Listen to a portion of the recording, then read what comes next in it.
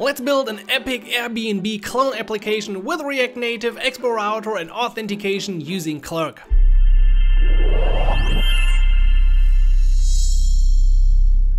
Hey everyone, what's up? This is Simon from Galaxies.dev and in today's big, massive tutorial, we are replicating the Airbnb UI with React Native. We're gonna have a lot of different steps in this video and this video is also sponsored by Clerk. You can check it out. I've used Clerk before for user authentication. We have another tutorial on this channel and they have a great free tier to get started. I think up until 5k users and you're gonna see in the video how easily we can integrate Clerk with React Native and Expo and in the end also how we can update user data and how we can upload a profile image and how we can just use Clerk and the different hooks with Expo file-based routing. Throughout the video, we're gonna use a lot of code. You're gonna find everything linked below this video. And of course, make sure you subscribe to the channel to stay updated about all the latest builds coming in the future. Let's do a quick run through of the application and the things you're gonna develop now.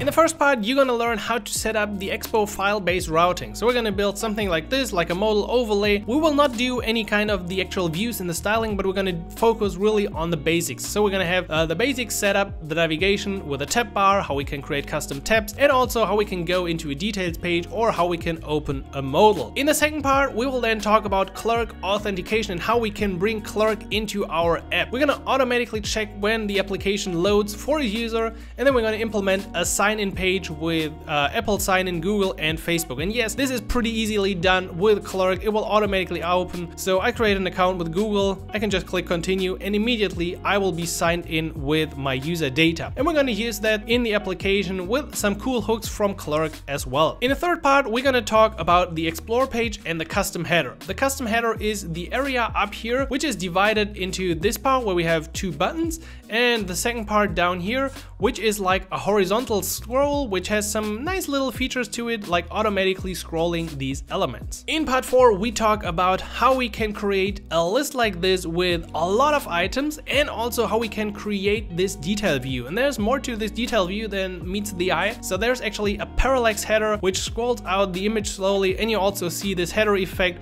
with a white header becoming uh, uh, yeah opacity 1 and now opacity 0. We're gonna use reanimated, we're gonna use interpolation to create this effect and just focus on the interaction between list and the details page. Part number 5 is then about a map. There's actually a map hidden here right behind this. So within that map I will be able to see locations in Germany and we're gonna talk about how we can create markers on the map and also how we can add clusters like this, how we can uh, design those clusters and then with a click go into the details of one of these offerings. So the whole map including marker will be discussed in part 5. Part 6 is about the listing which is now part of a bottom sheet. So this is a bottom sheet I can pull up from the top and it seamlessly works again just like this and with a click on map I can bring it down. I can also scroll it from code. We're gonna talk uh, about a little hack to update our maps and our listings, as well as uh, what we already did before with reanimated to make the animation of these transitions a bit better. In part 7, we will then focus again on Clerk and the user profile screen. We're gonna create this simple little screen in which I can update my user data, which will then be reflected on the Clerk side,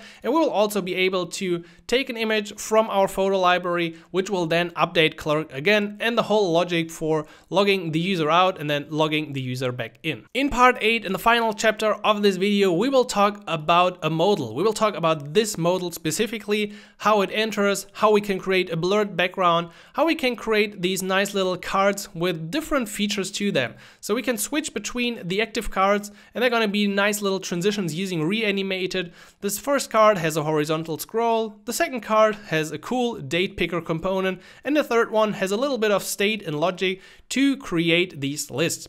We will also add a custom header just like this as in the official app and we're gonna have two buttons here at the bottom to either clear our whole view or click search to go back to our application. So that's everything you will learn in this video. It is really a lot. I guess it's going to be three or four hours. I hope you can stick with me until the end. Again, link below this video. Check out Clerk, the sponsor of this video and now enjoy the Airbnb tutorial.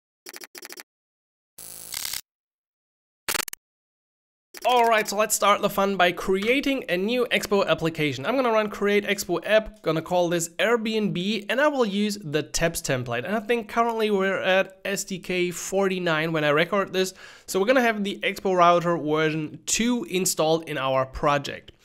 In this first part, we're going to set up the layout, um, the navigation, especially with the Expo file-based routing, because it's a different concept compared to React Navigation that you might have used in the past, or if you're just new to React Native, then, well, congratulations, you're using uh, the hot tools right in here.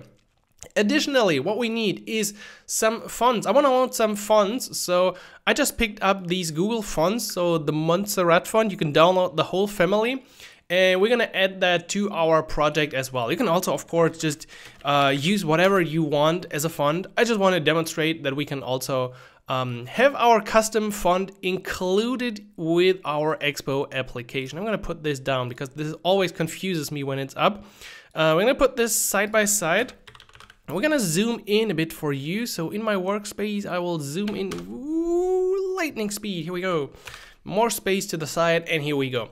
Um, let's continue by, actually we don't need anything else to install. Everything should be set up, so we can just run npx expo, which executes the local expo CLI of the project, and you can type start, or you can just hit enter, because npx expo is actually an alias for npx expo start. Then we got the options. I could scan this now with my iPhone. Actually, let's do this. Could be fun. Uh, and that, if you haven't done it, should install the Expo Go application. And also, if you just want to run it locally, you can press I for the iOS simulator, A for Android, or as you can see, it's actually building on my iPhone right now, so you get this progress. But anyway, I'm going to type I as well, because I really want to see it here in the simulator. Okay, this is the basic setup um, we have some files. Uh, we have some configuration files, which we're also gonna touch in a second, but most importantly, we're gonna live in the app folder. So in the app folder, there's a tab bar defined with this group. So if you use the brackets, then make sure that this does not appear in the URL. So if you would deploy this to the web, but this is actually grouped.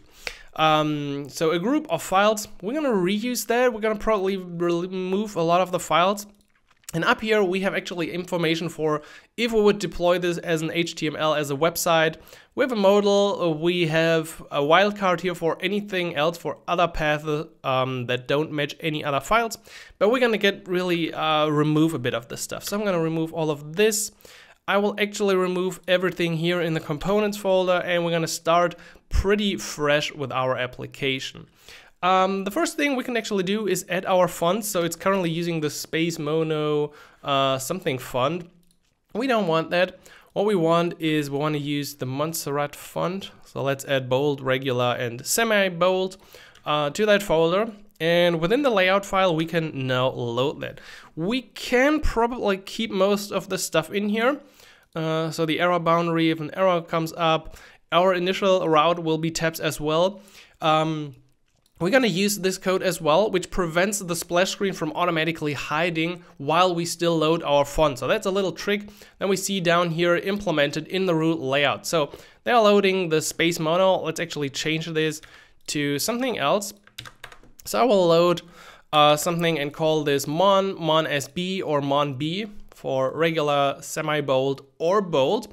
And with the hook use fonts, we can now uh, wait until these fonts are loaded and then actually um, oops, uh, then hide the splash screen. So that's a little trick if you want to load a custom font, because uh, while it's not loaded, we're just going to return nulls, so there will be no layout, and otherwise we're just going to return the root layout, which is the place we can start. I will actually remove a bit to make this easier.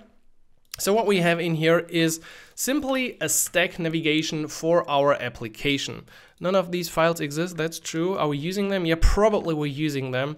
So I'm gonna get rid of, um, yeah, I'm really gonna get rid of everything inside tabs. It's just annoying. Uh, so we're gonna do it our own. Um, as we can see, we have a stack which loads the tabs layout. So let's, in the tabs layout, define our actual tab bar because the goal for this first part is to set some uh, something up that resembles the Airbnb UI, which currently looks like this.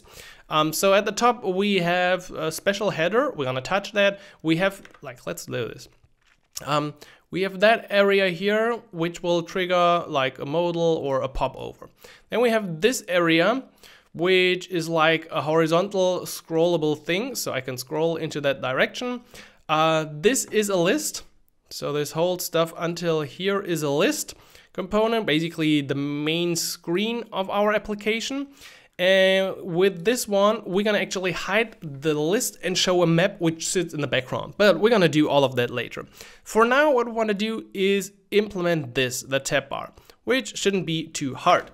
So let's do this within a new layout file here, layout.tsx. We're gonna define our actual tab bar. Um, so we're gonna do React Native functional export. I have a little uh, shortcut here in, actually it's not a shortcut, it's an extension in Visual Studio Code that you can install like React snippets or React Native snippets. Um, then we go ahead and we use tabs from Expo Router. If we don't do anything uh, inside the tabs, that actually works. So you can just create an index.tsx here. Uh, let's call this one page and we'll just copy this over. And let's do another one and call this explore.tsx. And then we're going to see something interesting. Uh, let's call this explore. Uh, which is, if the app finally loads again, I guess we broke it a bit. So let's reload. Okay, here we go. So we now already have that tab bar. Down here, we have automatically the tab bar just with this setup. So if you don't specify anything for the Expo router, it will automatically pick up the files next to it. So in this case, we're doing a tab bar in the tab layout and it picks up the Explore page and it also picks up the other page, which was called index. um, actually, we need a few more pages.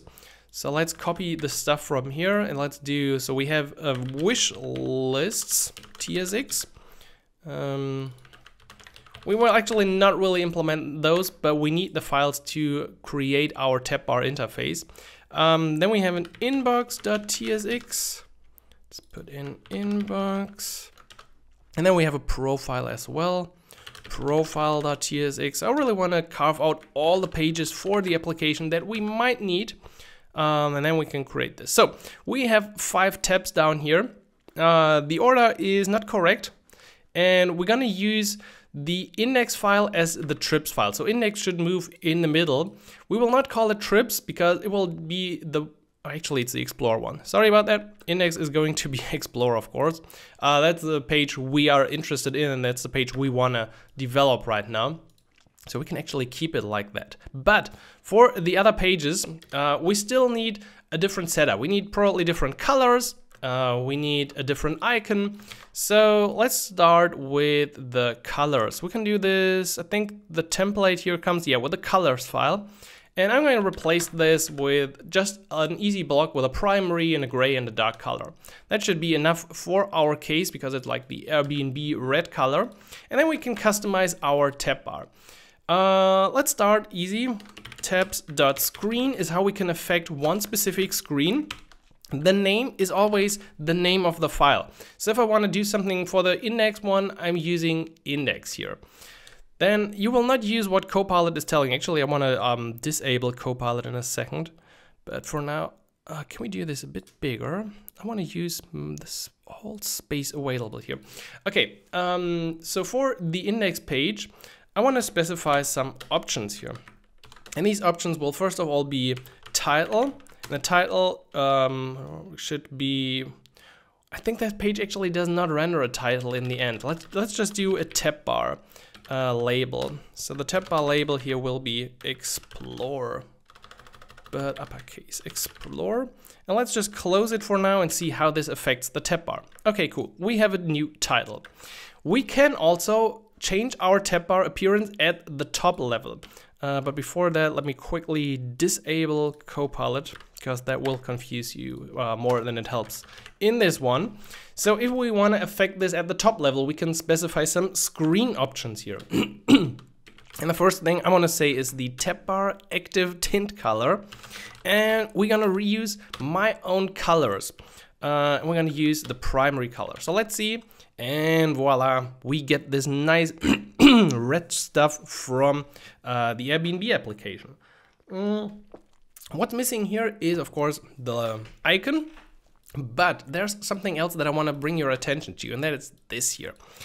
So as you can see, we're using a relative path, and throughout the application, that will definitely look ugly in most places. And there is a better way to actually handle this today. And we're gonna set this up real quickly. Um, we're gonna do it now because I just noticed it for the first time. So within my app.json, I will scroll down to the experiments where we have already typed routes.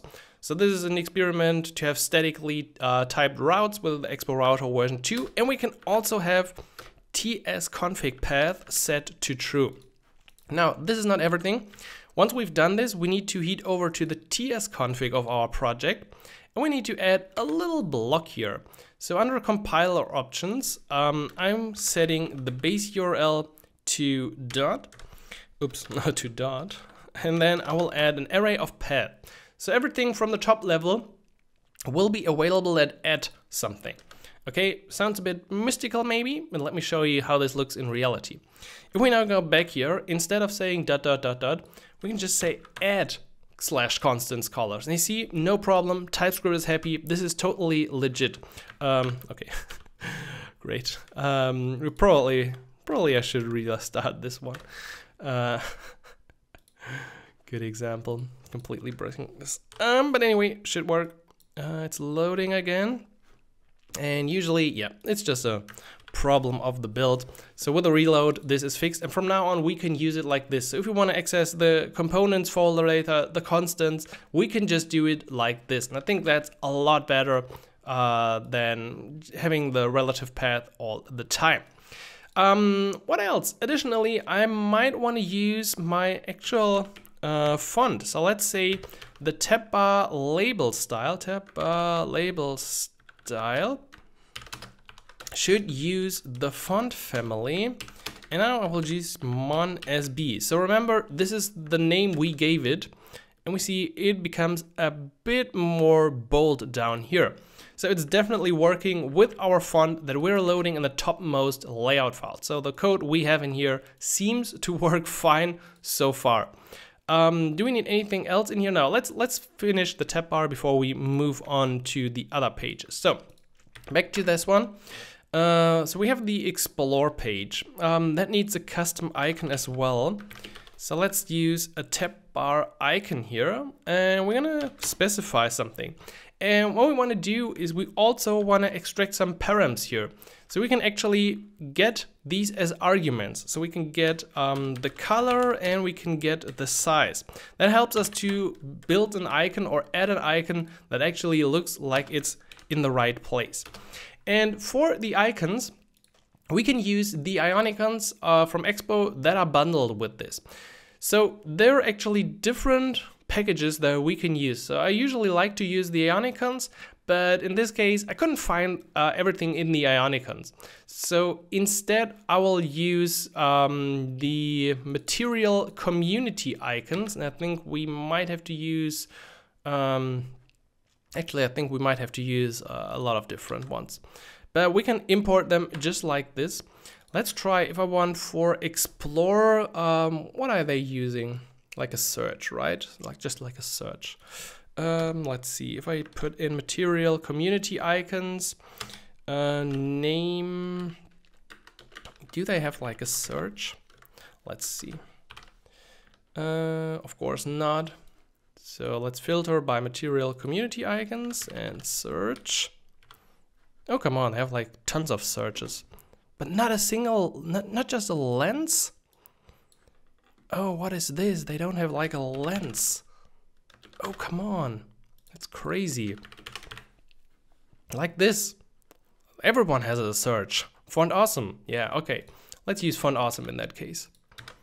Okay, font awesome, name search. And yes, we got a search. So if we just use it like this, it looks kind of odd as you can see.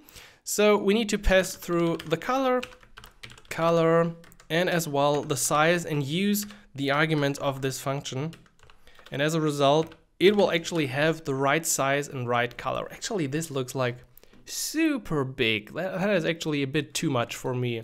Um, I feel like the Ionicons would be great in that case as well. So yeah, let's just add them as well because we can easily import them. And if we use this, we just have to swap it out And yeah, that has a nicer touch. That one looks better. That one certainly looks better. Okay, and just like this, we're gonna apply now our style to the different tab screens. So within the tabs one, we're gonna define all the different screens. So the second one in the Airbnb application is wish lists. So wish lists. Uh, this one should just be uppercase wish lists. And for the icon, we're gonna use um, heart outline. Okay, tab number two, done. Okay, number three is trips. So for number three, or for item or screen three, we have trips. I'm gonna put this down here as well. And for trips, I will use now finally the font awesome one. So font awesome 5 and I will use Airbnb because there's actually a logo that they use. Uh, oops, trips. Don't we have like a Explorer inbox? Uh, okay, yeah, Explorer is actually not, yeah, I messed, Simon messed this one up. So let's call this one trips because my Explorer is actually the index. So I, I trolled myself on that one. Um, okay, we have explore, wish lists, trips. Then we still need inbox and profile. Okay, we're back in the game.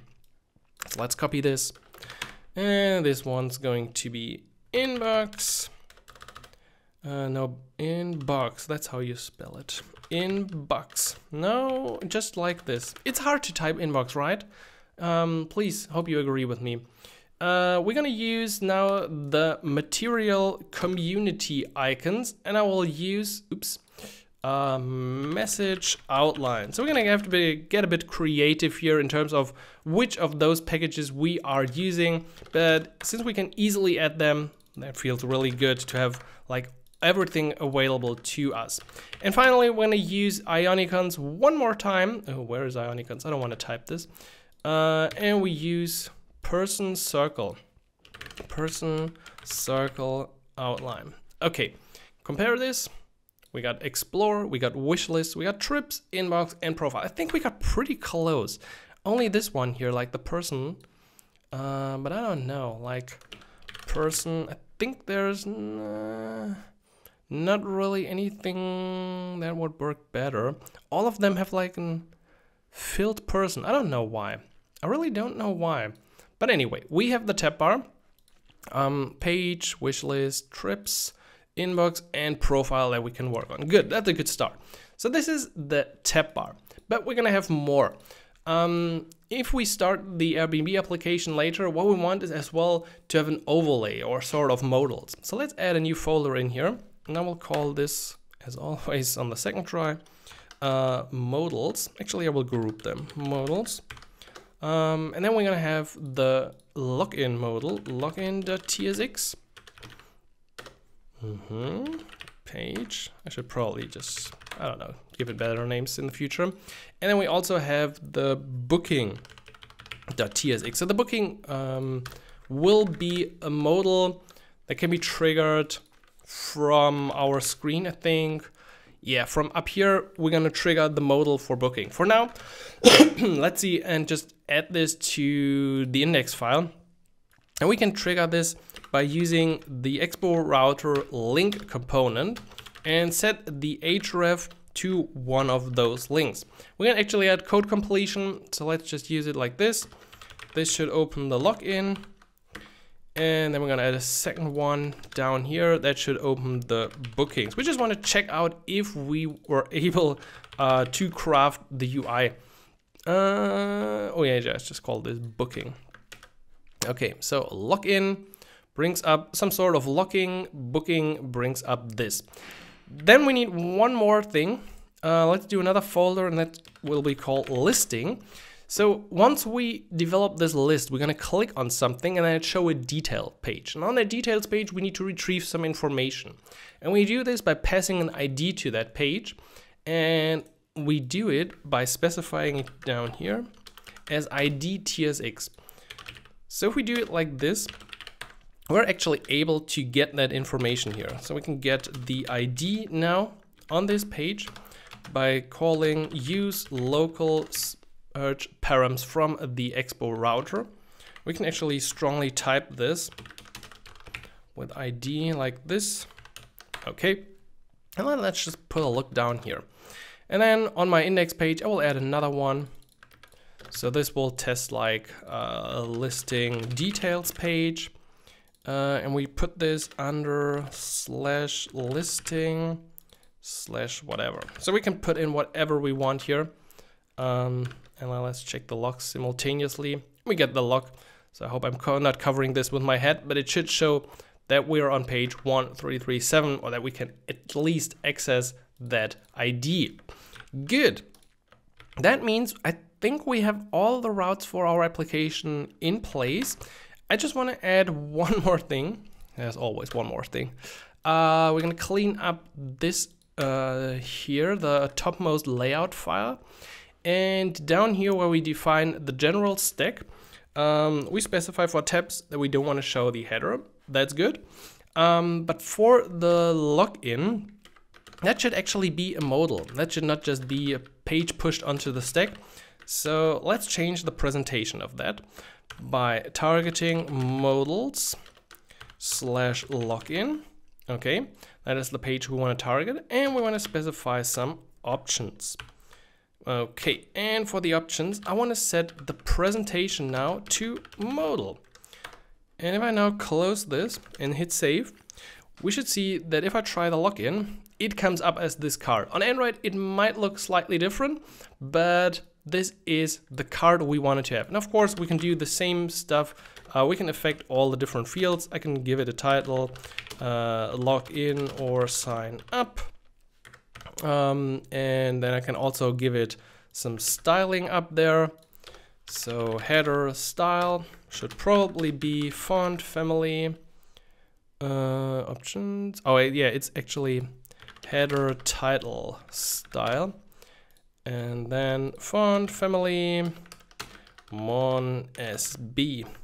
Okay, and it becomes our custom font. Additionally, I will also uh, right now include a header, um, a header button. So for the header left field, there's also a header right, like a slot where we can inject something.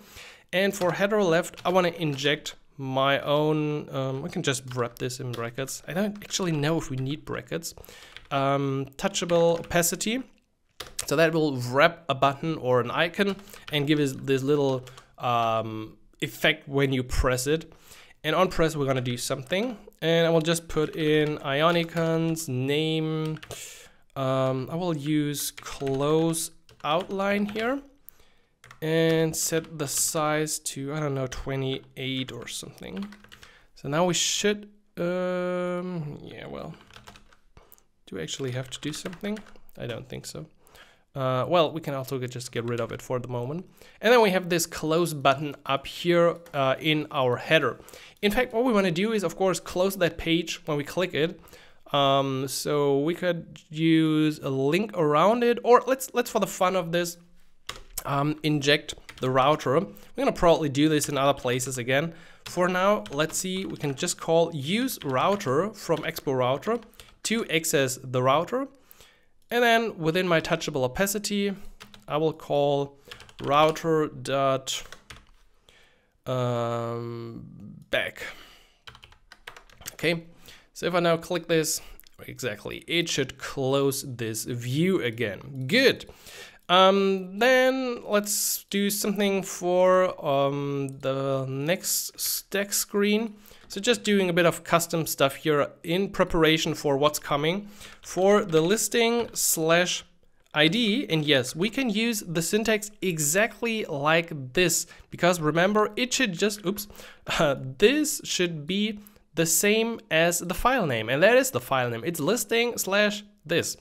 So keep that in mind, even if it looks strange, this is the right way to customize that page. Uh, and for that page, as an option, I want to set the header title to nothing. Because we're going to have a pretty, pretty epic, um, what is it called? A parallax. Yeah, it's a parallax scroll that we want to develop on that page. And finally, we had one more stack screen. Uh, that one's being called modals, uh, modals slash, what was it? Booking. I think it was booking. Okay, and for booking, we're gonna have the same custom options here. And I will close this already. So what I want to define in here is um, a presentation of um, transparent modal. Let's see, if I now click bookings, um, you see it kind of covers the screen and we can't really see uh, what's going on. So yeah, that should be right.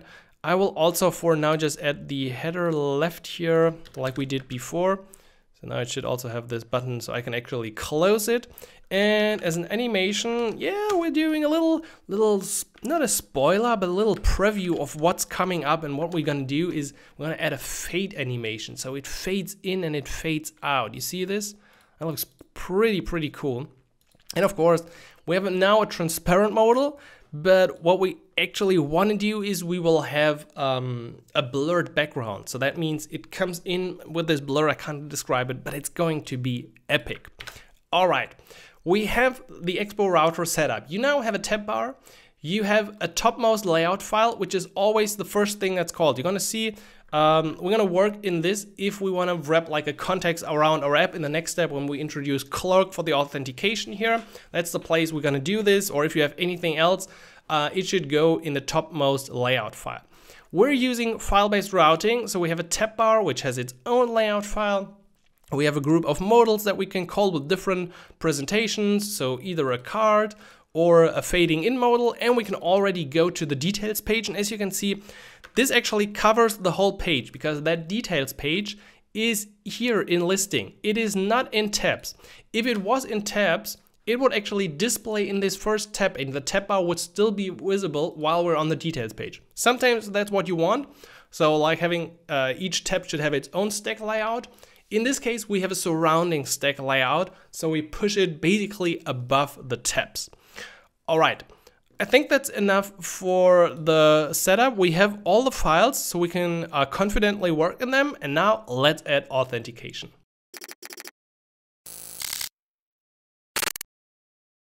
Alright, now we want to add authentication to our Airbnb clone and one of the easiest ways to do this is using Clerk. So you can check it out at clerk.com. You can actually get started for free if you check out the pricing. So there's a free tier that you can use up until 5k monthly users uh, with basically all the features included afterwards. It's 25 per month. Um, which is 0.02 per additional user. That's like a no-brainer. And they really offer all the authentication that you need and it's really easy to use with uh, Expo and React Native. So in the past I already had a tutorial about this. It was called, I don't know what it was called, but you can find it on Galaxies as well. Uh, full tutorial and the written tutorial also here on YouTube Master React Native Authentication and the tutorial also on Galaxies uh, if you want to look that up. However, we're gonna go through the basics again in this part because probably you haven't seen that. So uh, create an account and then head over to the dashboard of your Clerk application and add an application. So I already have something to test, but I will do a new one. I will call this Airbnb video.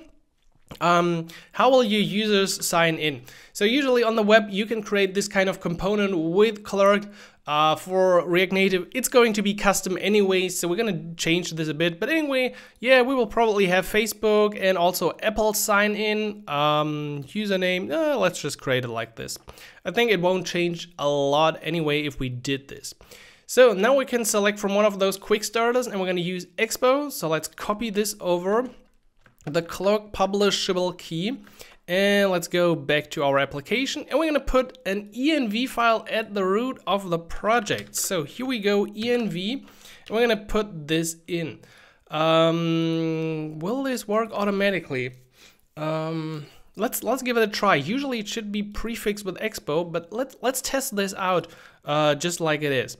So what we can do now is we can go to our layout and we also need to install two additional packages. So what we need to install is, oops, of course, the clerk package. So npm install add clerk slash clerk expo. And then we will also follow this up with an additional package to make the storing of our token more secure.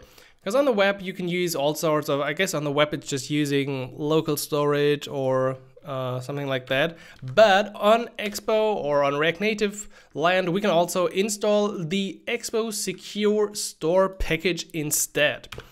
So let's see how we can use it. First, we should load our key. Let's do this up here.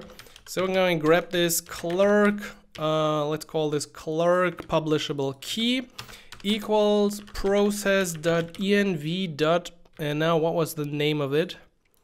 Uh, yeah, that one. Okay, and close that. So now we got that key. And additionally, as I said, um, we want to use the Expo Secure storage package. So we can create our own custom token cache um, and later pass this to our context, to our provider. And we're gonna just implement two functions. We're gonna have a get token function here. Uh, and a get token function gets a key, string, and it will try to get the information from Expo Secure Storage. So let's add Expo Secure Store in here. And then what our function will do is it will try to load that icon, uh, that item from secure store. And same, if we want to write it, we're going to use save token here and use set item async. I think I'm missing one of these. Good. So that's all we need. And now we can just scroll down a bit in our um, code here in the layout.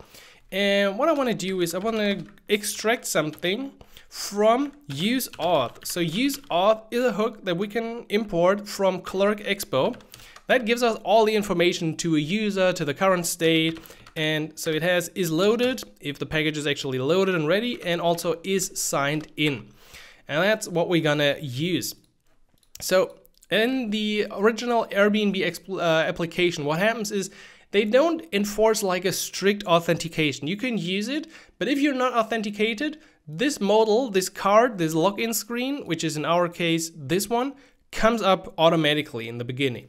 And that's what we want to do as well. You can also later trigger it, like if you close this, you can still log in from different places, but we want to have this automatic trigger of that page.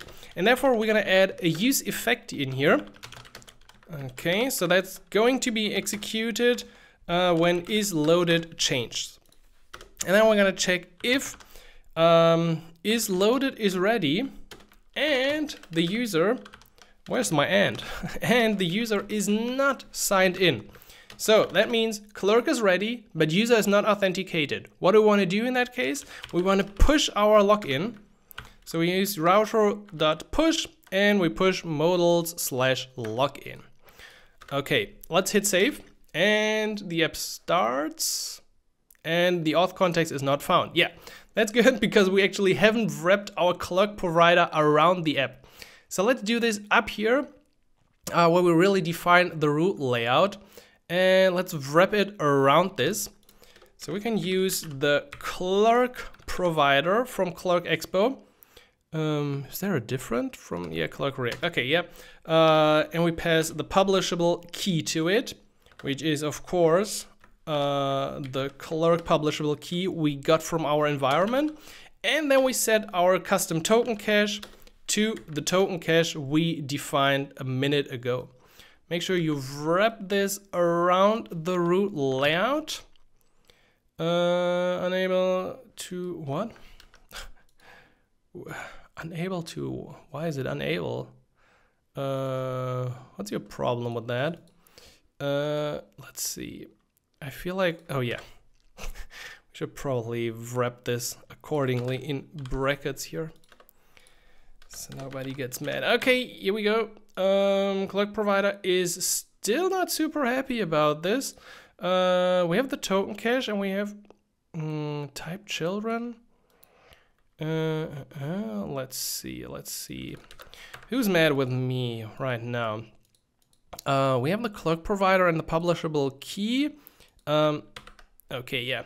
That was just a TypeScript issue because that key could be undefined, but I'm pretty sure if you did everything correct, it won't be undefined. So, um, yes. I totally messed up the app. Is it still restarting or did I like destroy everything now? Let's just kill it. Let's just kill it.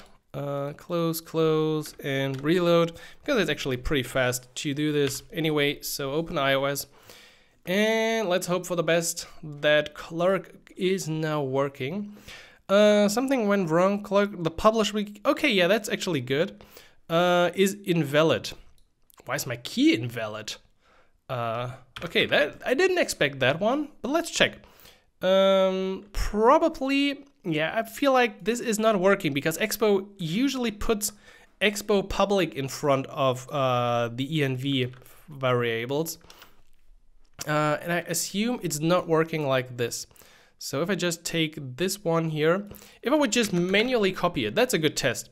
If I would manually copy it and not use the process.env stuff in here, if I would do it like this, um, yeah, it immediately works. So let's check it again. I can hit refresh, app starts, we're not signed in, and automatically the login comes up. So our logic is correct. The only problem is with the loading here. And that's because I think this is expected in Expo public clerk publishable key. So let's change it. Let's change the name like this. And then let's do a reload here. Um, and then it should work. Yeah, nice. So now it should pick up my key from the env file and it automatically spins up the login. We now also have clerk edit as a context, as a provider here around our application. That means the hook, the use auth that we use here in the child component is now available in all the pages of our application. We can always check like, is the user authenticated here? What's the name of the user? What's the email? Um, we can easily log out from other places and that just will help us uh, in the rest of our app. Very good. Uh, we probably do we want to add like um, may, maybe on the on the profile screen uh, for testing we're gonna add a logout. Uh, so let's go to the profile screen and I will just for now add a simple button in here. Um, title logout and on press I will do the sign out and we should be able to get that by extracting now sign out from uh, use auth from clerk expo here. And actually I will also get um, is signed in here. Okay, so on press I will do on si uh, sign out. Okay, and I will also check if not signed in. In that case, I will also render another button to trigger our sign in. Sign in again on press. And our sign in is handled within the, uh, oh, we can, actually we can use a link component in that case. That makes it a bit easier. So we can just use the Expo router link with the href, which then triggers our modal's login again and then uh, log in. Actually, we need to put this in text. Otherwise, React Native screams at me, yeah, you can't use text anywhere outside of the text. Just always getting so mad in my face. Um, okie dokie, I think we got it. Okay, so this automatically comes up. If I didn't do this, um, I can still trigger the login from here or I can also log out, but we are locked out anyway so far. Uh, we we, we kind of need to focus on the login instead now, and that's what we're gonna do. So let's close a bunch of these pages here. Uh, actually, all of them. I don't want to have them right now. So what we want to focus on is the modal's login page, which automatically comes up. And I want to add one additional file as well. So outside here, I will create a new folder. We'll call this hooks because there's one hook that's recommended by a clerk. And I will call this, actually I got this from GitHub, use warmupbrowser.ts. And that just helps us for Android to warm up the browser when we do the sign in. Um, so the browser comes up faster. That can significantly, significantly improve the performance on Android. So uh, make sure you get this in here. Uh, it's a simple hook we export, which runs once in the beginning to warm up async the web browser or cool down async uh, once we're done. Um, just want to check, did we add, did it has our pro, yeah, our project has it. Okay, we're good, we're good, Chi. Uh, uh, let's go back to the login and actually use use warm up browser here in the beginning. So our browser is fine on Android. Good. We can also reload. So this is the screen I want to work on now. And we're going to first time dive into a bit of work with React Native to create a screen. I'm going to start by setting up a little style sheet here. So style sheet dot create. Um, and we're going to define, let's first define a little container for our application. Uh, that one will have flex one, so it spans across the whole page.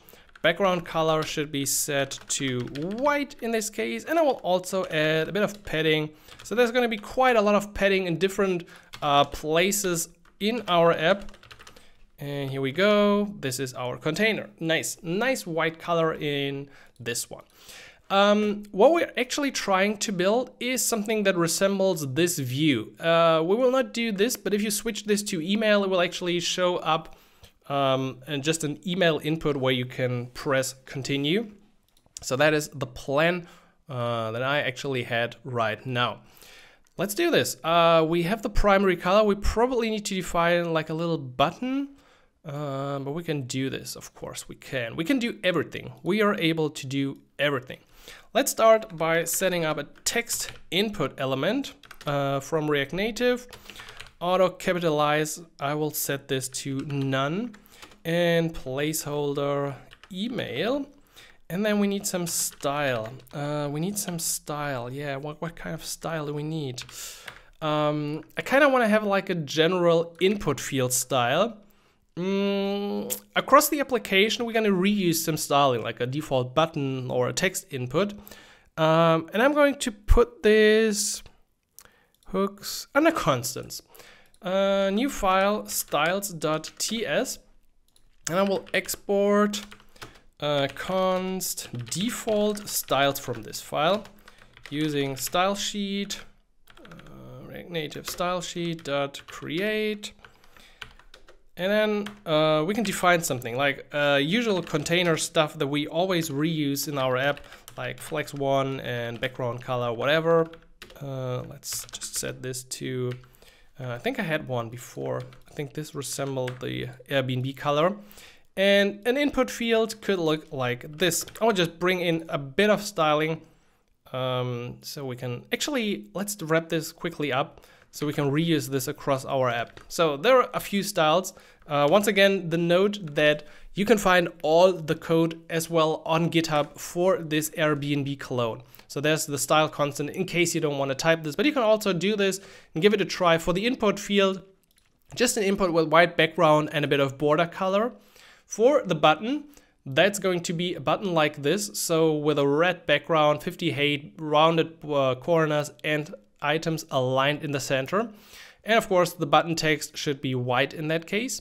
Um, then we also have a button icon sometimes, so that will be a button like this.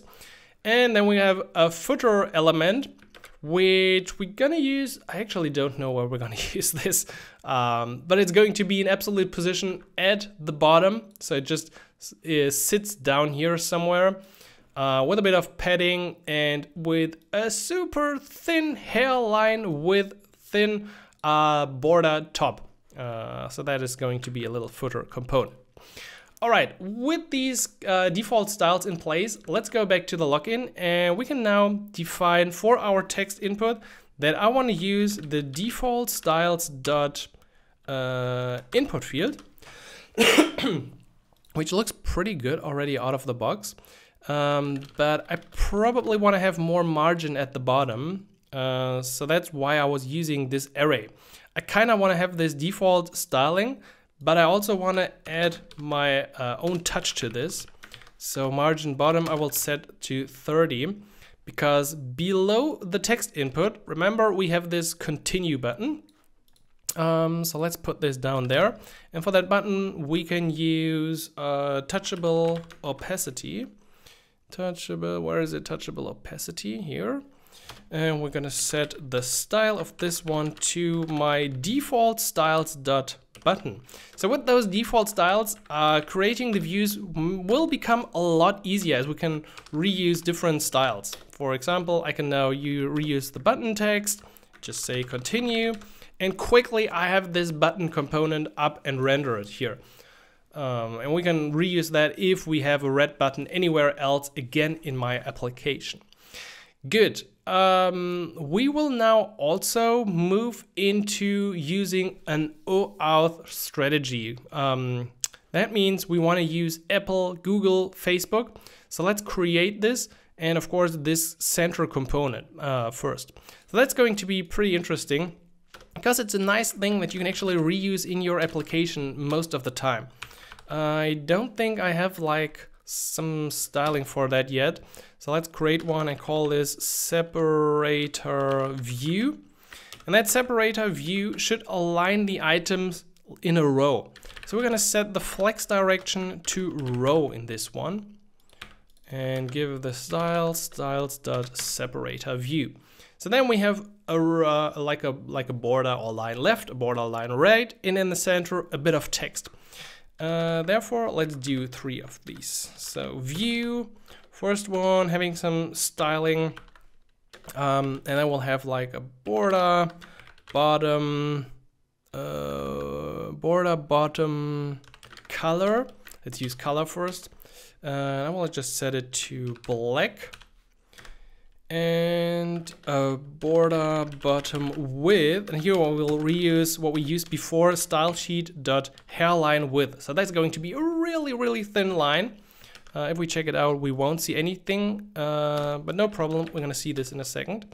Text um, styles dot separator and this will be uh, or I think that's just or. Does it say separator or sep do you like is it i think it's in separator. Separate do you know this feeling when you look like at a word like five times ten times and it suddenly the the whole letters fly in front of your eyes and you're like is this really how you how you spell that word?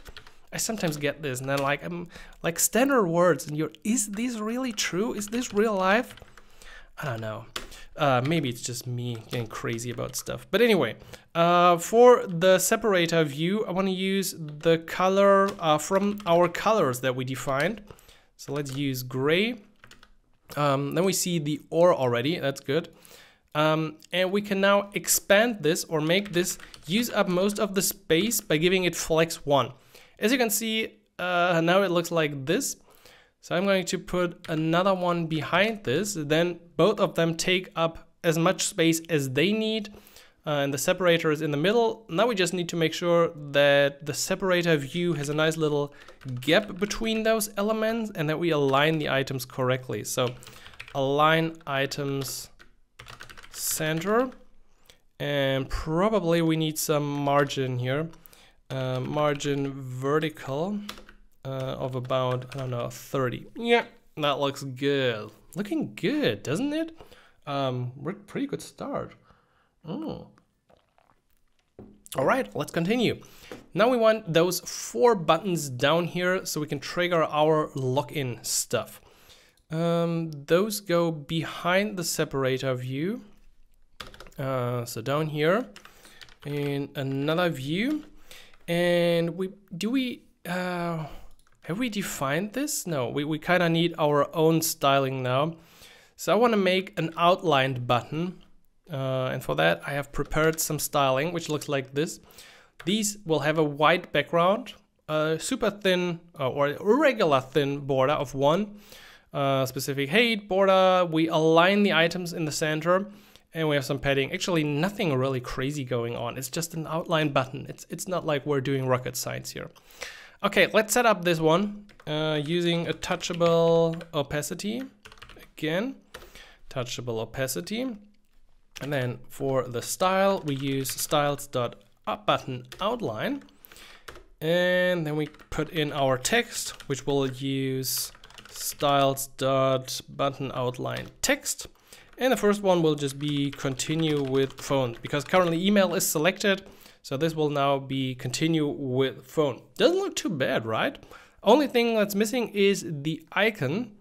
And again, if I look at continue now in front of my eyes, it becomes wrong. I should not look at this like this. Okay, ionicons, uh, name, mail, outline. Um, actually, that is not mail, right? I don't know how it looks. It's probably like a phone outline. I don't know. Uh, is there an Ionicons for phone? Call? Uh, uh, uh, we can filter this by Octicons. No, by Ionicons. Um, megaphone. No, not really megaphone. I just want to like device. I don't know what's the name for for call or something. Yeah, call probably call outline. Hmm. Although I don't know. Okay, this is our icon, and if we give it the style styles dot uh, button icon, do we have that already?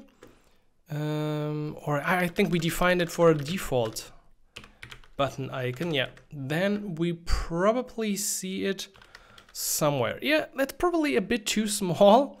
Uh, let's use a size of, I don't know, 24. Yeah, okay, that looks good. That looks good. And for that, we just need three more to complete that view. So let's just copy paste this. All right. Uh, if we easily want to have some padding between them, let's just define a gap of, I don't know, 20. And it looks like this. Good. Uh, even better. And then we gotta do the other one. So this is continue with Apple. Uh, and that needs a different icon. So that should be the uh, material design logo Apple. And then we have continue with Apple. Mm, then we have the material design logo Google. And I should uh, copy this. And this is, I think, Facebook. Okay, so we got the three icons in here, and then we of course have continue with Google and continue with Facebook. that looks good, I think. All right, um, doing the sign in with email is actually pretty, I would say pretty boring, um, pretty easy. And that's exactly what we did in the previous um, tutorial with like the, the starter, the React Native clerk authentication. So uh, you can check out the written tutorial again for the email authentication, which requires um, a little custom flow. Um, I'm just gonna show you this because we're gonna do something else instead. So what it basically does is there's a sign in that you can get from use sign in from a clerk, and then you can call sign in create uh, with the email address and the password of a user. However, then you still also need to manually um, verify that, which requires some more code. So creating a new user, if we check this out, we're gonna have to prepare an email address verification and set the pending verification to true. And then uh, we still need to verify this on the screen. So this is like a custom flow because on the web, you can just drop in the clerk component on React Native. You have to do this in a bit different way. So I just want to show you this as a way to do the email sign in. Uh, and now we're going to do the uh, social authentication. I think because that is something I haven't shown you before, and I think it's even more interesting. So back to my clerk instance for a second. Um, we have used the basic setting. Here is uh, where you can customize the like the settings for the clerk app. Um, you can use email address. Uh, you can toggle these on if you want to allow usernames. what I actually want is, yeah, personal information, this block here. Um, I want to enable that users can change their first and their last name. I will apply these changes. We will actually not do this right now, but we're going to talk about color again at almost, I think, almost the end of this uh, Airbnb tutorial when we implement a profile page so the user can update its name and also image. What we want to do for now is want to talk about social connections. So um, in the beginning, when we set up the app, I have enabled these. Or if you haven't done that, you can do it right now under social connection providers. And we can use Google, Facebook, and Apple for sign in. And in fact, we could already use it right now without any configuration in development mode. So let me show you how. Um, we have the buttons in place. Uh, we want to have something called um, start flow. And we can extract this from use uh, use actually use OAuth and then passing in the right strategy. Strategy And here we need to do something like OAuth Apple or Facebook. Let's just do it for one. However, uh, we're gonna have three of these and I can't import the same name, so that is going to be a problem. As you can see, uh, they would all look like this. All right, I, I, can't do it like this. So for TypeScript, I can now just say, okay, this is Google Auth, so I can map this to a different name. Okay, this is uh, Apple Auth, and then we have Facebook Auth. Okay, good. Additionally, I want to have like one function and I don't want to pass strings around. So I will put up an enum up here.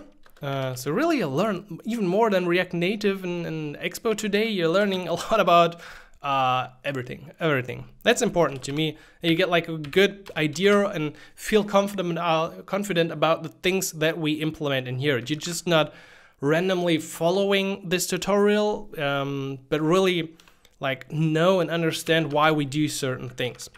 Okay, so here we go. We create this enum, uh, Apple. The string will be OAuth Apple. And guess what? We have one third for Facebook. I don't know. Is, are people still using Facebook sign in? I don't know. I'm not really using it anymore. Um, I see it here and there, but I feel like Google and Apple have kind of taken over. Anyway, um, Let's now do a function, a generic function that I will call const on select auth. And that will make it easy to uh, assign this to our three buttons. So we're gonna pass uh, did I call this strategy? yeah, Strategy. Uh, we're gonna pass a strategy to this function. Okay.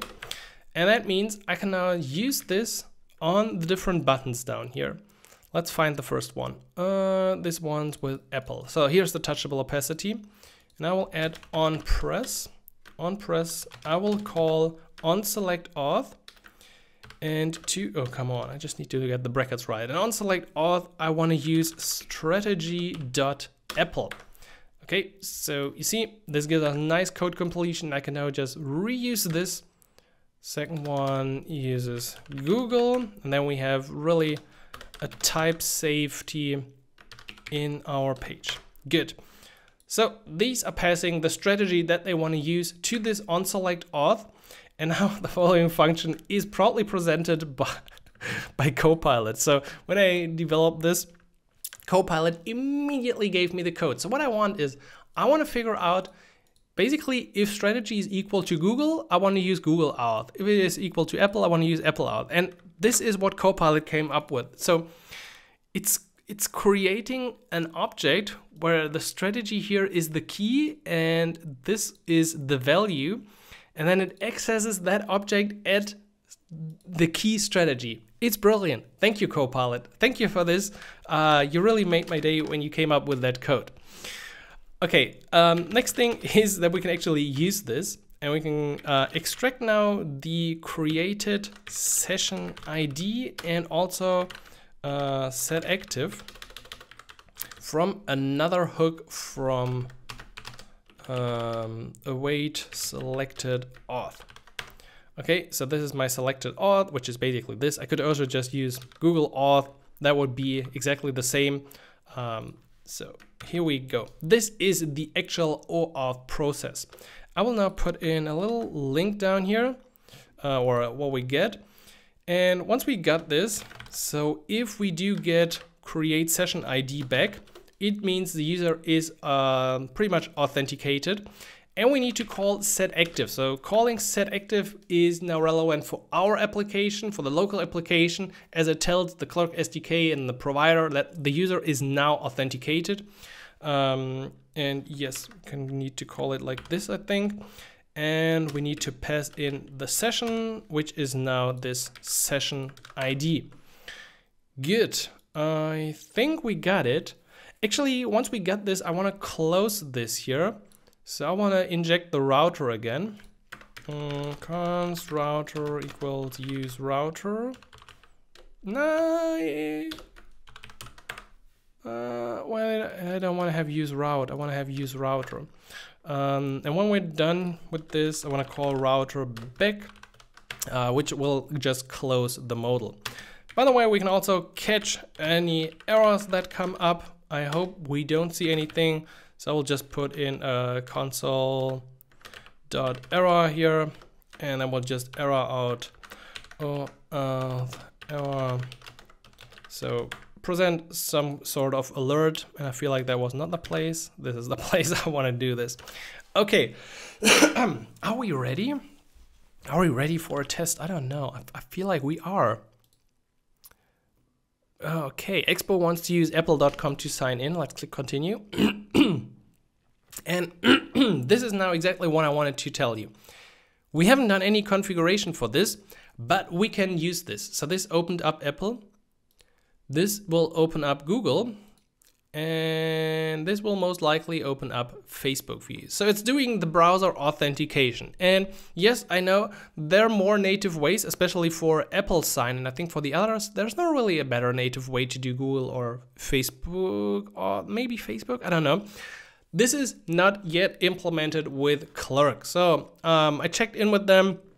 I asked about that feature and I think it's on their list. They know that they kind of want to have this at some point, that they need the native sign in. Uh, for now, this is what they got. And we can now actually use this to sign in. All right, and it looks like Clerk wants to use my Apple ID. I will continue. I will do not do this and it closes and we see the session ID down here. And we can now also confirm by checking in our dashboard or under users that voila, I have this beautiful new user which has no image yet. I don't know why. I think it can have an image, but anyway, we're gonna upload that image later anyway. Uh, and we have signed in our first user. Uh, our user is now also authenticated, which means if I reload the app, we will not see that overlay again. You see, user is authenticated. Unless I go here so sign in button is also gone because we're authenticated and only if I press lock out, I will be locked out again. And in that case, if I refresh, my cool popover comes up again. Okay, so as I wanted to tell you, this works really, really great and fast. However, this is the development way. Uh, you can use it like this to implement these things and quickly test this out as a Clerk has got you covered with these social connections and a default setup for the providers. However, if you want to actually use this in production, you're going to have to do a bit more. And I'm going to show you what you have to do for uh, Google because that's kind of okay to do and doesn't take too long. So if you want to set this up for production with Google, you're gonna have to say, I wanna use my custom credentials and you're gonna have to pass in some information. This information comes from the Google Cloud dashboard. So you can create uh, an application or a project here in the Google Cloud and then create credentials. And I already did this, so I clicked create credentials OAuth client. And within that client, you're gonna see some information. Um, what we need is we need to copy over this client ID and put it in here. Then we have the client secret. Let's copy that. Uh, client secret should be here as well. Go back, put it in. Then we have a redirect URI. This comes straight from Clerk and is required because there's the information returned to. You're gonna put this down here uh, under the authorized redirect URIs. Then you're gonna press save um, and wait and hope for the best. Um, do we need any additional scopes? I don't think so. Uh, did I require anything in the past? No, I don't think so. So that should be good. Let's hit save and we're good. I just want to show you that this is uh, described very well in the docs here at Clerk as well. So as I said for Google, these just a few steps to enter your information. For Apple, this is a bit more complicated. Um, I mean, it's not complicated in that sense, it's just a lot of sense, uh, a lot of steps. You need to be enrolled, of course, in the Apple Developer Program to continue this, which you anyway need if you want to develop iOS applications. And then you need to create some identifiers um, and certificates. You're going to create for these certificates different keys. Um, you're going to put them into Clerk as the information. You upload something. Um, it just takes a while and we'll probably cover like 45 minutes of this video. So if you're interested in the setup for uh, Apple with Clerk, just let me know in the comments. We're gonna do this in the future as well. Um, and same, by the way, for uh, Facebook. So for Facebook, I don't know, it's probably not that long, but you're gonna have to create that Facebook app, and then you're gonna copy over the app ID and secret. Uh, you have the redirect URI, and that's it. So I guess Apple is actually the, the most challenging of those. In my case, I have configured this hopefully for Google correctly. Um, let's give it a try. Continue with Google, and I will try this that was fast. That was really fast. How did it know? Like, like how? I, I, how? How did it work? It kind of used automatically my Google authentication stuff and have my image. That's impressive, Clerk. That's impressive. Uh, I'm impressed today. I didn't expect this to be that fast, but that just confirms and, and underlines the argument that I want to make that Clerk is just super easy to add to our application. Um, I think we covered the login screen now. Uh, we've seen how we can automatically open our uh, modal from the layout using is loaded or is signed in. And we can just use this in other places as well if you want to hide uh, certain elements or if you want to show something in your view. Additionally, we now have the login with this function proudly uh, sponsored by Copilot. No, of course not. Um, and the actual function to trigger our OAuth process is this one. It just looks a bit obscure because we, we did it like this. Usually you're gonna find something like just uh, start OAuth flow here in the documentation. We just made this a bit more generic for our page. And by calling set active, we now have an active user in our application. Good, that was the part about authentication. Uh, we're gonna revisit this in the end to develop our profile screen with some uh, image upload as well. But for the next part, let's get back into some Airbnb core functionalities.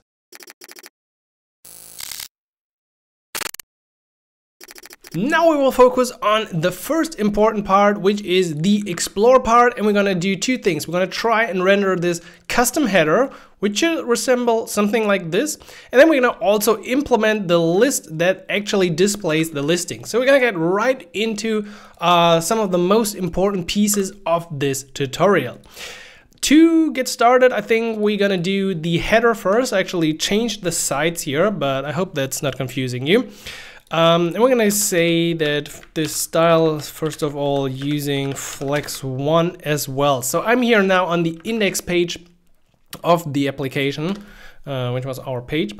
And what I wanna do is I wanna set for the stack a custom header. And we have used stack.screen in other places, but we can actually also use this right inside a page. That's not a problem. So in here, I can also change the appearance or set options for the stack of that particular page. And what I want to do is I want to actually render a custom header component. No, we don't have a component yet, so let's create one. I will call this um, explore header.tsx. Um, yep, that's exactly what I want to call it. And then I will just tell this view to please render the explore header. Uh, we don't have any props or anything else yet. And then we see explore header is displayed instead of what we got uh, otherwise. Additionally, um, I think we could probably also uh, add a new file. I'll call this one, oh, Visual Studio, when will this work? Listings.tsx. So that's the component I want to display in the actual view of this page. So I will call this here listings and then close it. So that will be like the main view of that page. However, we're gonna start with the implementation of our header. And since we added this to a custom component, we can now uh, freely play around in this. So as you can see, we got two parts. We got this part up here where we have one big button and this filter button. And then we have a second part, which is a scroll view with horizontal scroll and these categories. Now, let me quickly add some category data. Yeah, that's perfect, Simon, break the page. Um, I just used some random categories that I found and that uh, ChatGPT gave me and included an icon for these. We're gonna use either Ionicons or material icons for these. Um, I don't know which of these contains all of them, but we're gonna eventually figure out. Um, but before we do that, let's probably begin with the big button up there. So I'm gonna wrap this in a view, uh, style, and as always, I will do a little style down here. So const styles equals style sheet. I really need a snippet. I think there is actually a snippet. I, I should use a snippet for that. Uh, React Native style sheet. Oh, there is a snippet. I could have used this my whole life. How much time did I waste? oh no, I feel so bad right now. oh no, no. Oh, anyway. Um, let's do this. I will set the background color to white. This has a very specific reason that I will tell you in the end. Right now it's actually not too important, but it will become important. Also what you notice is that as we're using this custom header, our component gets totally lost up here and we really don't want to touch this area. This is a safe area up here. And if we want to respect this area up here, you can either use your own padding or you can just wrap the whole fun with safe area view and give this some styling as well. I think we need to pass in flex one as well. Wrap this around your app and then everything becomes better. Um, also, this one should, I, I, will do another view to make it more obvious. Um, this one will be the action row. So that should be the row with the two buttons because we kind of know that this will have the flex direction row. Okay, and then we're gonna do probably a link component. href will go to uh, the first one, yeah, that's modals booking uh, booking. And then we're gonna have another button after this one, which is, uh, let's use a touchable opacity here. Touchable uh, opacity. That will actually not trigger anything in our case. So I will just use a touchable opacity uh, text filter, whatever. I just wanted to get the, the setup in here. Okay, where is the view? uh, okay, the container also needs a flex of one. Uh, flex, not flexes. Um, and then we got my listings. Uh, yeah. Where do we have like a view without anything? That's totally unnecessary, Simon. Um, ah, because then it wrecks everything. Come on. Just give me the header. Uh, we have the flex one up here on the safe area view we have the uh, container styling and we have the action row. Um, I don't know why we're not seeing anything yet. Uh, we probably, I think we need to define our container height. Uh, this is actually not working with Flex 1. Let's just set this to 130. Um, now I'll set the background to something we can actually see. Okay, there we go. This is our top area. Uh, it's respecting the safe area, that's good. I will for to make sure also give this a background color of white. Okay, because otherwise I think there might be a difference. Uh, now we can also give the container a white color and it's pretty fitting already. Uh, we got booking and we got filter. Of course, they should look different. Uh, so we're gonna do this in a second. Let's begin with the uh, touchable opacity because that button is actually going to be pretty easy. Um, so we're gonna call this, what is it? Like it's a it's a filter button, right? Let's call this one filter button. Um, we need some styling for that filter button. Let's attach it here. Style styles dot filter button. Uh, we definitely don't want to have just a text. Um, what we want is actually to have an Ionicon. So Ionicons name, uh, I think this is options outline and a size of 24. Okay, yeah, that's that's pretty close to it.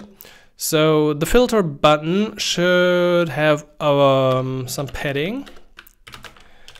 Okay, then it also needs a border. So border width of one, border color, um, I'll use a grayish color. Actually, maybe we can use our own colors. I mean, that would make sense. Let's see. Yeah, I think that should work. And we need, of course, a border radius. Otherwise, we're just gonna have a big box here. Yep, I think that's it. Mm -hmm. That is our button. Uh, for the action row, I kind of already feel uh, we definitely need to align the items in the center. Yep. And what I want to do is I want to say uh, justify content. Uh, let's say space between. Then it puts everything as far to the sides as possible. Um, so I think that should look good. But additionally, what I want to give this is some padding horizontal. Um, yep, that makes it come together nicely. And I think we will need some padding bottom as well. So I'll just already give this. Um, we gotta have a scroll view below this one, um, below the action row. But for now, uh, that's that. Okay, we got the button. So now it's time to focus on this part here. So the where to button. Um, right now it only says booking. If you want to use the Expo Router link component around something, around a touchable opacity or anything, what you want to do is you want to say as child. It's a very common pattern because otherwise your styling won't work. But by doing it like this, it should hopefully work. Okay, touchable opacity will definitely have some styling involved. And then we do have an icon and we have text. Okay, so first of all, let's call this one um, search button. Um, and the search button will go down here. So for our search button, we will use flex direction row again because the left, uh, um, so because icon and then this, we split this out with flex row. Uh, let's see, we can probably already put in both parts required in our touchable opacity. So the first part should be an icon. Can you reuse Ionicons, name, search uh, size 24.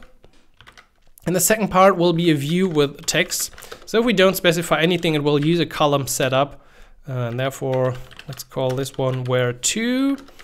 And then we had another text with anywhere, any week. And I always have this hide dot or, or interpunct. I think that's what it's called. I need to copy this. I don't know where to find this on my keyboard. So not too bad. Uh, I think we just need to wrap some, some stuff around this. I will give this one here the font family. I will try and use our custom font family as much as possible. But if I forget it in some place, please, I'm, I'm sorry. Um, then just feel free to add it to text elements or wherever you feel fit for it. Okay, so this is everything we need. Now we just need to make it look like this. And I feel this is always an interesting exercise. I mean, we have the setup, which is already good with a flex layout, but now we need to make it look exactly like we want to. So let's go down. Um, and by the way, I think this could also need a different color. Let's just quickly do this. Colors.gray yeah, like this. Uh, let's see, let's see what we can do for our search button. We have the flex direction row. Um, I certainly want to align the items in the center. So the uh, icon is aligned with uh, the text. I want to have some gap between the elements, so let's introduce a gap of 10. Let's add a border, um, border color of do we want to use the same? Actually, I don't want to use the same gray. I want to use a really, really light gray. And I want to use a border with uh, the hairline width once again. Because if you closely inspect this, there is a super thin border around this. And of course there's a shadow, but there's also a super thin border around this. Um, let's also say that we have a certain shadow. So for a shadow, we could use an object like this with elevation, a shadow color, the opacity, the shadow radius, and some offset. And oops, I added this. No, I actually added this in the right place, I think. Um, but this button, to see the shadow correctly, we need to assign a few more things, I think. First one is I want to give this a fixed width. Uh, let's use 200. Um, or 200, that's probably too small. 280, yeah, that looks good. I wonder if I gave this flex 1, um, that's probably too big. Um, okay, yeah, we got that gap. I think this could actually work as well. Let me try this out. Oh, I'm not sure if this works. But if we give some gap, then we don't need the fixed width. That could make things better. It could. I don't know if it will. Um, we also want to add some padding. So now it looks like this. I think we're getting pretty close. It actually also, by the way, you see it opens our modal as we... So if you done the first part of this tutorial correct, it should work. Um, I definitely want to have a big border radius of like 30. Um, and what I still don't see is my shadow. And as far as I know, is always a problem if the view has no background color. So I will give it a background color of white now. And I hope, yeah, that then the shadow comes actually out. Otherwise you don't really see it. Um, but now I think we're pretty close to what this looks like. And we can just trigger it and it will open our modal in a nice animated way. It does even better animation with like a shared element transition uh, in the official Airbnb app. I couldn't make this work yet. Maybe we're gonna do this in the future. Maybe I'm gonna do another video on uh, like shared element transitions once this becomes more stable from reanimated. Anyway, that's a good start. Um, what we need next is the horizontal scroll view below. So let's do this. Um, we're gonna figure out, so not the action row. The action row is like the first part of it, and we're gonna now do the second part of that view. So we will use a scroll view and we want to use it in a horizontal fashion. Okay, and to display something, I will map through the categories that we uh, added up uh, up there with item and index, and we're going to render something for every category. So for every category, I think uh, always like uh, I want to add a touchable uh, touchable opacity. Can't you complete like the full name of a touchable opacity? I don't know why. What is what is your problem? Anyway, uh, the text for this will be item dot name. Okay, so you see, isn't that a great start? Uh, love it. Okay, we, we should give it a key.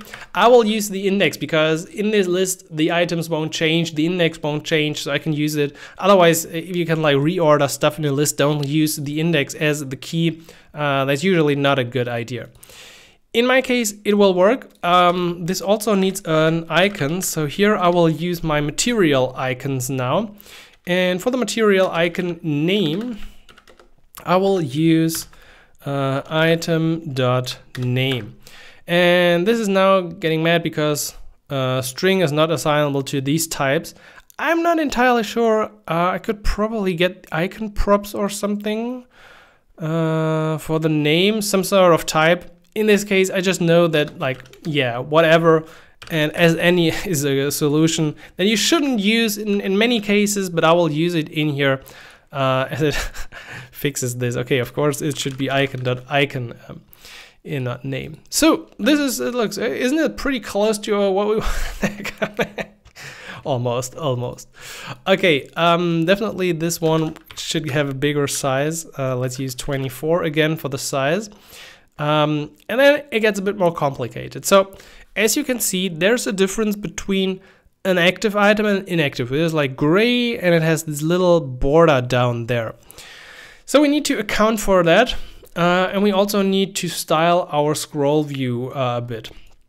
What I also don't want is for the scroll view to shows horizontal scroll indicator. I think it doesn't, uh, it won't, but I will still set it to false just in case. And then let's also give some styling to the inner uh, content container. What I want to do is I want to align the items in the center. Okay, uh, looks tiny bit better. I want to give some gap between the different items. Okay, and I want to have some padding horizontal, just like we have in other places. So it's more aligned with what we got. Okay, good start so far. Um, now for the touchable opacity, um, I want to keep track of the items. Uh, why? Because I will later also scroll to or focus a certain item. So let's do this. I want to start by using items ref and then use ref. That will give us a reference to that one. And that will actually be an array of touchable opacity items. Okay, that looks really scary, but it actually really isn't. Okay, so this is our items ref. And then we have an active index and set active index, which will use state and the active index will be zero. So that's the category that will be initially active. That means we also need some styling. So we need styling for the active category and for the inactive category. Let's say category text and the category text uh, let's, let's see, let's do it like this. So the category text, font size 14, font family, but this one has gray, and if it is active, it is black.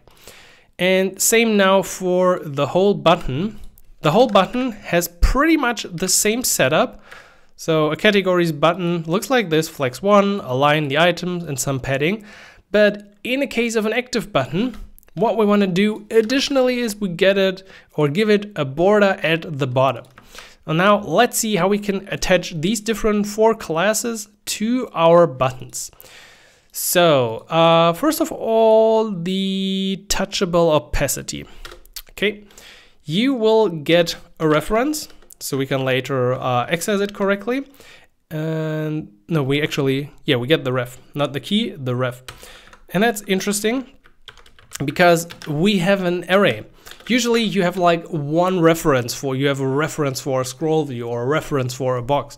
In this case, we have an array of touchable opacities and we can do it like this, items dot current and index equals element. That's the way how we can keep track of the different, um, you got any problem with that? Um, let's see. Okay, yeah, it's mad about something. I think that this could also. Um, no, actually, uh, actually yes. actually yes, that was just a, a typo. I'm making sure that this works. All right, and now the more important part. So we're not really using the ref yet. The ref is only important for when we do like the focusing, but the style is important. If the active index is equal to the index of the iteration in that case, we want to use styles dot active uh, categories button active. Otherwise, styles dot categories button. And as a result, it becomes like this. So it's becoming in general styled, but also it's getting the active border. And of course, I could change the state to like three, and then this one would be active. Yes, that also means at some point we need a function like select category, uh, which will receive an index. And then we're gonna do some magic to focus that. Uh, we could probably just set like set active index index. For the moment, that should potentially work. If we just assign this to our touchable opacity on press, uh -huh, select category index. Is it index? Yep. Okay, nice. Yeah, that should work. Um, but for the icon uh, and for the text, we want to use this switch as well of the style. So I will copy this. And for the material icon, I will set the color to, uh, yeah, active in, uh, now I copy, of course, everything active index equals index. In that case, I want to use the color uh, black if it is active. And if it is inactive, I will use colors dot gray. Okay, you see all the other icons now become gray. And we do the same thing for our text now. So if the active index is equal to the index, I will use category text active and category text. So now we do have it. Everything is gray that's not active. I found this on the web. Okay, yeah, thank you, Siri. um, and we can focus something. What I want next is that when I click on cabins, it should scroll like this. Okay, That is something I found in the uh, uh, uh, Airbnb, not Instagram application. And I want to install one additional package, which is super important. okay, this is the Expo Haptics plugin. Um, the haptics is something that makes your device shake. So it is perfect for a video tutorial to show you how something shakes. Uh, it is impossible, basically, uh, at least until now. But I will still add it so you at home get the vibe of being right here in the video.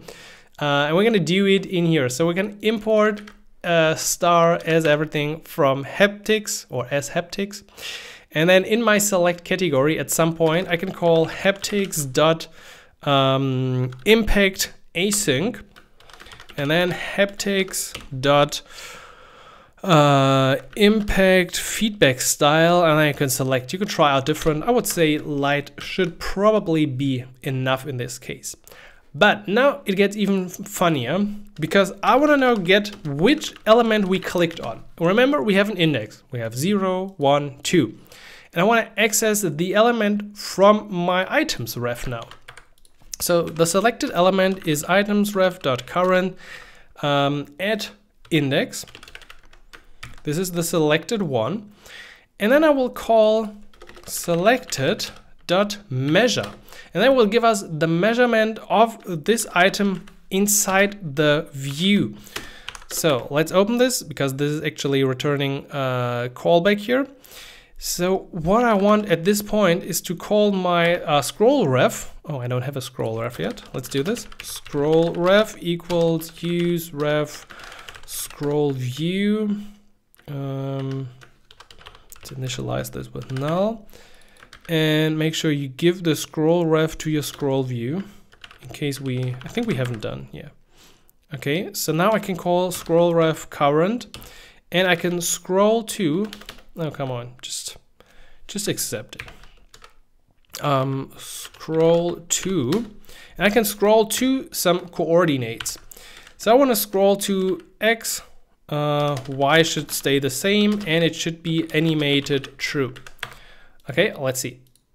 Uh, well, okay, it's not bad, but it's scrolling a bit too far. Actually, I want it like this. So let's reduce it by our 16 padding. And now, uh, okay, the list ends there. But let's say I'm going to do it like this. Yeah, that feels really good. And on a device, you, uh, I don't know if I get this. If I do like a reload here, um, I should certainly, I don't want to lock in. Yeah, I get the haptics feedback, definitely. That feels good. It's just like giving the user a bit of feedback about what's going on. I also kind of feel like these things should have even more padding between them. Um, is it the gap? I think it's the gap here. Let's use a gap of 30. Yeah, I kind of feel that's even better. I don't know why, uh, but I think that should be good. Now, in a regular case, this will also update the list. We won't really do an actual update, but I want to show you something um, how we can do this and also, by the way, introduce then some animations. So that means if we look at our setup, we do have the Explore header here in the index page and probably we have listings here. So we need to tell from the Explore header our whole listings page, hey, please update, uh, or we have some new parameters, something like that. So in order to not make this too ugly, uh, we're gonna introduce some props here. So interface defined as well for our explore header and we call this on category changed. And this will have category and void. So I will now tell my explore header that it will get this. So we can destructure this already from props. And when the category changes, so when we select a category, I will just call on category, I knew it, category category category on category changed will be called with categories at index dot name so i'll just pass like the name up. Uh, isn't really too important. Now the index page should turn red because we don't implement anything yet here. So let's do this. I will call this on data changed. Um, so we can handle this now and do whatever we want to do with that category data. In my case, I will actually pass it uh, on. Now let's see. On category changed, we'll call on data changed here. Uh, I will add a lock so you see that the data is coming through. Changed and category. Okay, let's see. Uh, here we go. I press city, beachfront, countryside. Okay, so we are able to get the changes. This is like basic React stuff, but I feel it's good to um, not only do React Native and be too focused on like the view or this or that. No, we want to do like everything. That means we have the, category, the selected category. Now, um, I want to keep track of the category. So I will say uh, const category set category. And then I want to spell this correctly this time. Category set category. Uh, and I will call use state. Uh, I will just set this to tiny homes because I know this is like my first category. Okay. And now when we implement the listings page, we will catch that as well. Um, on the listings page, I will start, because this is coming up next as anyway, interface props. And this will not only get an array of listings, so we'll get like the listings data as an array, but it will also get the category. All right, so that means we're able to then destructure this here, listings category from the props and index turns red because, well, it's expecting something for that. Uh, let's set listings to an empty array for the second and category to my state, which is category. And now category changes and listings will change at the same time. And we can see this in here by simply adding a use effect block. And within that use effect block, I will add a dependency to category. Um, and that means I can now add a lock here and say reload listings. And now we've come full circle. I can click here and we see changed play, uh, changed city, changed beachfront. Actually, uh, uh, Actually, this is not yet working. Are we getting the right category? Uh, category from the category props. Uh, is it saying reload listings? No, it's not. It certainly Did I hit save? change to cabins, change to trending, change to play, but no reload listings. Um, where did we go wrong? we got this. Oh, we're not calling set category here. Yeah, we should probably update our state with a new category. And I will now also remove that lock, which is just trolling me. And now reload listings, reload listings. So whenever we click something, we want to reload the listings. And I think this is a nice example of how we can manage the data flow in our React application and not just go from the explore header straight to listings. Going from child to child is usually a bad idea. You usually want to go through your parent and the parent can then handle the update of the child. Um, that is just a pattern that you should understand and that usually makes your React Native or in general your React applications better. Okay, the header is I think pretty much done. Um, the only problem I see right now is that we should have on this page some margin. Um, where's the index page? Because I think there should be a text behind this. Let's see. Uh, let's add a margin top of, I don't know, like 200. Yeah, then our listing appears. Um, we will change this to something else in the end. Uh, for now, I will just make it so that we see the listings uh, in here. Again, don't worry, we're gonna touch this again later. For the moment, we just wanna make sure that we can pass some items to this page. And we do this by getting some fake Airbnb data. So I found this page inside Airbnb uh, where we can get some data. And I also found this public Opendatasoft page. So on this page, I picked from a list uh, Germany and Berlin. So you can pick whatever you want, what's closest to you, whatever you find interesting. That should give you a list and you can export this as a JSON. I would recommend you don't uh, go too crazy. Just pick something or you can even remove lines. It's not too important. We just want to have some data. And from the other page of Inside Airbnb, I also got the GeoJSON data, which is a GeoJSON file, uh, which we will later use for a map implementation. Okay, so for now, let's see. Under assets, I will create a new folder, data, and into data, I will put my uh, listings and my geodata. So listings will look somewhat like this. Scraping URL, some information. We will just use a fraction of that information. Uh, however, it won't hurt. Um, so let's see where we can load that. Uh, we're still on the index page. So on the index page, I want to load my listings data from assets Airbnb listings. And then I think I can memoize these items that could, I'm not entirely sure, but I think it should give us a little uh, boost. So when this page is recreated uh, or when it reloads, it memoizes the data. So use memo and then listings data as any empty dependencies. And then I will be able to pass the items down here to the listings page. And on the listings page, uh, let's see, let's say listings.length. And I should see, yes, we have 666 listings that can and that we now will display. Okay, let's display some data. As a quick reminder, this is the Airbnb page. We have done this down here, which is the tab bar, and we've done this up here, which is the header area, which leaves us with the main part of that screen.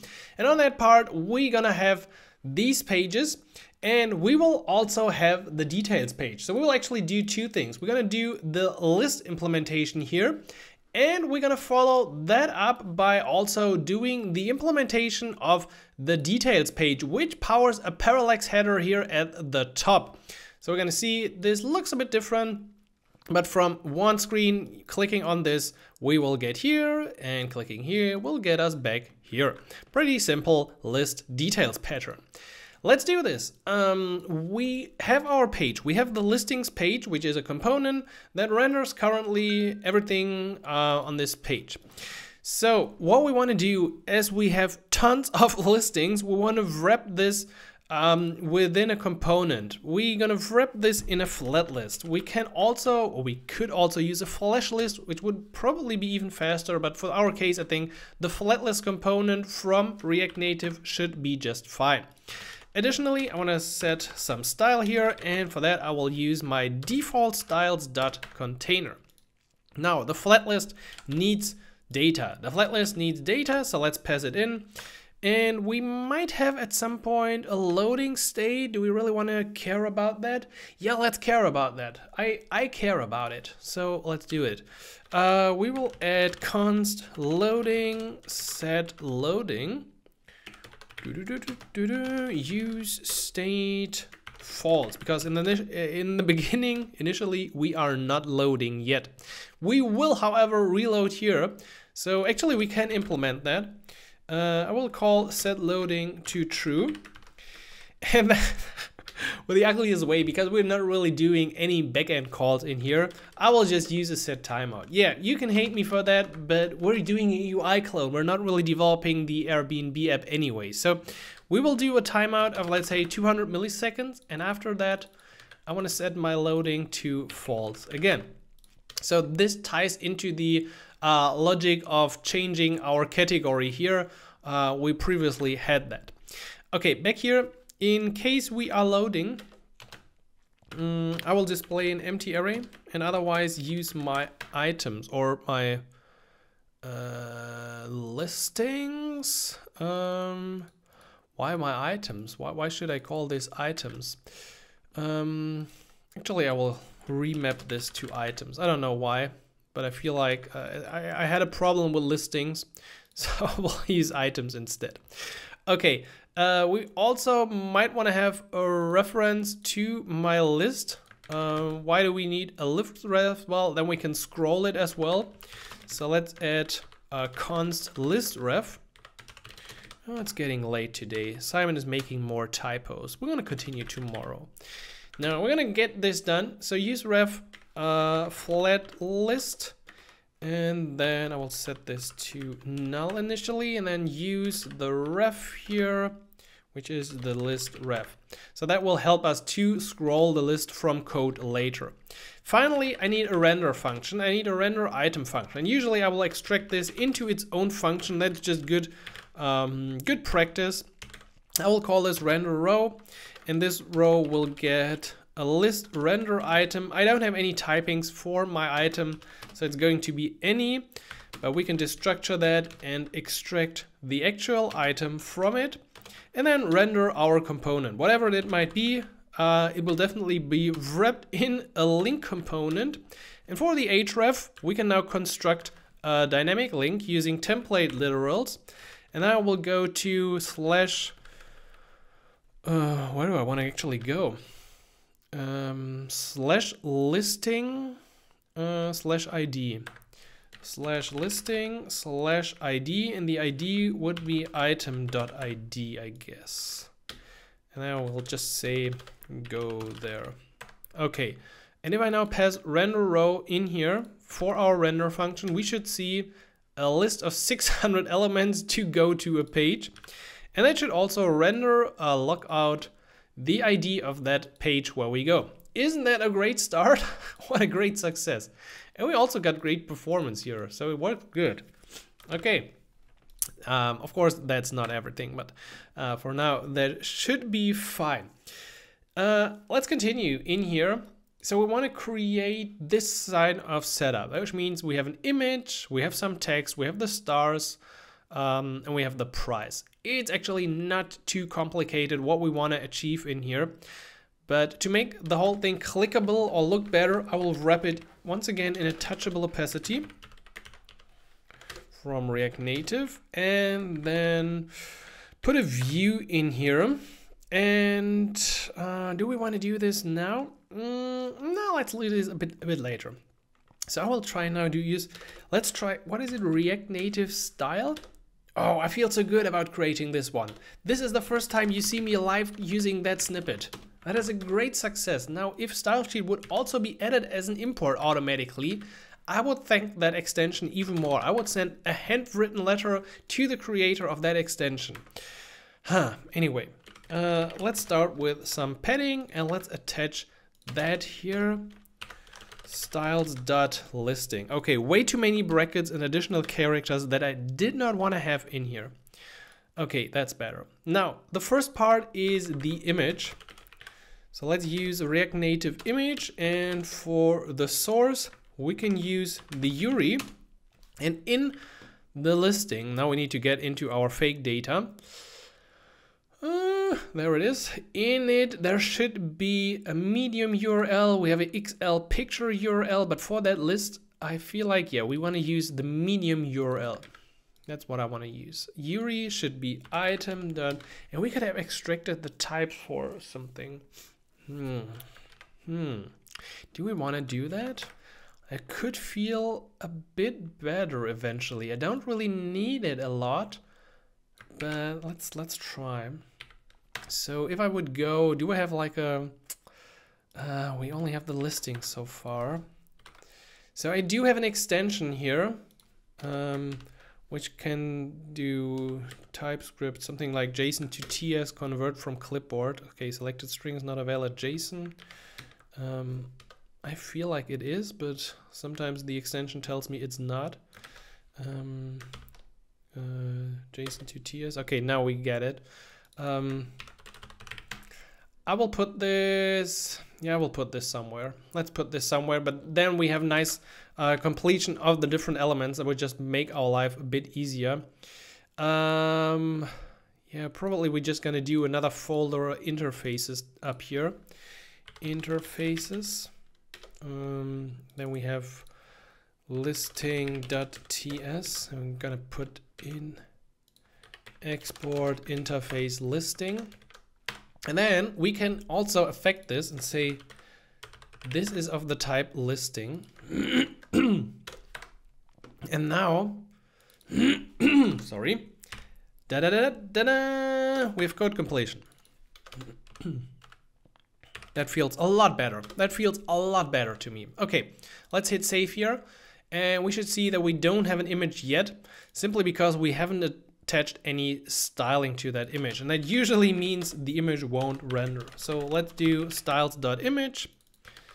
Uh, uh, okay, image.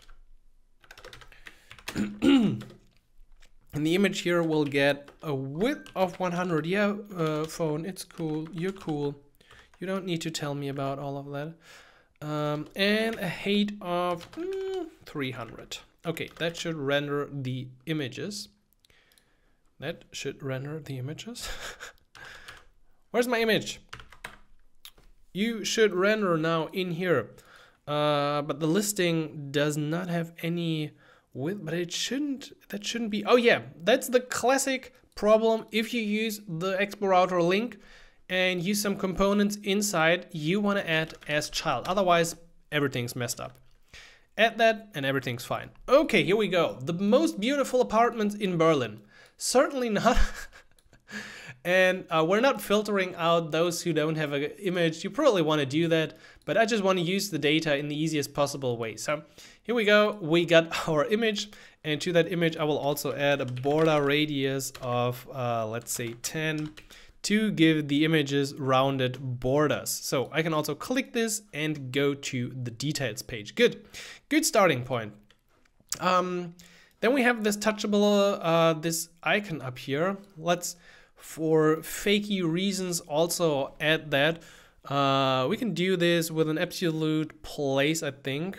Uh, we can just do like a touchable opacity, uh, style, position, absolute. And the absolute position here is in reference to the container. So that is the parent. So it's kind of relative. Parent, I want to put this uh, like 30 from the right and 30 from the top. Okay, and then within I will do the Ionicons, name, heart, outline, size 24, color, mm, simple black for now. Yeah, no.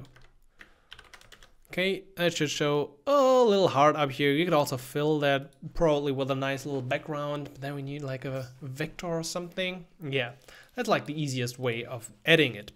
Now, additionally, we need some information below the image. Let's put that in another view and let's add its own styling.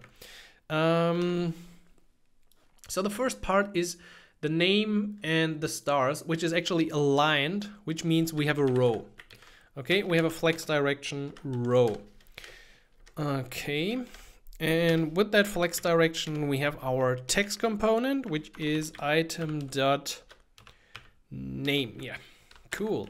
Now we should be able to already get this. Cool, cool. Um, and next to the item name, uh, we have the icon. We have an icon and the rating. Um, which means we do have. Ah, this is kind of challenging. Mm, we also have something below it. Uh, let's see. Let's do another view here. Mm -hmm. Another view component. Style, uh, we need to define that in a second. But what we want to render inside is Ionicon's name star and a size of 16.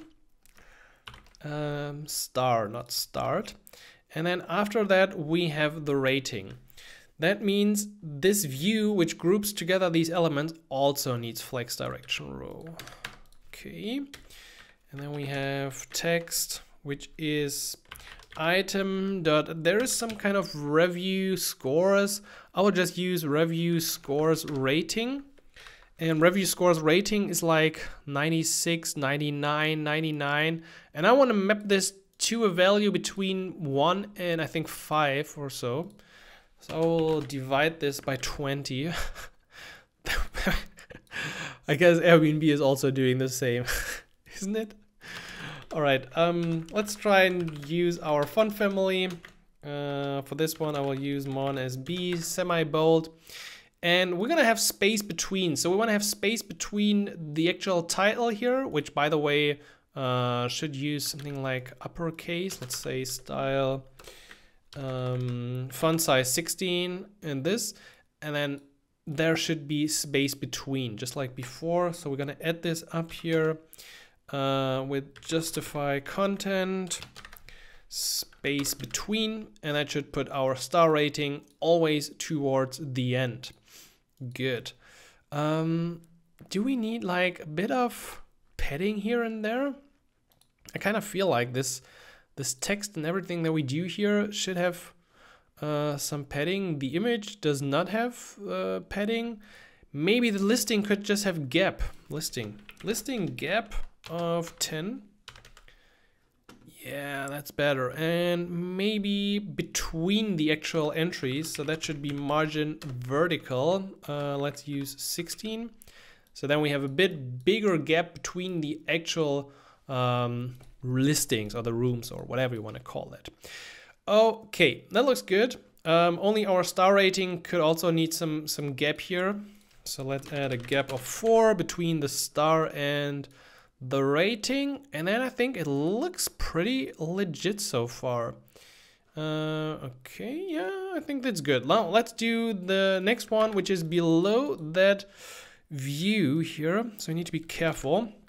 Let's put the item room below it with, uh, again, it's just using the default uh, gap. And then we will add another simple block. So let me just bring this in, uh, which is using a row layout to display the price and night.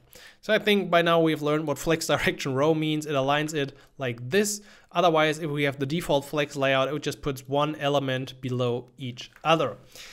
Um, with that in place, we oops, I have kind of finished this list, right?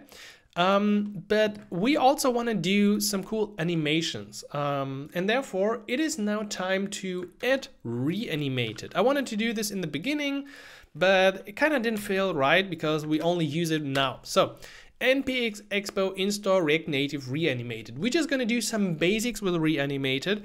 I have a full course on using Reanimated with React Native on galaxies.dev, so go check that out if you're interested in more. To set it up, we need to head over to my uh, Babel config. And within the Babel config, we're gonna add one more line down here. And now we will also kill the server here and restart it with dash C to clear the project. If you don't do this, the whole world will crash upon you and nothing will work. I can promise you. No, but really, you're gonna do this. Otherwise, you're gonna have problem. Reanimated won't work correctly.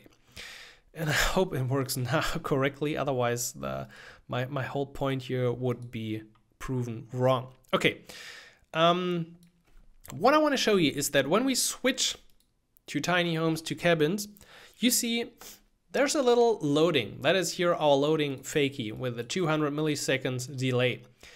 What we want to do is we want to animate the appearance of that. And we can do this with very, very simple techniques from Reanimated. So to my listing, I will put animated dot view in front and I'm going to add this not from React Native. This is now important. So I want to import animated. Um, oh, come on, you can't do this. it's 2023. I'm writing my animated import by hand. Uh, reanimated. Okay, whatever. So now this view is a reanimated object and we can put in cool things. We can do a lot, but the easiest thing is I want to have an entering animation and I will use one of the pre-made solutions, which is, for example, fade in right. And I will also have an exiting one, and this will use fade out left. As a result, notice, if I change this, the elements will move out and the next thing will fade in. And we got this nice cool, we could also check like if we go to the left or the right of a category, we could probably improve this and make it feel even better. So in this case, it worked good, but if I go left, I kind of feel that it should work out to the other hand, uh, the other side.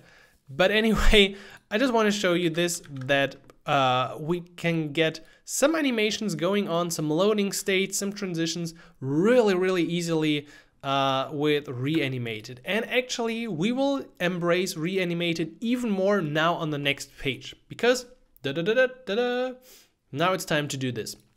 Uh, I don't have coffee. I have a bit of tea anymore. Oh, super cold, super cold. Cannot recommend. Um, this is what we want to do. Um, the basic page is not too hard to set up. Um, maybe this header area a tiny bit, but especially this image component will be challenging as it's going to be a parallax header. But I think we're gonna start with the basics of that page. So let's get into the, where is it? App listing ID page. On that page, we are able to get the ID already. And we can now get the um, actual element that we want to display by first importing the data and then filtering our uh, stuff by using it as an array and then finding the item where the ID is equal to our ID because we don't really have a backend and so this is what we do. Um, we will also affect how our header looks um, where do we want to start? Do we want to start with the header component or do we want to start somewhere else? I feel like uh, we should start with the general page setup.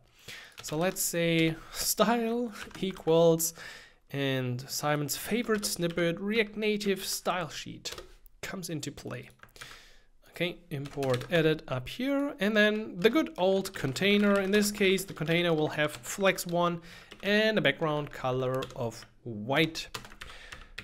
Okay, and then we do, as always, styles.container. And remember, this is the page we're talking about now. Um, did we do any special setup here in the layout for that page yet? Uh, we set the header title to be blank. I think that's a good starting point. Uh, we probably don't really need a whole lot more next to that, but I kind of want to set the header to transparent as well, and we can do this in here as well. So header transparent, true. Okay. What happens now is that we don't really have any header anymore. Is that a good idea? Simon, maybe for the development right now it's not a good idea. For the final UI, yes, it is a good idea, but right now it is probably not. Um, I will put my stuff here on this page now in a scroll view. And I kind of know that I will animate this later, so I will already add an animated dot scroll view. Um, there's no problem in using this without actually using some sort of animation, so that should be uh, no big deal.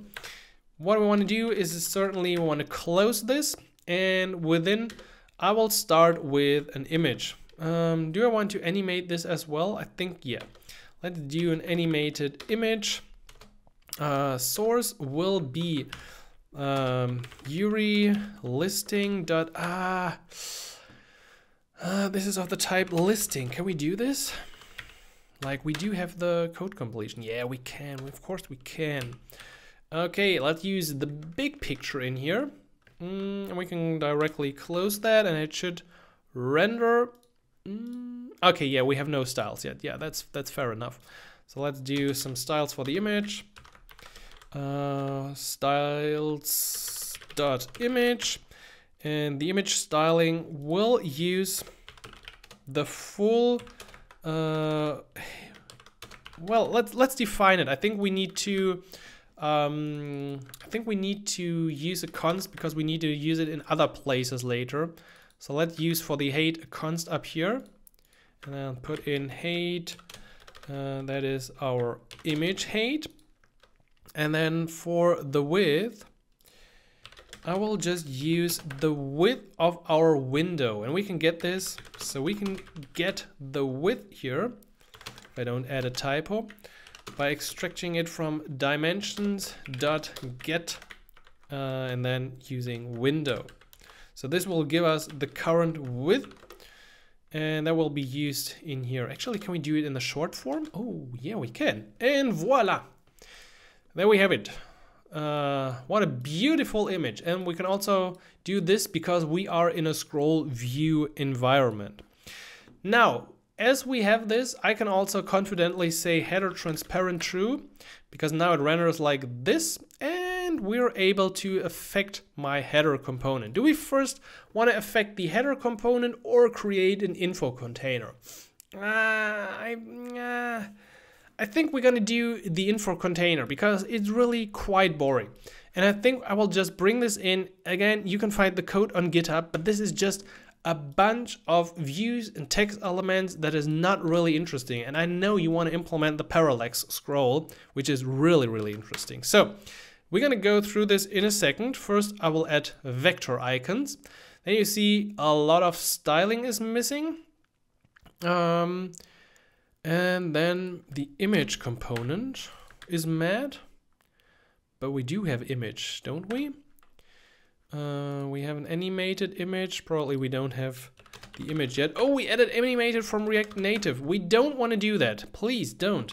We want animated from reanimated.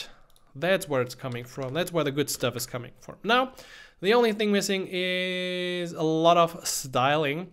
And as I said, so we have an info container, we have a name, we have a location, we have rooms, uh, we have ratings, we have a divider, we have a host and a host view.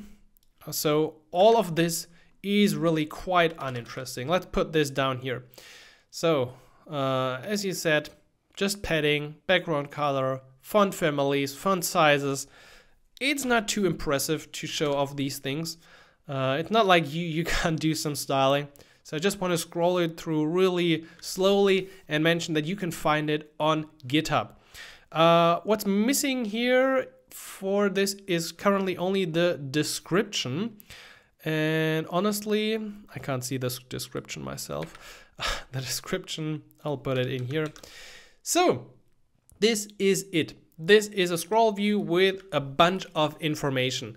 But honestly, it is just using different sizes, using padding, using flex layout, um, using two little dividers in the center, which is our divider view, again using the hairline width, and then rendering the text for the description. Really, there's nothing, nothing fancy about this. Fancy is only the uh, reanimated stuff that we're gonna do in a second. And additionally, there's also a footer area. As you can see down here, and of course we want to do that as well. Uh, why not? Why not? So let's do another view. Mm, we're gonna do it.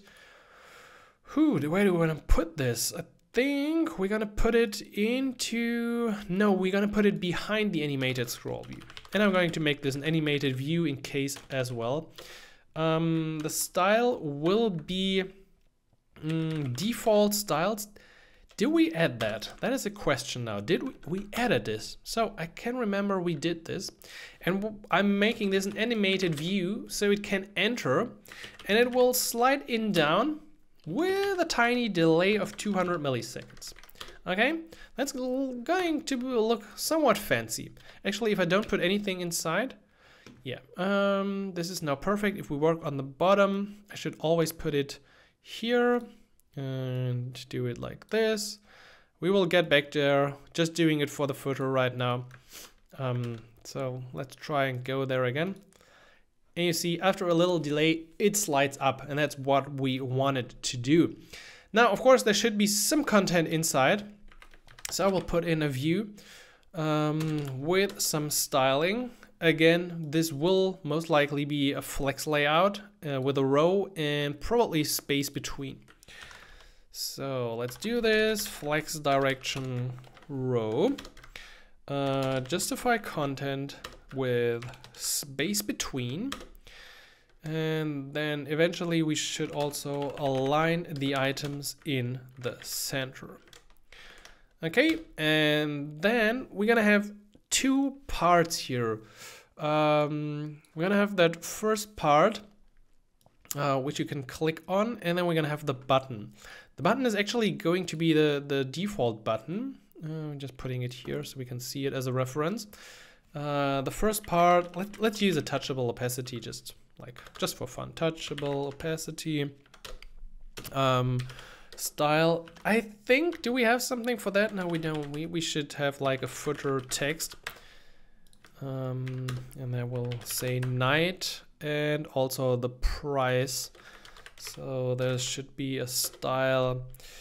Uh, what is the style? Mm, footer price. Styles.footer price. And then there should be like euro um, listing. Where's my data? Listing dot mm, price. Yeah, that's it. So now I just need footer text and footer price. And again, let's just put it down here. Uh, uh, here. Okay, uh, the footer text will use the full height. Oh, I messed up something in the view. Did I put like, again, uh, text somewhere where I should not put text? Um, text, ah, my favorite bug. Uh, it's not a bug, it's, it's a, like, yeah. Okay, 45 euros.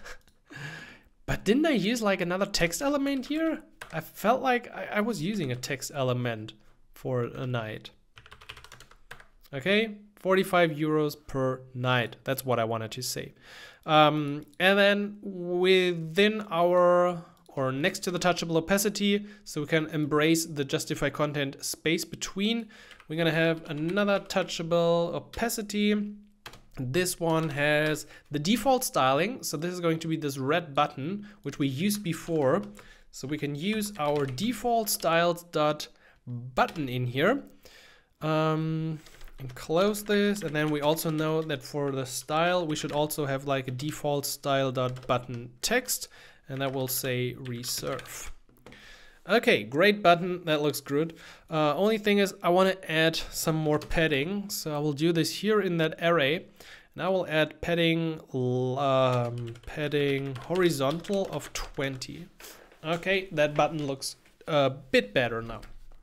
Um, additionally, there's something missing here, isn't it? Um, well, I think we can. I think we can live with that. Uh, we have the space between. We have the footer text. We have the footer price. We have the button text. Um, and I think it looks quite nice. I mean, it could do use a bit more delay or come in more slowly, we can also affect that. But so far, I think it makes a view just, it gives something to that view and it makes it a bit more special. Talking about special, let's do this. Let's do this up here.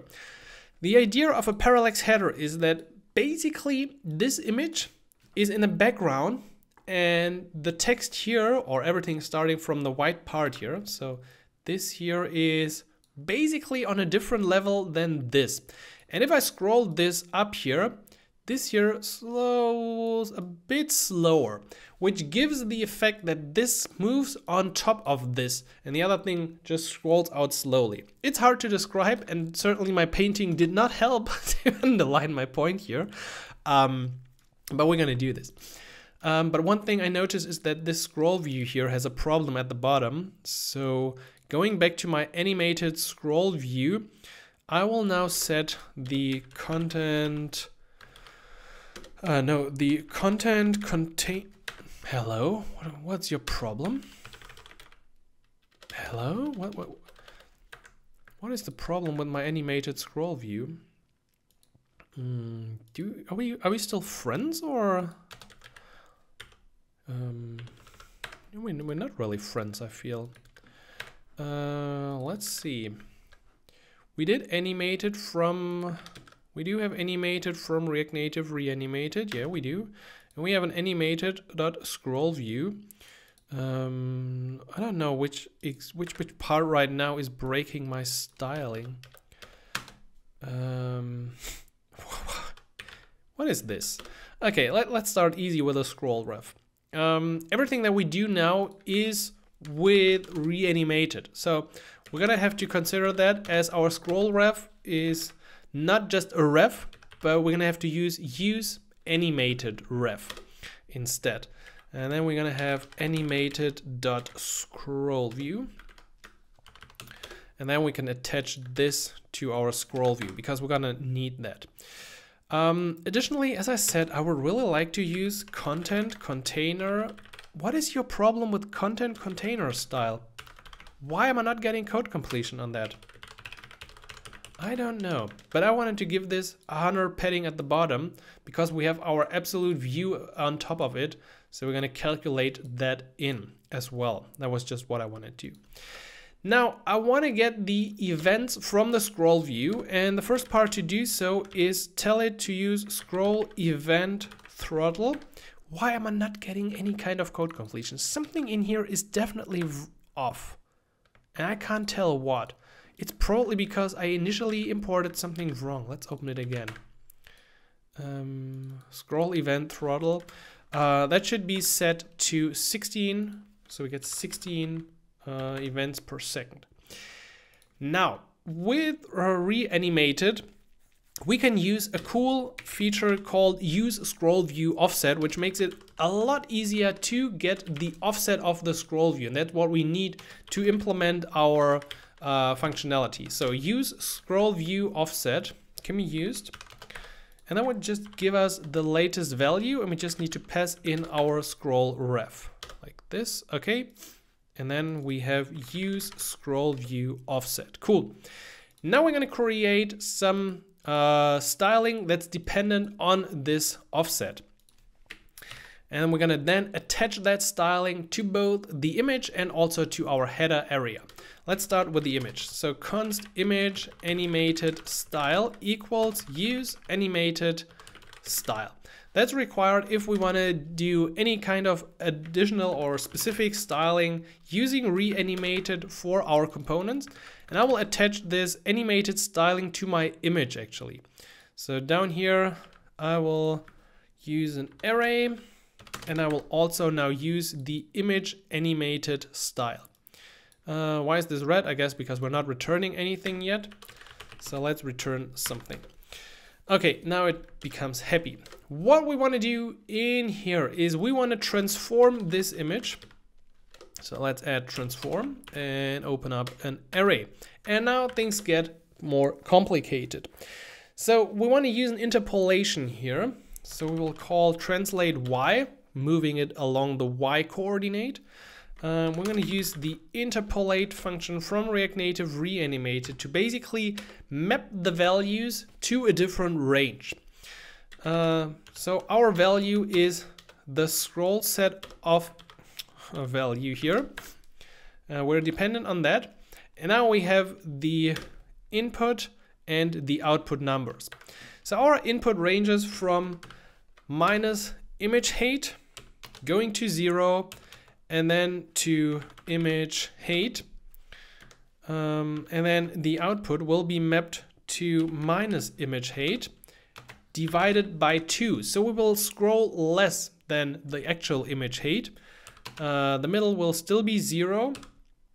And then we also can use a bit of overscroll. So on iOS, you can actually overscroll. Like if I pull this down, the scale becomes uh, also a bit bigger.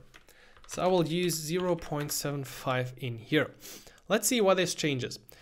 This is actually almost the whole part of the magic here. You see, the image transforms. It's now moving out slowly. I could change this to divided by four, so it will go out even slower. Uh, okay, and so far I can go here. That's actually not changing anything. Um, oh yeah, we haven't added the scale. So let's add the scale. Um, we can add another block in here and say scale. And I want to interpolate again using the scroll offset dot value and I will interpolate this to minus image height zero image height and uh, the output numbers will be two one one so now if I go here, it actually scales bigger, but it's not scaling uh, below the default value. And with that, we have almost implemented like only with these lines, we have, and, and the scroll offset, we have implemented a parallax scroll. And it works just smooth because it's using reanimated and native stuff.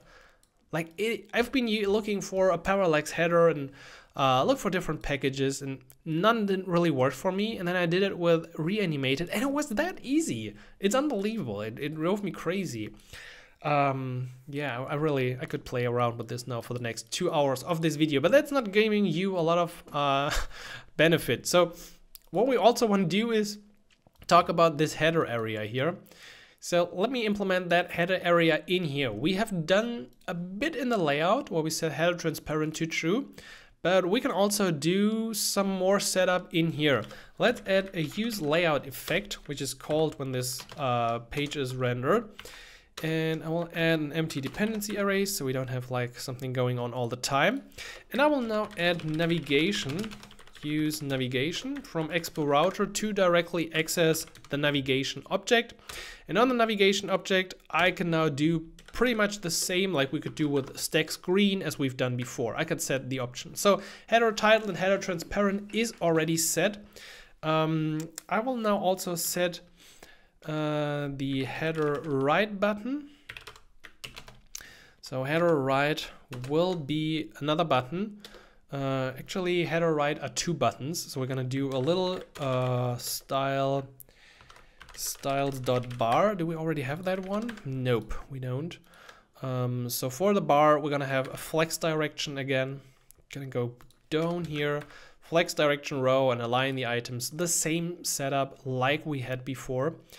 Um, and then we're just gonna put in two touchable opacities.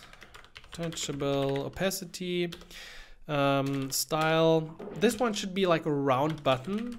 Uh, round button. I guess we don't have that styling yet. Uh, on press, I can do like a, a share functionality if we want to. So const share listing. That's actually something we can probably implement. So share listing will be called on press and round button. Uh, that should be fairly easy to do as well. We're just going to give it uh, fixed width and height of 40 and a border radius of 50, uh, white background, and then you pretty much always have a rounded button.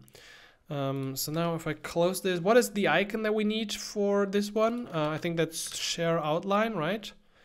Um, there we go. There we go. Okay, perfect. First one. Um, to share that, we can actually use share from React Native. I just uh, found this to be really easy. I tried to use an Expo package, but you can do it just like this. And you can just add share from React Native. So then if you were on this page, you could immediately share this. Just want to do a little, little something, a little real functionality uh, once in a while. Additionally, next to this button, we're going to put another button. So we're going to have this and the heart button. We will not really use the heart button do they have like a shadow? I can't exactly see it. They probably... They might have a hairline with... Um, they might have a hairline uh, uh, thing going on.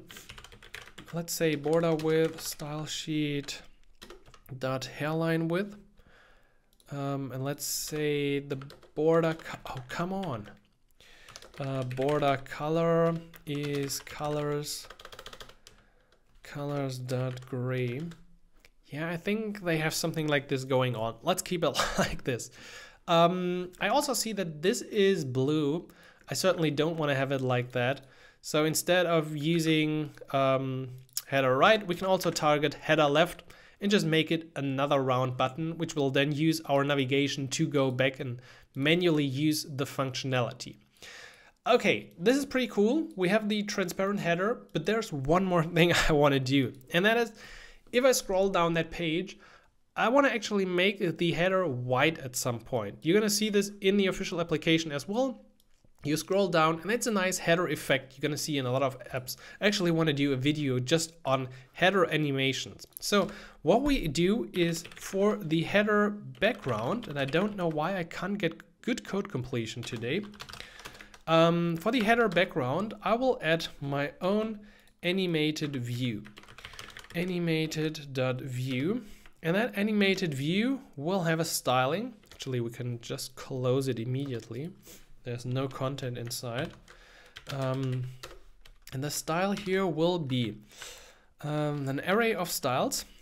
Um, so styles.header will be some, some default styling. Um, so what I want to use by default is the following. Um, let's see. Header, we got this. Background color of white. And that's kind of strange. Why do I want to use header background color of white? Didn't we just say like we want to have nothing in the background? Yeah, that's true. But wait, wait with me. So we're doing it like this. Uh, and then we're going to have a border bottom color of colors dot gray and for the border width we're going to reuse the hairline width okay so this is how it should look like here but it's not how it should look like here and this is what we're going to use reanimated once again so we're creating another animated styling object and we're going to call this header animated style again use animated style and then uh, we can do our function again and we return something. And this time we will not work with transform or with scale, but we're working with opacity. So if I would just return an opacity of zero here and use this header animated style um, here. um, okay, let's probably reload that page. Okay, then we see we have no opacity up here. So that means the opacity here is overwriting our the rest of our styling. Or actually we're not overwriting, we're not setting opacity anywhere else. It is still white, the opacity is just zero. But we will make this now dependent again on our scroll percentage. So we're going to interpolate the values again of scroll offset dot value. And we're going to map these from the range of minus image height to 0 to image height. So that is the input range.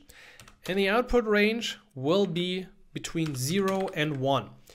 So between the full height, we're going to have uh, opacity 1 or 0. And now let's see what happens.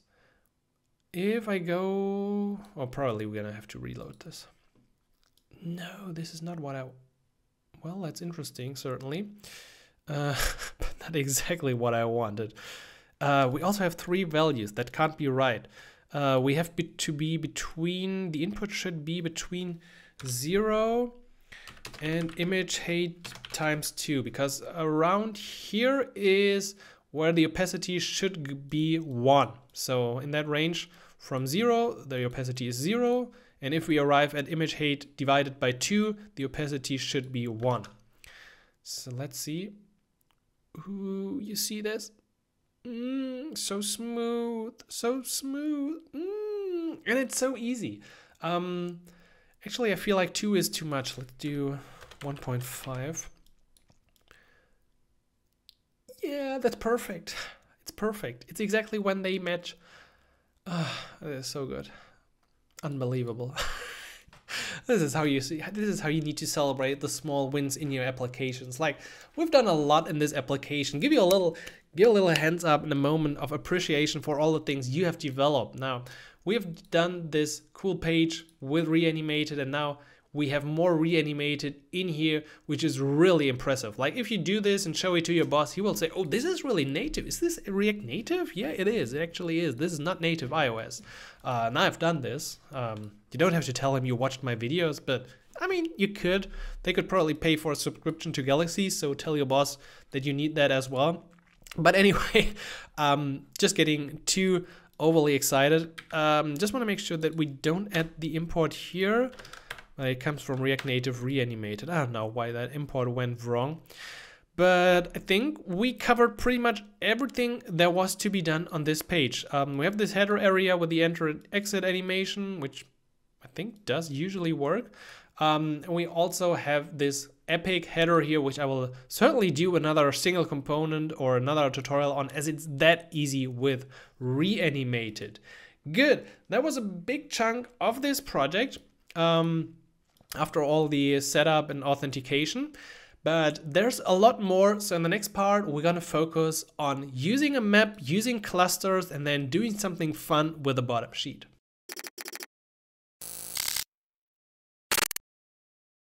Alright, so it's time to talk about maps, because the Airbnb application has a map. Uh, we have this default list view, yes, but that can actually be slided down into this kind of card or this bottom sheet, which we will actually work on in the next section. So not this section, the, the one after this. But what we want to focus on now is this, the map view. And this should be basically displayed behind what we currently have. So for our testing, we will just uh, hide this and instead develop the map. And within that map, we see that we have, yes, a map view, but we also have this here. We have clusters. And that's not included in the default map, but we're gonna use an additional package so we can also display clusters on our map. So let's do this. Um, we can get started by first of all adding the actual maps package. Uh, so let's go here. Let's clean this up and go ahead with npx expo install react native maps. Uh, once we got that, so you can look also at the, uh, oh that was perfect English. Uh, you can also look at the, uh, at the map view here, um, which is a pretty easy implementation. Just put in the map into your view and make it expand to the full view. That's all we need. So let's do this, um, but I would recommend we do this in a new component. So let's do a new file. I will call this listings uh, listings map.tsx. Let's do a listings map in here. And then we can import our map view and actually we should display the listings map. Um, I think the index was our place. Yeah, so let's comment out the listings stuff here and let's instead use the listings map.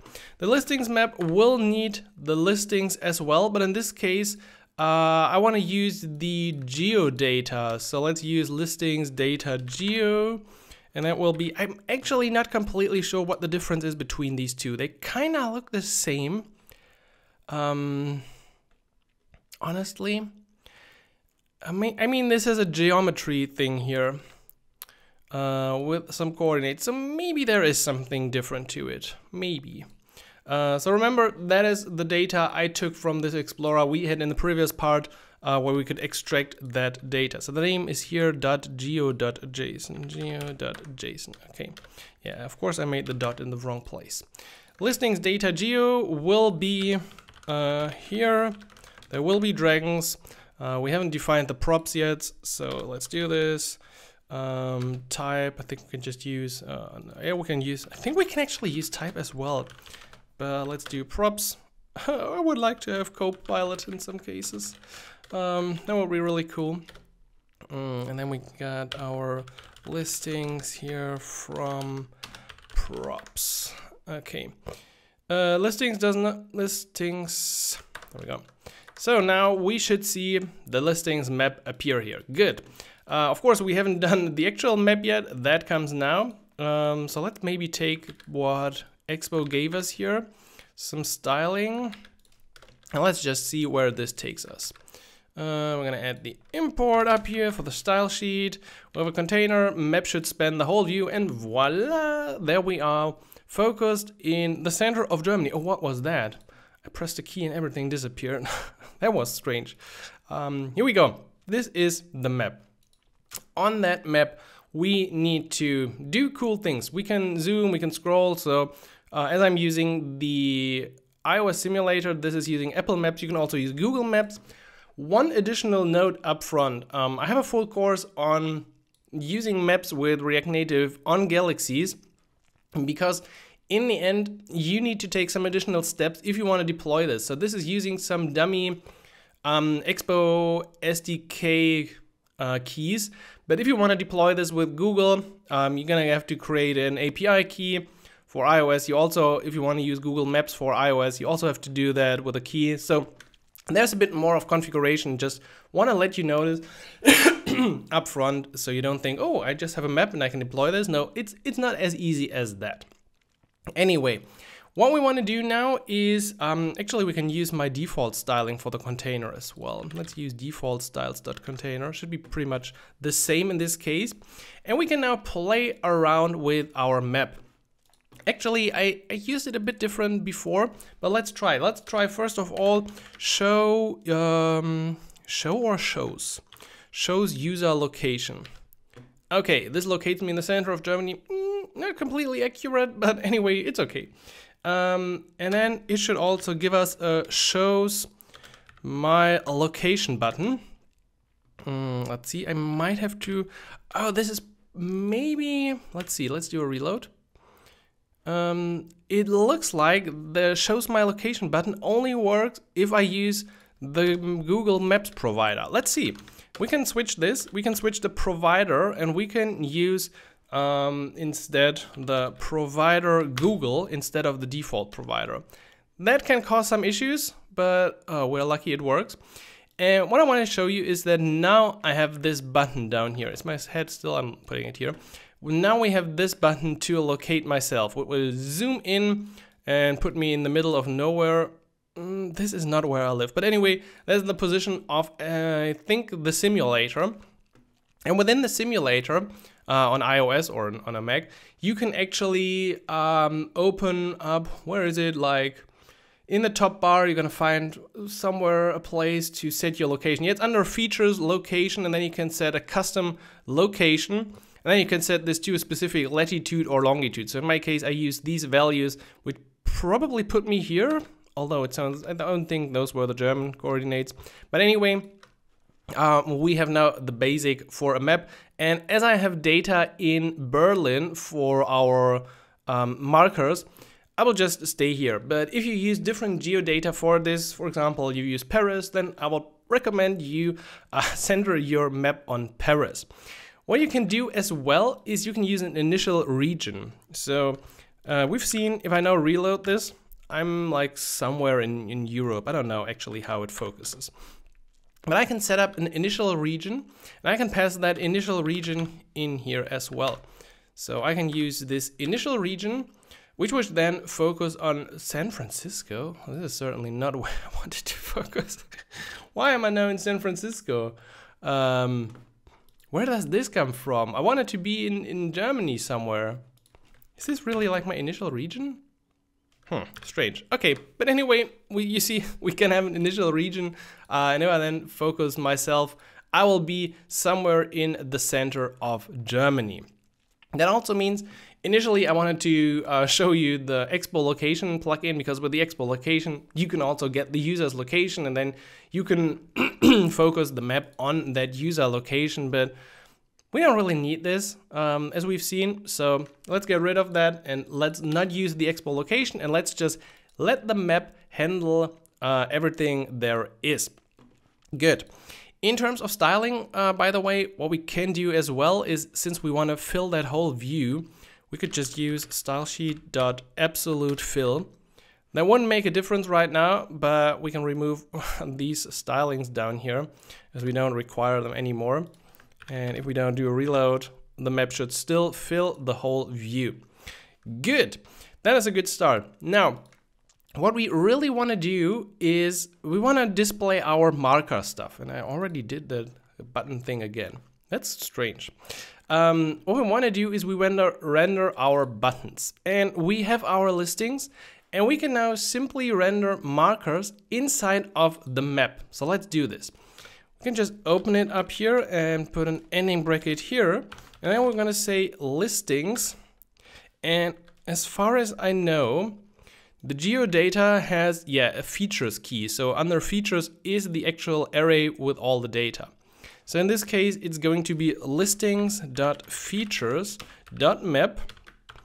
And we have an item, let's say, actually the item should be a listing or it's a geo listing. I don't know if there's a difference. Mm, honestly, I don't know exactly. We're gonna see. Uh, will be interesting to see. So for every listing, we want to create a marker now from React Native Maps. And that marker, of course, has some coordinates, and those coordinates are simply uh, latitude and longitude. So latitude is item dot. Um, so does it exist in here? No, it doesn't.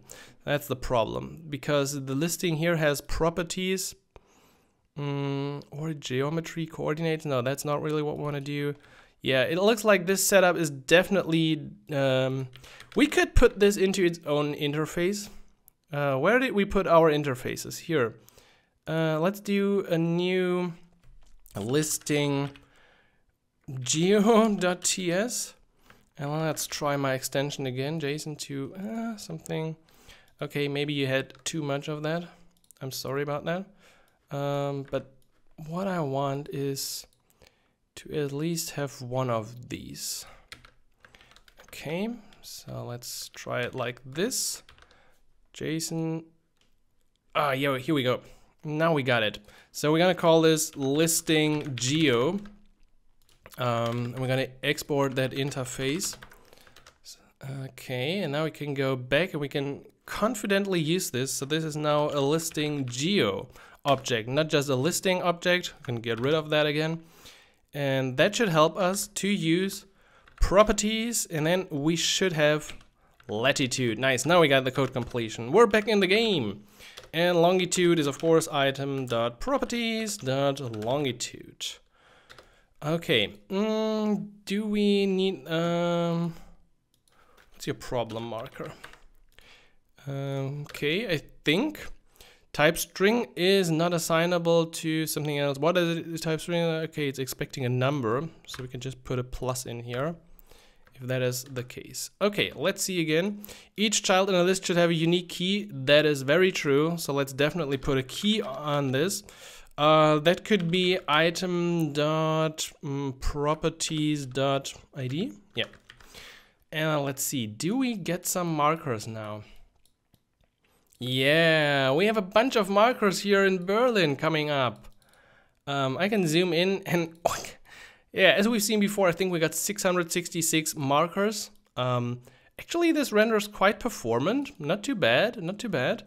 Uh, and when I press on a marker, mm, something should happen. Something should happen. So let's add a function. Let's add uh, const on marker selected. On marker selected. And that will get an event. And let's for now just lock out the event stuff. And we're gonna put in the on marker selected on the marker. So I think we can just have on press here. So on press, on marker selected, and we're gonna pass in um, probably just the current item. Okay, so if I now press on a marker, let's do one up here. Yeah, it gives me the whole information. And what I'm interested in, and that also actually means that on marker selected, it's not any, it's listing geo in that case again. Um, and that finally means that we can have a link or use our router. So let's use the router again from Expo. And then we can just call router.push. Um, and we can go to slash listing Hello, uh, slash listing, right? Slash um, the ID of that marker, which is, what is it? What do we call this? It's actually an item. So item dot properties dot ID. Okay. Okay, and if I'm lucky, we should now be able to click on a marker and it should actually show um, the details page for that listing. Yeah. Oh, that looks beautiful. A lake house with private dock, 30 minutes to downtown Berlin. I should go there for 79 euros per night. That's nice. Um, yeah, these outside seem to be like more beautiful than what you get right in Berlin. That looks like a real antique uh, object. Anyway, so we have the on press for our marker. Um, and what we can do as well is I think we could give it a custom view. So let's try that out.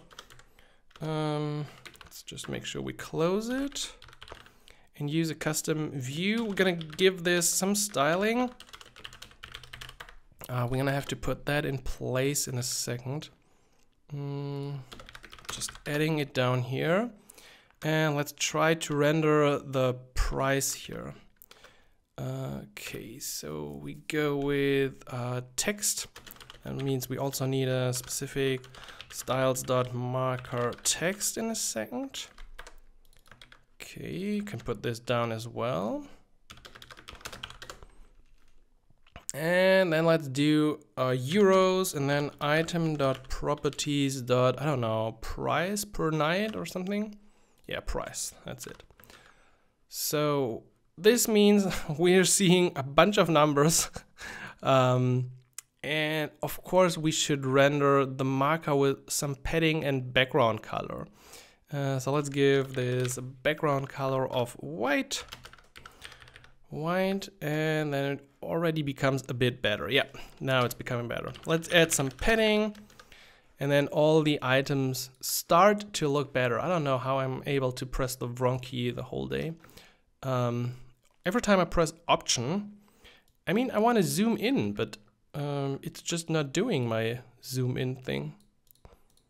Um, well okay, this is how the marker currently looks. We're going to focus on one or two and then develop them. What we want to see is something uh, the, the preview had before. So more like rounded with a bit of drop shadow. That's, that's what we are after here. Uh, so therefore, let's add the usual shadow that I had before. Uh, elevation, I don't know, 5 and some shadow color.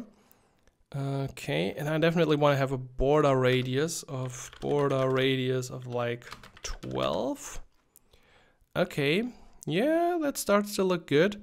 We have our background color. I will just make sure that we align everything. So let's do align items center and justify center and justify content center. Okay, now everything is aligned. We have the border radius, we have the background color. I don't feel like the shadow is looking amazing, but... Is there a shadow? It's not getting better if I zoom in, right? Um, I think it does have a, a slight, like a, a, tiny shadow. Let's say if we change this to 0 0.5. Yeah, okay, yeah, okay. Mm-hmm, mm-hmm. Yeah, so there is a tiny shadow.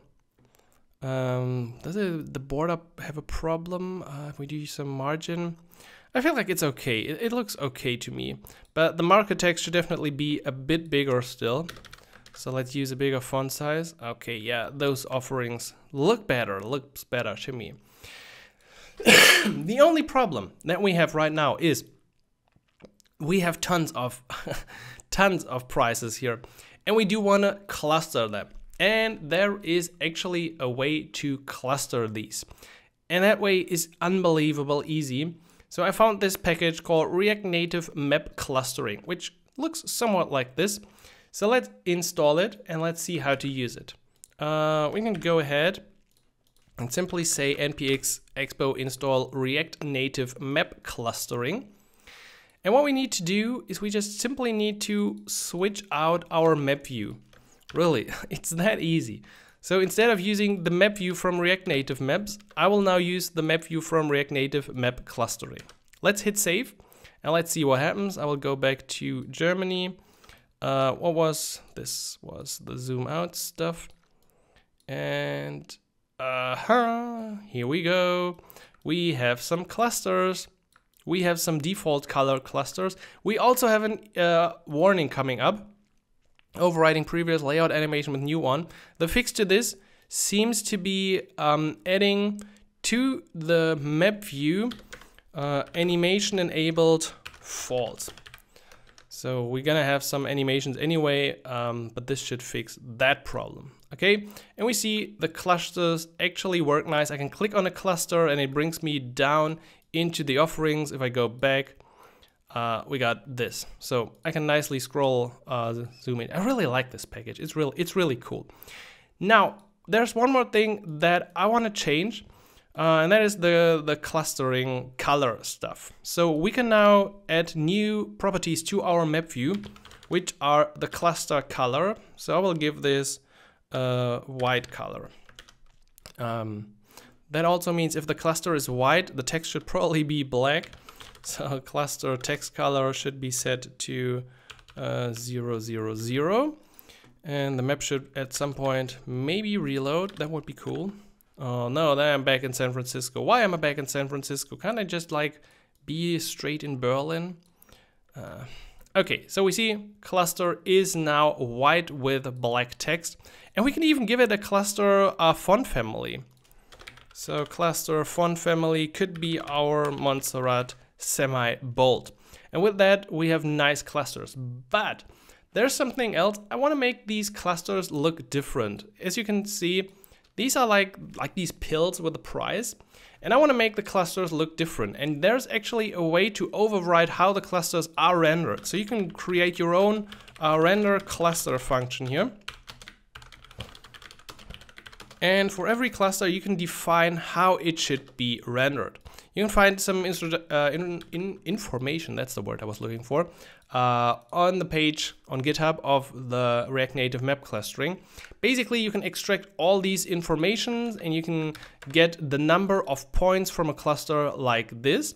And then you just have to return how that custom marker should look like. Um, are they using the marker? They're using the default marker, I guess. So let's return um, marker.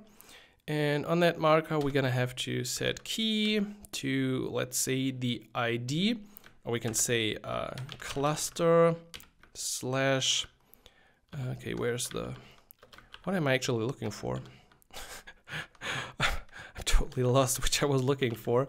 Uh, cluster ID, that's the one. And within, I wanna render my marker, which could look like this a view saying test for now. Um, property coordinate is missing. Okay, yeah, that's of course the same we had before. So my coordinate is now geometry extracted from the cluster and then coordinates one uh, or zero. That's actually something, um, I wonder if we need the geometry here or yeah, I think we need that one. We need to use that one. Let's try. Let's try it with this basic implementation and let's pass render cluster to our map view. So there should be a render cluster and then we can replace it with our own. Text strings must be how many times did we get this? Like we can make a drinking game out of this. Simon gets this issue, you have to drink. Uh, by the way, I don't recommend drinking. I don't drink alcohol. Um, but where's the problem? Okay, yeah, here's the problem. Okay, here we go. Now back to Germany, back to zooming out a bit, and let's see how the cluster looks. Where is it, Berlin? Berlin, where are you? Uh, there's Berlin. Okay, so our cluster right now looks pretty boring. Um, it just says test. Okay, so in the middle of Berlin, you can somewhat see that here and there, there's a cluster. So this is how we can create our own custom cluster. And with that, um, all we have to do is now add our own styling. And also, um, I missed one additional feature. So clicking on this doesn't work. We have to use on press here and define our own function, but we're getting this anyway up here extracted from the cluster. So that, that just makes um, the on press of the cluster work again. But now let's do some custom styling. Let's say the view here um, has styles.marker um, and for the text, we can use our own styling. Um, let's say color black. Does it? I think it's automatically using color black, but I want to align the items here in the center. I think they weren't aligned when I tried this out. And font family, of course, mon semi bold. And with that, uh, all the clusters become test, test, test, but they definitely look how the clusters should look now. And instead of saying test, we will now say how many points are within the cluster. So we can just use points, uh, which we extracted up here. So points from properties, point count. This is coming from the uh, clustering package. And finally, we see again, here are five clusters. There are three more down here. They should be beautiful. Oh, 27, that's pretty cheap. Um, well, yeah, okay, that's what you get for 27 euros. What do you get for 69? Um, okay, that was that one. Uh, it's really fun to use this and play around with the clusters. We could probably give the clusters even more padding, but if you have a big map, I think, yeah, I think this is pretty cool.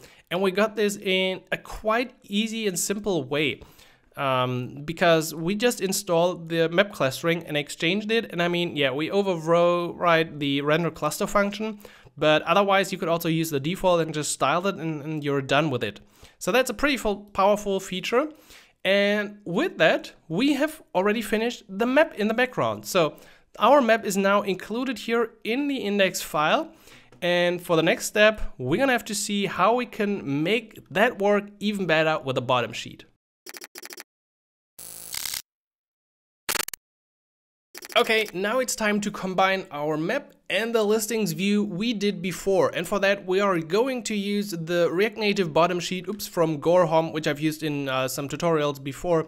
It is a great component, so let's get started by installing it first of all, and also installing the React Native gesture handler. Although I actually did not add this to my app, so I don't know if we really need it. Anyway, uh, install Gorhom bottom sheet, currently using version 4 and Expo install React Native gesture handler. I'm not wrapping this around my app unless I, I see a warning that I have to.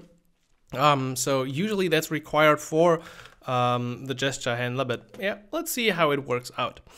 Um, our plan is to have something like this. So we have the map in the background and at the bottom we have this component which can be dragged to the top. When you drag it top, um, it should just show the list. So putting this up will result in this. And if we press the map button, we of course go back here. So this whole thing should be collapsed again into the bottom sheet. I hope that's clear from, from my drawings uh, as we're going to implement this. Um, the first thing that I want to do is wrap our listings, uh, which we can display, uh, into an actual bottom sheet. So yeah, if we display both, both sucks and it's not working. So we're definitely not doing it like that. Instead, we will do a custom listings bottom sheet. So let's add that to the components uh, listing, do we want to call, yeah, let's call it uh, listings bottom Sheet. Dot sheet.tsx. And this one will be our listings bottom sheet. And of course, we have an interface for the props here as well. Those will be the listings. Uh, going to be an array of, actually, actually it's not an any, it's an, a listing array, right? Uh, it's an array of listings. And we also have a category here. Uh, remember, we had some logic to update the view, and we're gonna see probably some problems with that. Um, I don't want to foreshadow this, but we might have to do some performance optimizations later down the road. All right, so we got listings, we got props, and within index, we can already add this now. Let's add it afterwards. Listings, bottom sheet, uh, putting in the listings, which will be uh, our items and category is category. Okay. Um, that should, yeah, render just a little view down there. That's not important because this view will now change completely as this becomes a bottom sheet. Uh, the import for the bottom sheet, it would just bottom sheet. just a bottom sheet and not the import from some strange TypeScript library. I don't know something's going wrong here, either with Visual Studio Code or uh, with what I'm doing. Anyway, um, we probably also need a reference to that, so let's get that const bottom sheet ref equals use ref, um, not use reducer, use ref. Uh, we definitely need to reduce, uh, remove that again. Come on, I'm not working with a reducer here and then it's null and then we can attach this so we will later have control over the bottom sheet from code as well.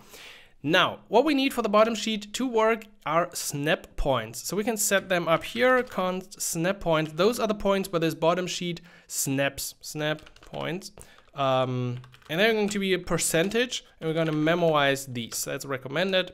So use memo and we memoize, we're going to do at 10% and at 100%. So we're gonna always have it a tiny bit open at the bottom and then completely open at the end, empty dependencies array, and pass the snap points to the bottom sheet. Snap points equal snap points. Okay, um, let's put some content in here. Uh, let's just put in actually we can put in our whole listings if we wanted to. Um, I'll just give this here a style of flex one. And then I will put in, so this is the cool thing, we have our listings component and we can just use it now.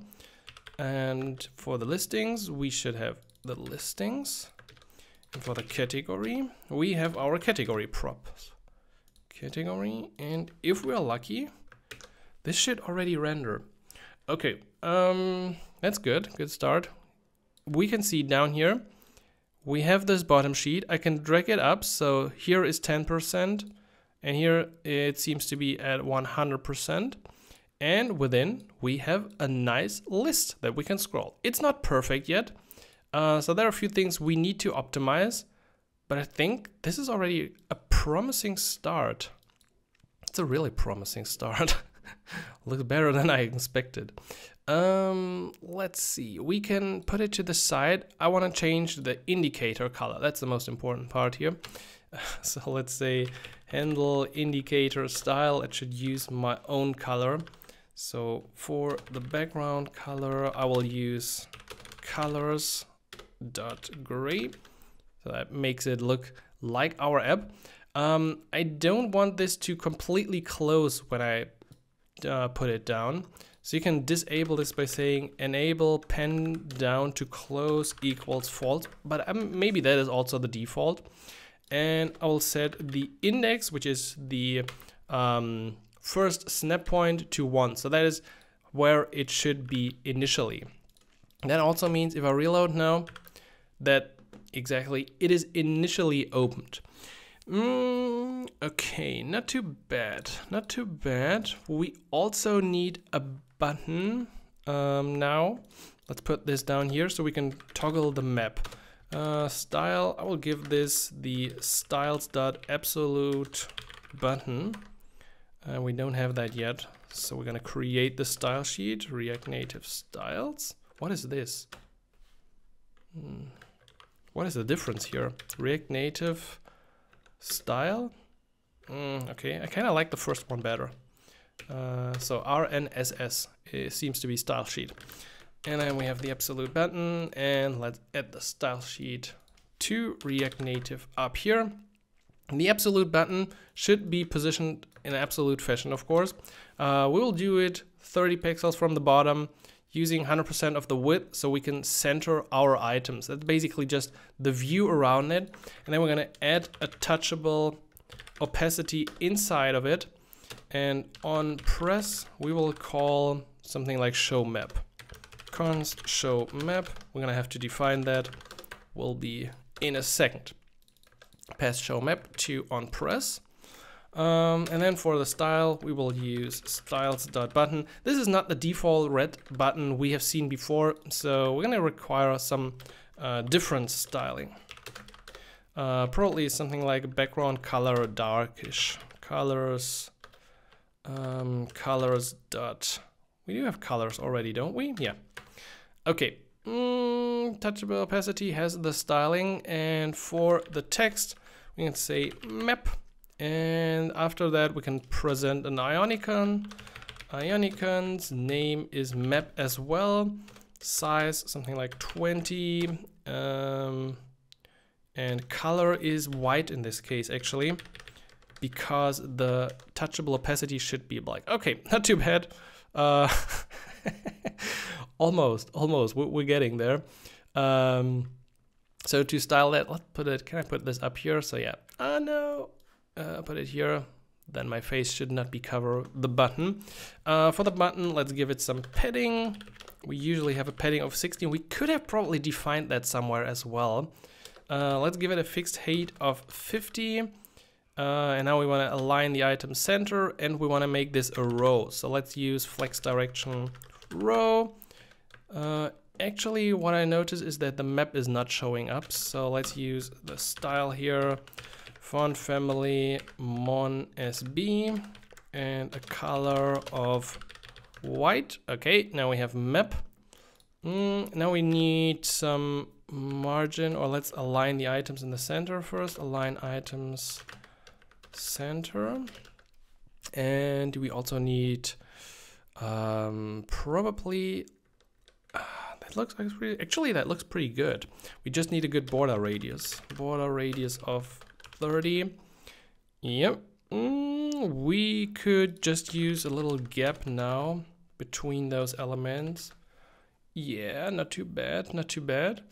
Um, this looks quite okay. We can probably also have, I don't know why I had margin horizontal. Probably I was just trying something, but that won't change a thing here. So that's not really making any difference. Um, and finally, for the sheet, for the bottom sheet, I will also add a little container so it gets some shadow. So you see it's not really having any shadow. So I will add styling for the sheet container. And we're gonna add this sheet container styling to the styles of the bottom sheet. Let's find the place here styles.sheet container. Let's put it there. And this one will get a background color of white so we can apply some nice little shadow again. Uh, let's use like this. And then we should see we have this nice little border up there. Can we also have the border radius again? Let's see. I'm not completely sure. Uh, I don't know what the border radius was. Um, yeah, we looks like we can. Okay, so if we now put the uh, scroll, uh, the, the bottom sheet to the bottom, I think that looks pretty cool. I can use my map just as I want to. Okay, the locate button is a bit hidden now. So you could certainly add your own locate button at the top and then, as I said before, use uh, Expo geolocation or something. But I'm now able to use it and I go to details. So that stuff uh, all of that stuff seems to work fine. There are just some minor changes. Okay, so on press map, I want to show the map. That's the next thing. So within my show map function, we can now call bottom sheet ref current collapse to collapse to the uh, smallest point. So if I press this, whoosh, it's going back down. Okay, it's as easy as that. Um, additionally, if I'm now scrolling and I press map, I kind of want to get rid of this. I want to scroll this list again to the top. Now it gets complicated because the problem here is this list is now within uh, listings. I'm not really changing the category here, so I need a different way to update my listings. Uh, and therefore, we're going to introduce a little hack that I found, or I don't know if it's a hack or uh, the best way to do this. So let's go into our listings. And within the interface, we will add refresh. Refresh is a number. Refresh. It's a number. Okay. Um, and we're adding a use effect here. And we're checking as a dependency refresh. So whenever refresh changes, this will be called. Uh, we can extract this here from our props and then we're gonna say uh, refresh listings. Okay, and the hack is now that we use on our listings bottom sheet a state. So we're using refresh, set refresh, uh, and we are using a value, just using use state uh, zero. And when I show my map, I will just call set refresh with refresh plus one. So we're just counting up, it, it really completely random. And we're passing that refresh now to the listing component. And as a result, when I click that button, we're counting up refresh, which will then trigger the use effect to refresh listing. So you see, I can be here all the time. And when I click the map button, we got this. And that gives us the possibility on the listing page to actually refresh and uh, load this page. So uh, we will check that it's not doing this initially, only if refresh is set. I want to um, scroll my list to the top, which we can use with, uh, do we have a list ref? Yes, we have a list ref dot current dot scroll to offset. I want to scroll to the offset uh, offset of zero, and I want to do this animated. Hmm, yeah, why not? All right, let's see. So I can open this list now. Um, I can scroll down, and if I press map, you see it's going back down. So if I go it up, I'm back at the top of the list. Um, probably that's not always the behavior you want, this is now working as well.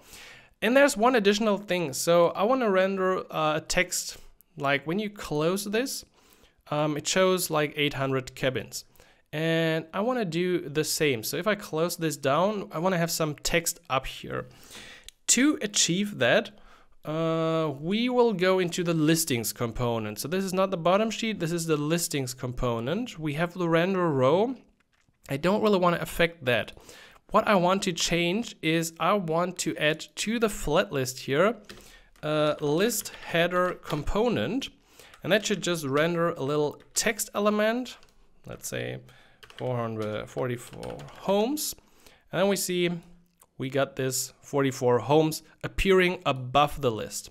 Okay, so that is usually the way if you have like a list and you want to have something above it, that usually works pretty good. Um, we should have the information actually, that should be items.length homes. Uh, and we're gonna give this some styling, so styles dot, I don't know, info. And info uh, should be pretty easy. Text align center and our font family. I think I used it in pretty much all the places. I don't know if I, I missed a place where I added. I would have liked to just use it globally, but I couldn't find a way how we can use uh, that stuff globally. I don't know. And let's add margin top 4 as well. So with that in place, we have 66 homes and let's do this full screen here. If I click it down, it's here. I can put it up I can scroll through this and it looks like this. There's one thing that bugs me and that is here. If the list is at the top, I still see like these tiny edges because we have rounded corners and we also see this information. I kind of want to hide this when it is up. Um, so I think what I want to do is, let's see, for the listing, uh, where could we introduce that? Uh, where did I introduce that before? I think it was in the index. I think it was in the index file. Uh, index file, yeah, where we had margin top 130. Let's just change this to 80. Yeah, then it not showing that stuff. And yeah, I can drag it up, but I think that's cool. That's actually a pretty cool effect. And if I go down, it's uh, just like this. Perfect. Perfect. Uh, this works really great. Um, but the only, what you need, ah, good point. So what you see right here is I would really like to, with a big pan down, close this bottom sheet. But right now I can only go to the map by clicking on that button. And I think we can improve that by going to the listings bottom sheet, no, going to the listings, and instead of using a flat list component, we can use an according component from the bottom sheet package because the Gorhom bottom sheet package actually has some components like a bottom sheet view and a scroll view and bottom sheet flat list. So why not use them? They are optimized for these kind of lists. So let's just change this for a bottom sheet flat list component. Um, now the ref is mad at me because this is not a thing anymore. But let's change this to bottom uh, bottom sheet flat list methods. And then everyone should be happy again. Let's see. Voila. Now with a big slide down, I can also do It just feels so natural. If you deploy this, you have to deploy this to your um, device, iOS, Android, doesn't matter. It just feels so natural. It feels exactly like in the official Airbnb application. Really, it's it's really good. Um, all the other stuff is still working, like scrolling it down uh, and removing stuff. Okay. Um, do we need anything else in here? I feel like there was something uh, that I wanted to change. Okay, yeah this is something I wanted to talk about.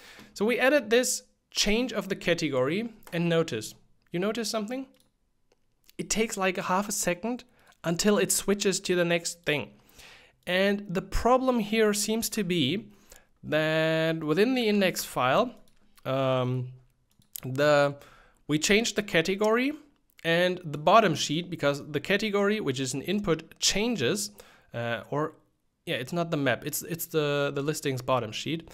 Um, or is it the map? I think it's actually the map. Uh, the map just re-renders because, oh yeah, of course, we are resetting the input and then the listings map, I think, re-renders. And because the map has like 600 markers and stuff, it just really takes a lot of time. So what we can do to improve that performance is as we don't really need to redraw it uh, all the time, we could probably do it at some point, but not right now. We can use on the listings map, we can memoize the whole component. So we can put memo here around it. Uh, and then I need to be careful. I need to add one more bracket here and where we finish it, I need to close that bracket and hit save. And as a result, let's let's reload. Let's reload that stuff. As a result, we can again instantly go to the next category or almost instantly. Um, do we need to use memo anywhere else? Mm, I think that should be fine so far. Um, where did we use it as well? In the index. In the index, I'm now using listings geodata directly. I don't know if it makes a difference if I do it like this. Uh, if I use like geo items with listings geodata, uh, geo items, and then pass this to my listings map. If I also memoize that stuff, let's see if this gives a performance boost as well. Nah, not really. That's not really making a big change. Um, also, when I change the category right now, we're not going uh, somewhere else. Is that a problem? Mm, I don't think so. I think this is actually fine just as it is. So we have the bottom machine, which we can drag up. We have a switch between the map. We can still use everything else that we want. So I'm just going through the stuff that I wanted to show you and I feel like we did it. We have our little refresh hack in place, uh, which allows us to scroll the list back by basically going from the one child to the next child. We have a list header component. We're now using the bottom uh, sheet thing. So I think we have pretty much covered everything for this view, uh, which gives us a really robust view, uh, still including the animations. Uh, I think there's no more bug. Yeah, this is pretty, pretty instant now. And we can heat over to the next screen. So we're finished with this screen with the setup of uh, listings, with the map, with the details page. We're finished with all of that. There are just two more areas I want to talk about. I want to talk about the profile and how we can use Clerk now again to update the user profile. And afterwards, we're going to create an epic blurred modal overlay. So let's continue with some Clerk fun. In this part, we want to update our profile page to allow the user to change the name and also upload an image to Clerk. Because right now the user can only sign in and we can do more. As far as I know, once we got started, we enabled Yes, the user can change personal information. So there are a lot of settings you can do inside of Clerk um, to update your settings. Again, Clerk is of course also the sponsor of this video. So let's see how we can update our users on that page. That means we can close most of the other stuff for now and head over to the profile page. We already extract the sign out, it is sign in from use auth, but we will now also get the actual user object using uh, use user. I still love these names, like uh, the whole use stuff. It's it's fun. I mean, it's fun. So we can also set first name, last name, and email uh, directly to our state by using the user we get in here, and then first name, last name, and the first email address because the user can actually have multiple emails. We will also add a little edit state, so we will be able to actually edit our data and make it look cool uh, and that will be of course false in the beginning. Now we will also add a little use effect here where we're gonna check if we currently already have a user because I'm not sure if will this work? Maybe we don't need the use effect. Yeah, but if the user changes, yeah, uh, yeah, we still need that. Yeah, we need that. We need that. Um, if the user changes, I want to also update that stuff. So if we do, uh, or if we don't have a user, then I want to return. And otherwise, I want to set my stuff. And for this, uh, Copilot is really great. Like Copilot wouldn't know that I want to do exactly this and set our state right now. But anyway, uh, let's follow this up by adding a function on save user, which we want to call uh, probably an async function to update the user data at some point. Async, okay, and then we also have const on capture image. As I said, we definitely want to capture an image and upload that to Clerk at some point. Good. Now let's continue with our view. So within my view, uh, I want to show a little uh, header up here. So let's put in style. Do we already have the styles? No, we don't even have the styles yet. Header container. Um, so React Native style sheet. Header container goes here. Header container will be something and style sheet will be added up here. I will never get back the, the 10 seconds of my life it costs me. Um, in the header, I want to add a flex direction row and I will add some padding of 24 and then I want to put in uh, in the header the text profile okay let's hit save and also um, to the right hand side they had like an icon so I will add an icons name uh, notifications outline and size is going to be 26. I want to align them to the different sides here. So I will use justify content uh, space between. Okay, so we have one on the left. Um, align items. I never get like which is which. So yeah, that should align the stuff here. And for the profile, I of course want to have uh, some bigger styling. So let's use styles.header. And for the header, I want to update the font family as always and the size. Uh, I also want to, um, I think Airbnb is on that page not showing, um, or we should actually update it in the tabs layout. Yeah, here uh, where we have the name profile, we have the tab bar label. I want to hide the header. So they're not really showing the header on that page. So I will set header shown to false, which introduces a new problem. Uh, now we should wrap our profile page in a safe area view. Safe area view from React Native and style can be taken from our classic default styles.container. That should uh, be fine. Mm, cannot find safe area view yet. Um, Voila. No, still a problem. Um, yeah, that's certainly nothing I want. Okay, here we go.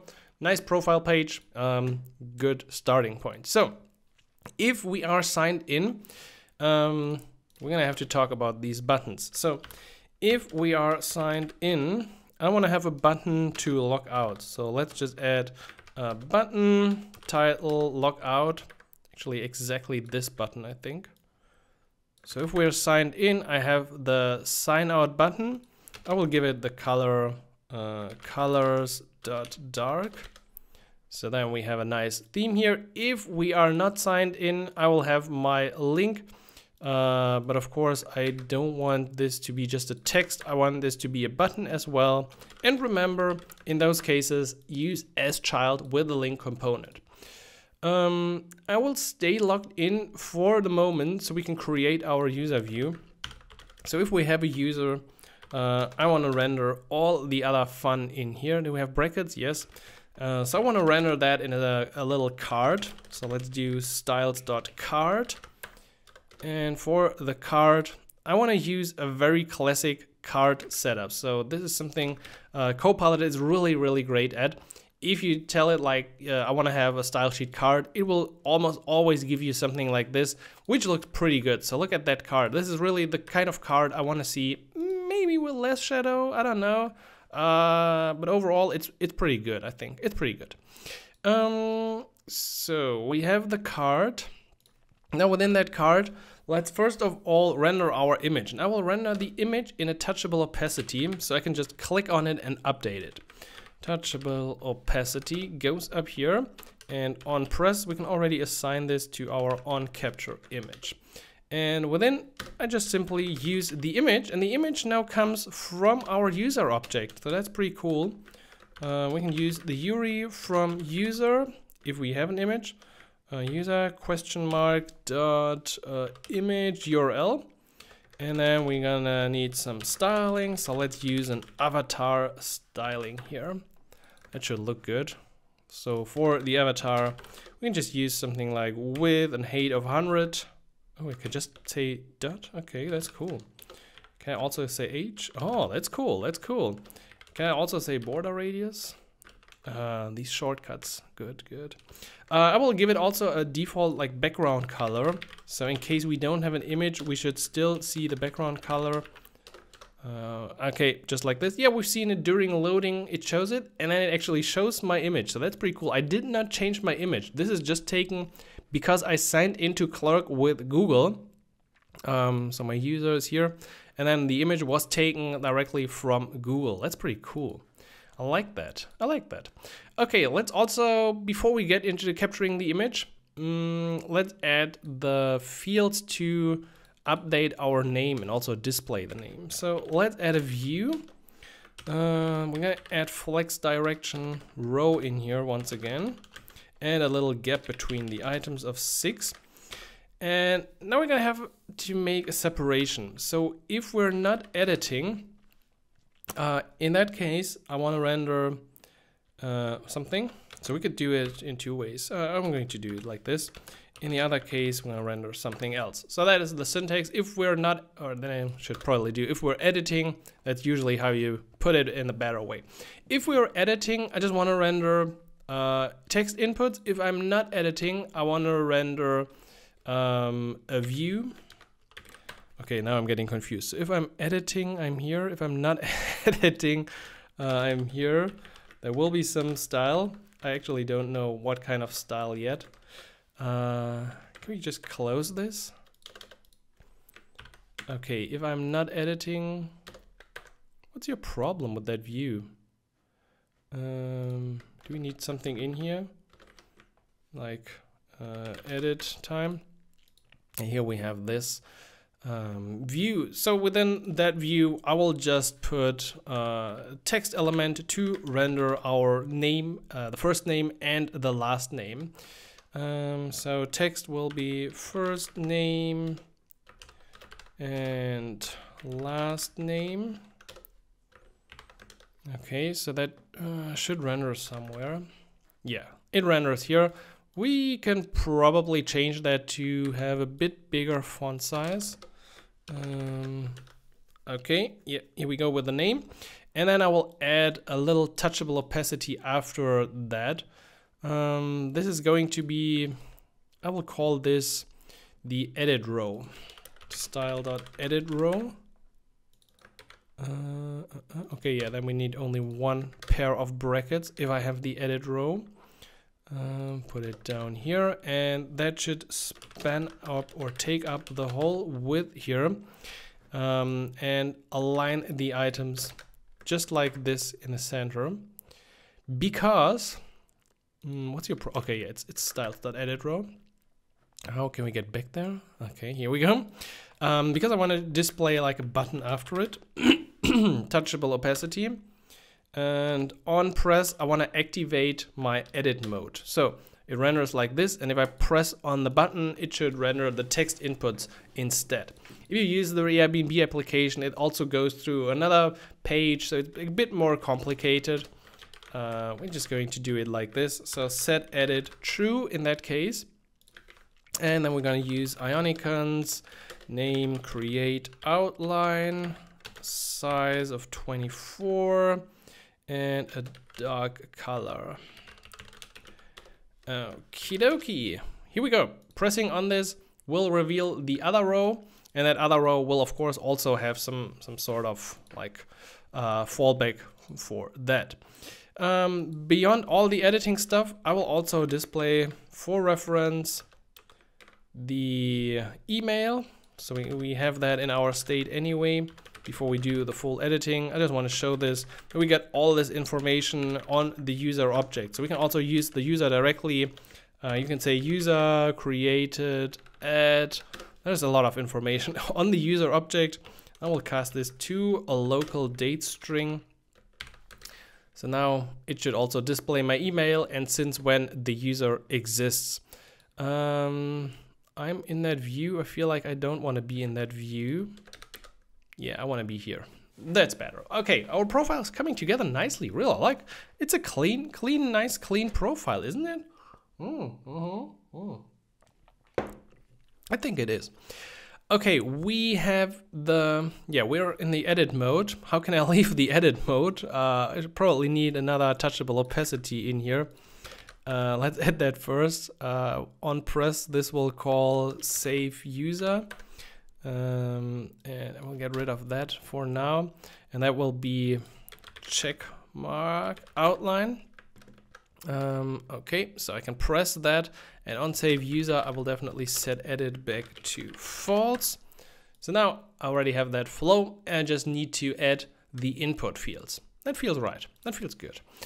Okay, mm, so within that view, once we're editing, mm, we will also wrap it with the edit row, just like we had before.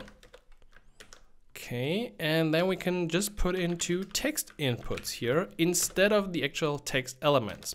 So placeholder is something like first name, not flirt name, first name.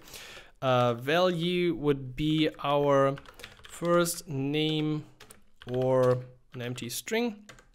Then we have the onChange text, which we just said. So onChange text, we can just pass in set first name from our state. And for the style, we can actually use our default styles again. Default, uh, no, that was wrong. Uh, default styles dot input field. Um, and let's see how what that gives. Uh, I can press edit and we have a small field. I will actually uh, use a specific width of at least 100. Yeah, that looks better, I think.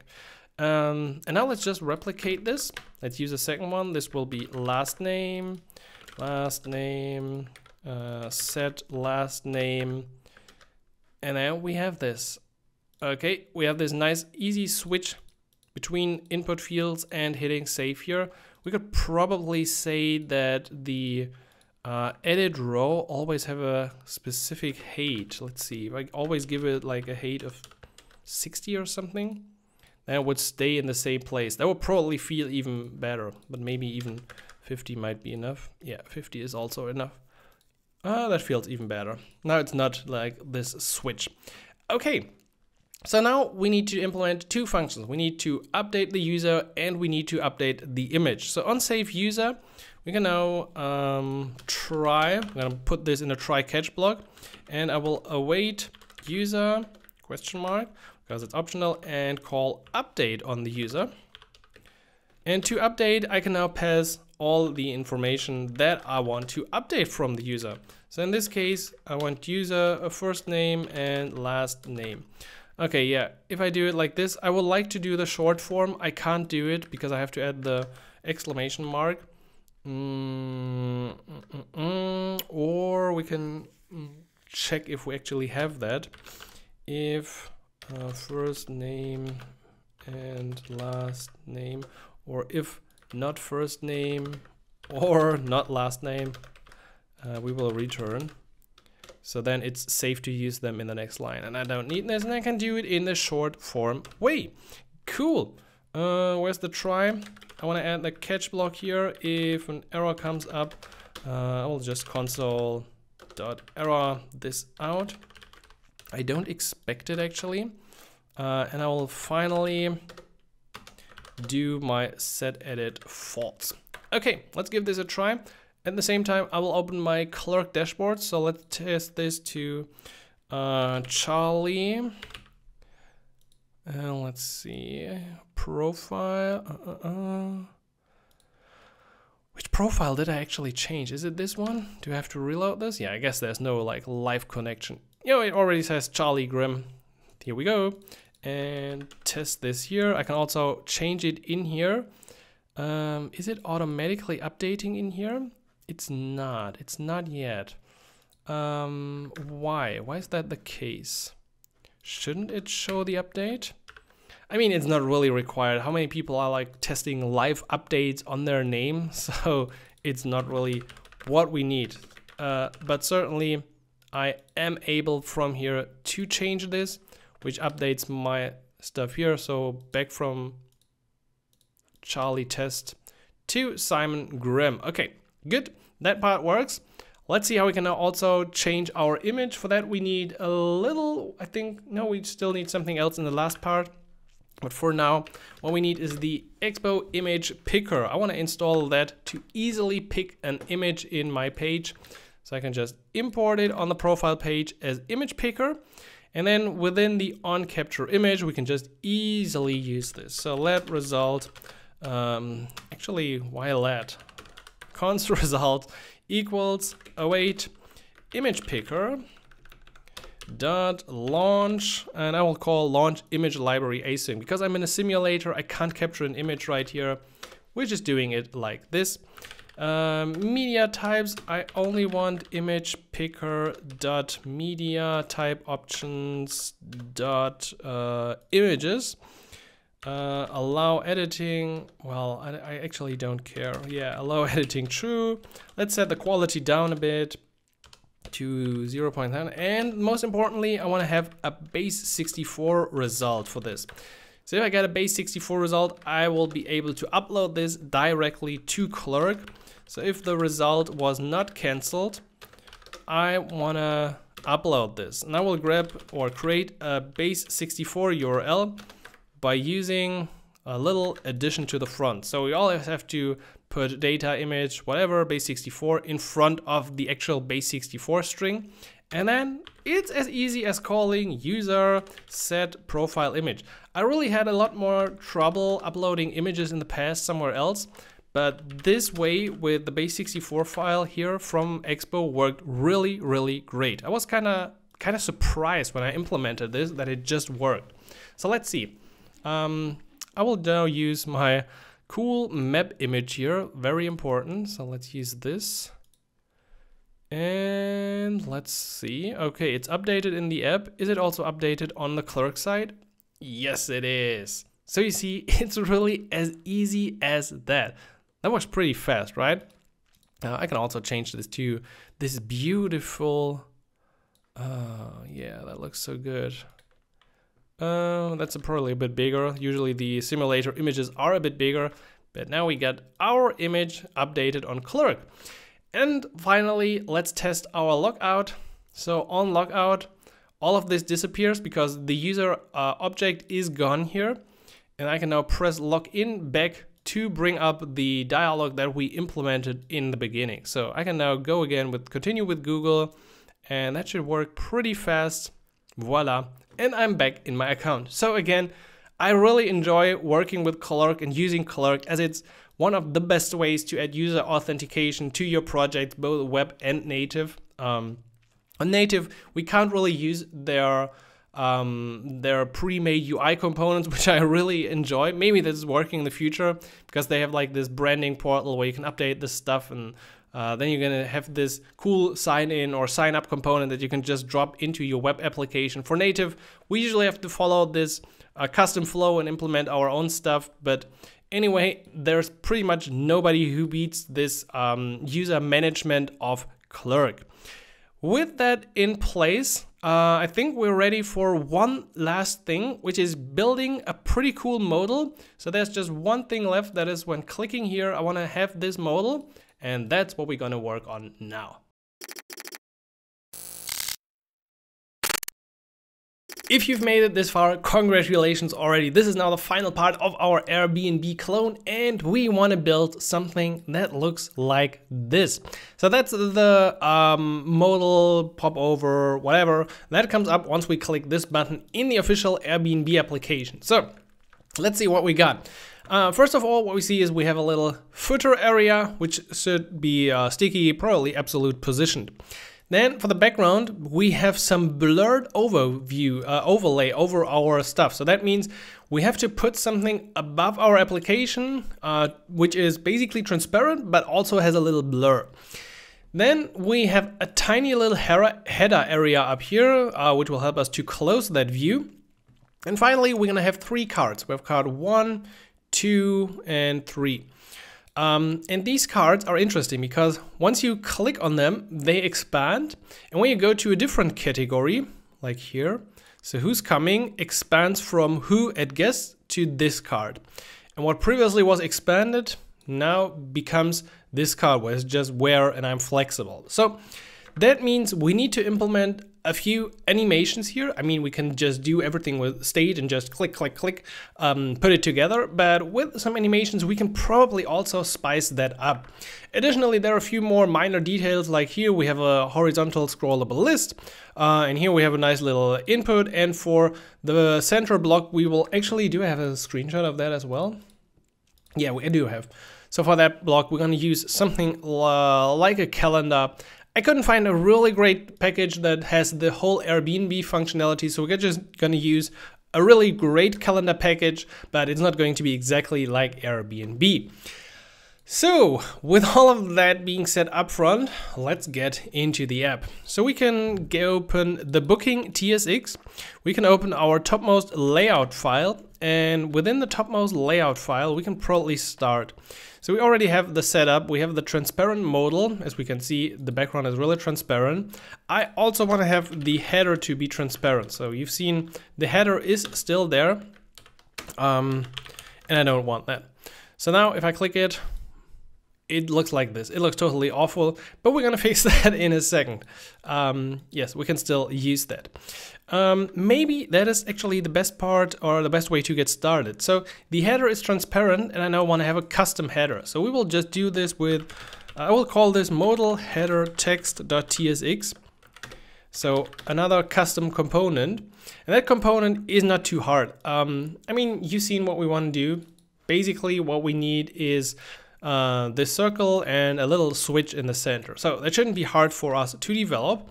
And I can already add that header to my layout file and say, okay, for the header title, I will use this modal header text component instead. Okay, uh, we need to do it like this. And then it should render our custom header once we click there, uh, at least if we save everything. And then it displays up here. Good, not too bad. What is this? What is okay? I don't know. It's probably our page or something. Um, anyway, we're gonna fix that in a sec. But let's talk about the modal header.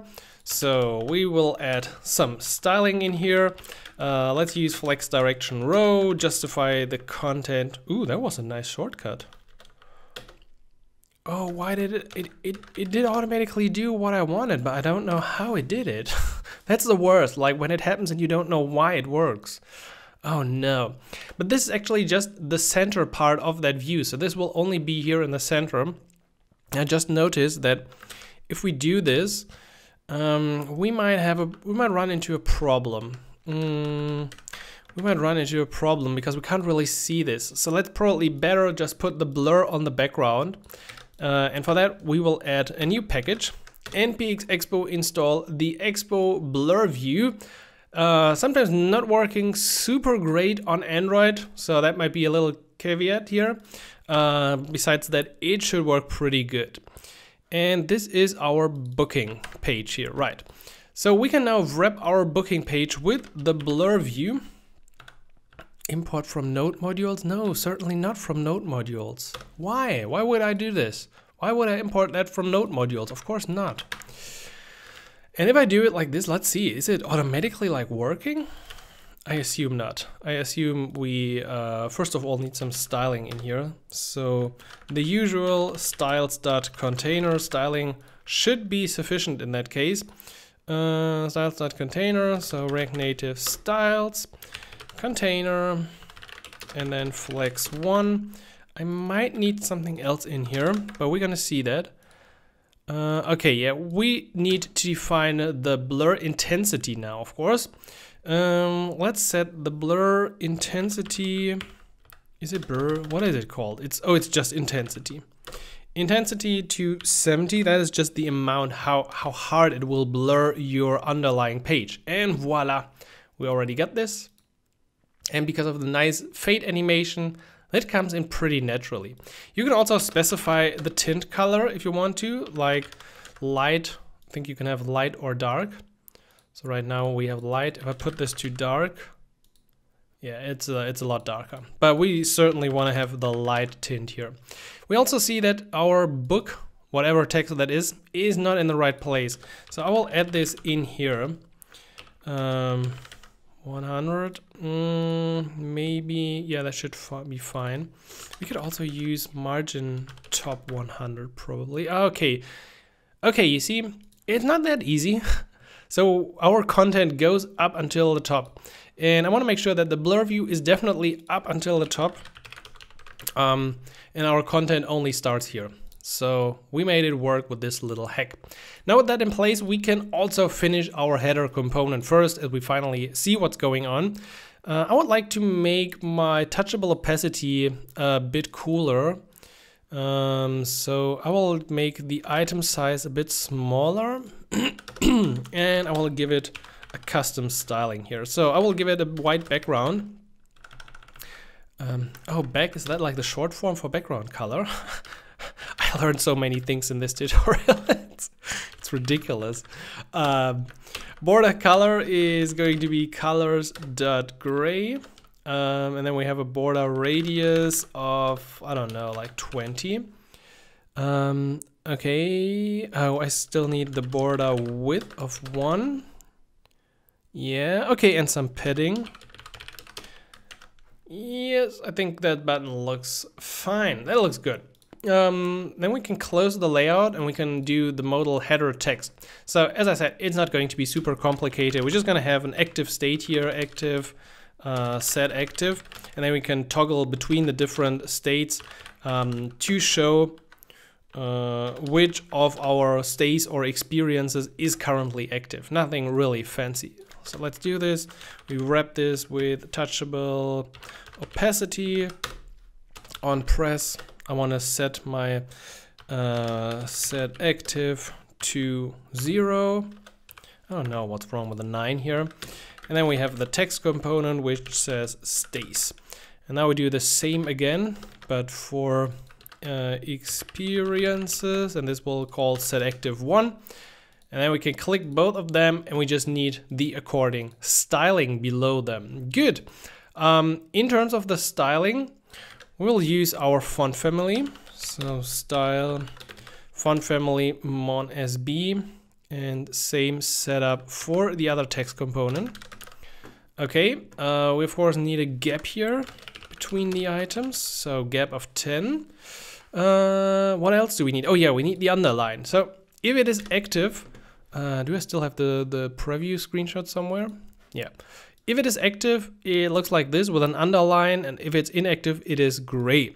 So we need some conditional styling here, which means for color, nope, that's not what I wanted. For color, if active is equal to zero, I want to use a black color. That is not black, that is black. And otherwise, colors dot gray. Good. Uh, and also now for the underline, we can use text decoration line. Uh, and again, if active is equal to zero, I want to use underline and otherwise none. And now we can copy that whole block here to our other object and just replace this and check if active is one. And voila, we have that. So some some stuff is really that easy. Like it's basic basic React and, and just coding along. Sometimes it just feels right and, and it just works. I mean, we could also have the border further down at the top. Uh, then we would add another view and make that conditional. But I think in our case, that should be fine. Um, that also means we can now completely focus for the rest of uh, our clone here on the actual booking page because there's a lot we need to do. We have basically like the three sections where, when, and who. And we have the footer at the bottom.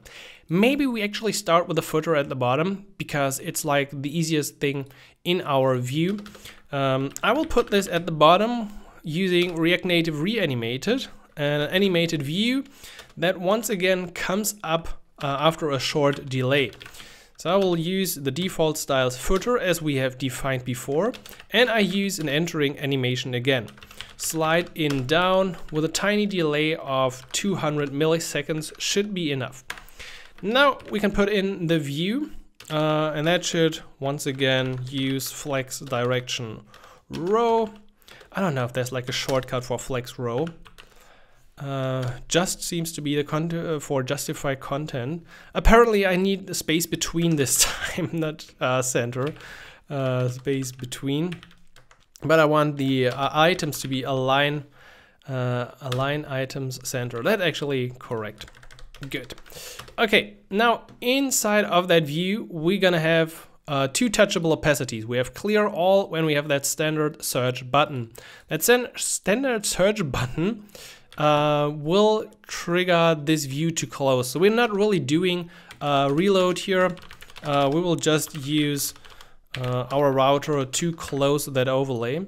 So the second button is pretty easy, touchable, opacity. Actually, both buttons are easy. Let's let's start with the first one. Um, this should on press clear all the categories in our view. So everything that is selected in these three boxes should be cleared. So let's say um, clear all, or let's call this on clear all. I'm gonna use that for the on press of the first button.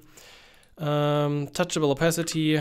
This one needs. An, was that like a, an icon? No, that was only a text. So let's use text style font size, something like 18, font family, again our Mon SB. And this was also using text decoration uh, line. Underline. No, underline. Oh no. I had it. I almost had it, like a perfect, perfect typing. Okay, so let's hit save and I'm putting this up so you can see this. Okay, mm, that's not aligned really great yet. Um, let's do the second touchable opacity as well. I want to check something. So this will use router.back. Mm -hmm. Okay. And for the styling of this touchable opacity, we can, or we should be able to use the default styles again. We probably need to use something additionally, but this should first of all be uh, the button so it becomes this red button. Um, okay, yeah, that's good. Then inside we're gonna have a text which has the default text styling. So default button text, which makes it white. Okay, good. We also have an icon. So Ionicons name, uh, what's the name? I think it's search outline for the lens. Uh, size 24 color white.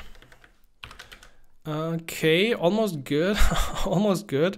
Uh, but we also need the button styling here. So I think this also comes from our default styles uh, button icon. Okay, yeah.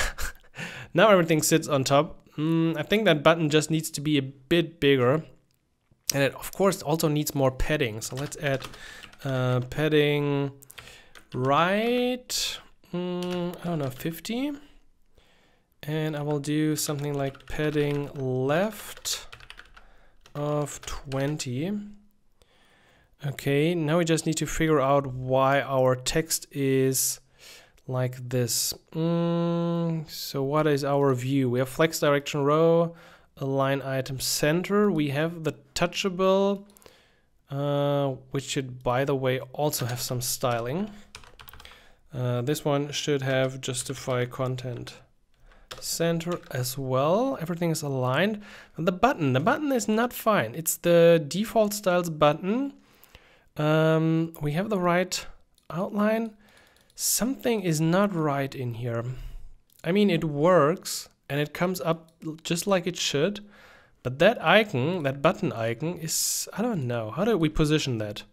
Uh, absolute to the left and the button is primary 50 center center um, padding left padding right um, let's see we have the flex direction row justify content space between all of that seems to work good um, I don't honestly honestly I don't know exactly what is going on right now because the button the text is in the center I feel like I messed up in, in some place. Some Something really easy is messed up and I can't spot it right now, and I hate it when that's the case. Uh, default styles button. Let me do something. Let me try something. I want to grab exactly the code I had here before. Okay, what did I change? What did we change? What what changed between this code and that code? Oh yeah, the, I changed the values. okay, let's try padding right 20 and padding left 50. Oh, voila, it works. uh, and of course that button is not clear all but search. Okay, now we got it.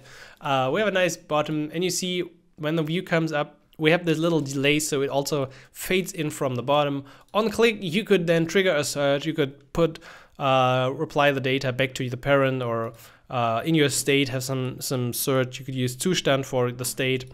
But anyway, this is only the footer part of our view. We still have to work on all the rest of this view, which is probably even more exciting. But the footer was also a, nice challenge, I think. It was It was interesting. But the cards now, they will be something different.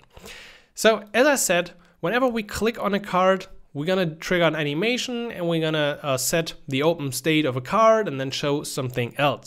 So there's a lot in terms of state that we need to catch. Let's get started by setting open card and set open card using use state.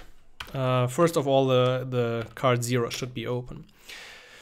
Then we will also um, have a selected place so in this view with the different globes, where is it? Mm, here. So this will be our selected place. Uh, okay. I just copy this over. Selected place, set selected place. I don't know if there's like a shortcut for that as well. Uh, I don't think I came across one. Uh, we also need some assets. I actually found, or actually took them from the Airbnb application. So you can find this data in the GitHub repository, again, link below this video. I have a TS file for these places. So it says uh, the different countries, a few examples, and then we have these images of the world taken from that. Again, uh, these are the images from Instagram. Those are not my graphics. Keep that in mind, please. Uh, we do have the router and we do have on clear all. On clear all will actually call set selected place back to zero and also set open card back to zero. Okay, we already finished that one. Now it's time for a card. So for a card, I will reuse some styling here. Um, I think we used that before for a card. Just background color, border radius, and the shadow, and some gap for the elements within the card. And that will make our life a tiny bit easier, but we still have to do a lot of our own coding now. But let's get into it. So I will start with the first card, style styles.card, and hitting save. Uh, okay, you have to drink because I had the problem once again. Um, so if my open card, if the open card is not equal to zero, um, if it is not open, I just want to render this preview, which is basically a big touchable opacity. Um, and since I want to animate this, I want to use an animated touchable opacity. However, that's not easy possible. We have to create our own component in those cases. So I can create an animated touchable opacity using animated from reanimated dot create animated component and then passing in the actual touchable opacity. So this will create our own uh, animated view that we can then use in here. On press, I will certainly uh, set the open card to zero. Um, and within, I want to render two text elements. I want to render, in this case, uh, style should be something like um, styles dot preview text, and this will be where. And then we're gonna have a second line which is like spread to the right hand side, so probably once again a flex direction. Uh, this should say uh, I'm oops I'm flexible, and this is going to be somewhat similar for the other uh, places as well. So we have Um, set open card zero, and we need the preview text and the preview date. Preview data. Uh, preview date. This should actually be preview date, I think. Okay, uh, preview text and preview date. It's a good, nice exercise to like sometimes remember stuff we use in, in different places. So preview text, uh, again, standard way. Oh, oh, oh, that import was wrong. That we still use the relative path. And for the preview date, we use something like this. So now, where's my card? Where's the actual card? I feel like um, open card unequal to zero. Uh, what am I doing wrong? Oh yeah, end end is missing. Zero and end. Okay, let's see. So now this is not rendering simply because why why should it? Um, this is where by the way. We're gonna do two more of these. We're gonna do when and we're gonna do who. So we'll just copy this over. Okay, so we got three of these. We just need to replace this with the right values now. Okay, we're getting there. we're getting there. Second is when and any week. So I really like this. We could make a nice time lapse out of this, how this view comes together. Okay, so when any week at guests, if I click this, actually I see the where block. Um, so we don't have a fallback yet in place for uh, if the card is actually opened. Uh, we probably need to figure that out in a second. But for now, what we need as well is we have the card styling, but the touchable opacity probably needs some styling. So that is the card uh, styles.card preview, what we want to add. So for a preview card, as you can see, we need certainly some more padding in our view. Um, we also need flex direction. Is that like a shorthand? I think there is one. I'm pretty sure there is one. Uh, flex direction row, justify content between, space between. And that should already align this correctly once I apply this and add padding 20. Okay. So let's add the styling to every animated uh, touchable opacity. Okay, so it comes together quite nice already. Okay, not too bad, not too bad. Um, on top of that, what we now need is when this enters and exits the view, our uh, animated touchable opacity, we want to do something. So on entering, I want to use fade in uh, with a duration of let's say 200 and on exiting I want to use fade out with a duration of oops not damping duration of 200 as well. And again this will be applied to all of our touchable or animated touchable opacities. So now they have a slight animation. They still jump because if one disappears, we actually have no way uh, or nothing else to render. So let's get into that now. For the open card, if the card, so if open card is actually equal to zero, in that case, I want to render something else, like the body of the card. Now I'll wrap this in a fragment because we start off with a text element, which says like where to. Um, so it shows up here, but that definitely needs uh, a lot of styling. So let's call this uh, card header. And this pretty much goes into all of the cards as well again. And I think at that point we should be able to switch between different um, cards in our view. So this is just a very big font like this. All right, I think let's just copy over this because we need this in all blocks again.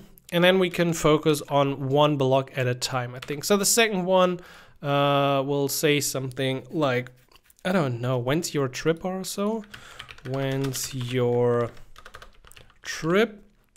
And then for the last card, we will put in if this is equal to 2, this is equal to 1. Let me check uh, whose coming. Okay.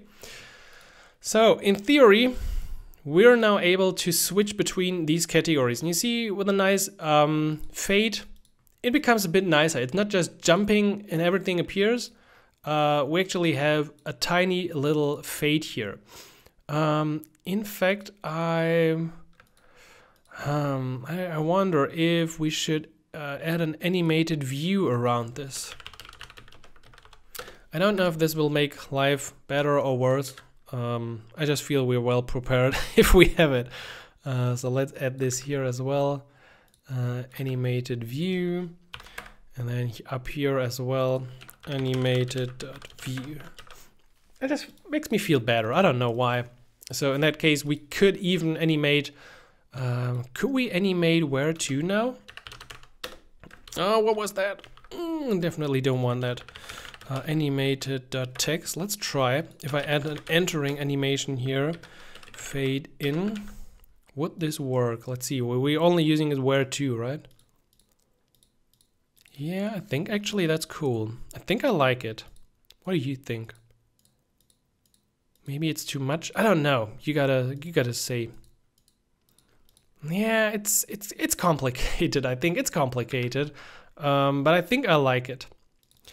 Okay, so that would be an animated text, and down here we have an animated text now as well.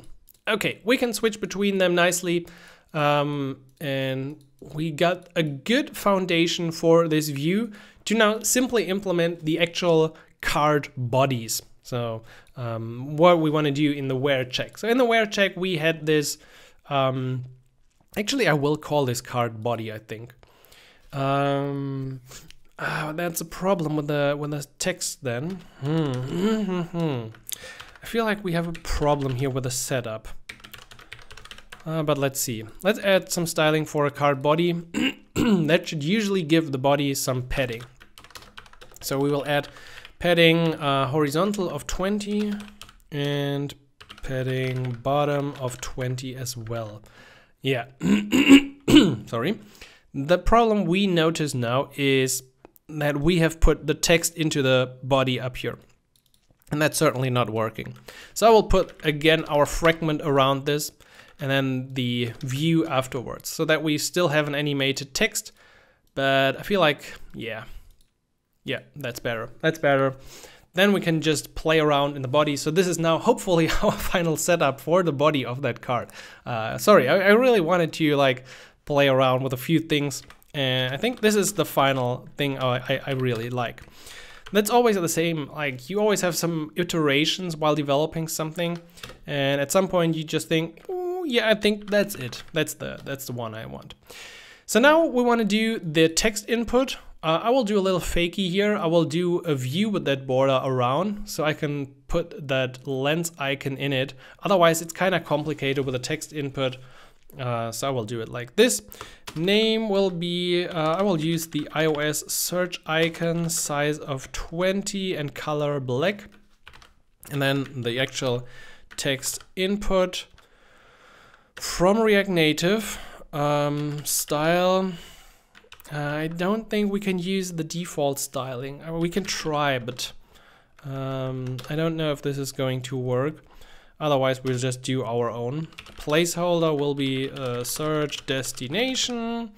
And we can also color that if we want to. So you can have the place uh, placeholder text color. I will, of course, use my own colors dot gray for that and hit save. And where did I put something again? Okay, up here. Okay, so now it looks like this. Actually, the search field is not too bad, but I don't know. I feel like this is not not it. And we also need some some styling for the search section here. Hmm. Yeah, no. Yes, no, maybe. I don't know. um, no, no. Let's do our own style. Okay, so we do search section and input field styling ourselves. Search section and input, what did I call this? Input field styling. Yeah, this view requires a lot of um, a lot of things um, to come together. So I want to give the search section a specific height of 50 not 59, just 50. And the input field will have a flex 1 to span here.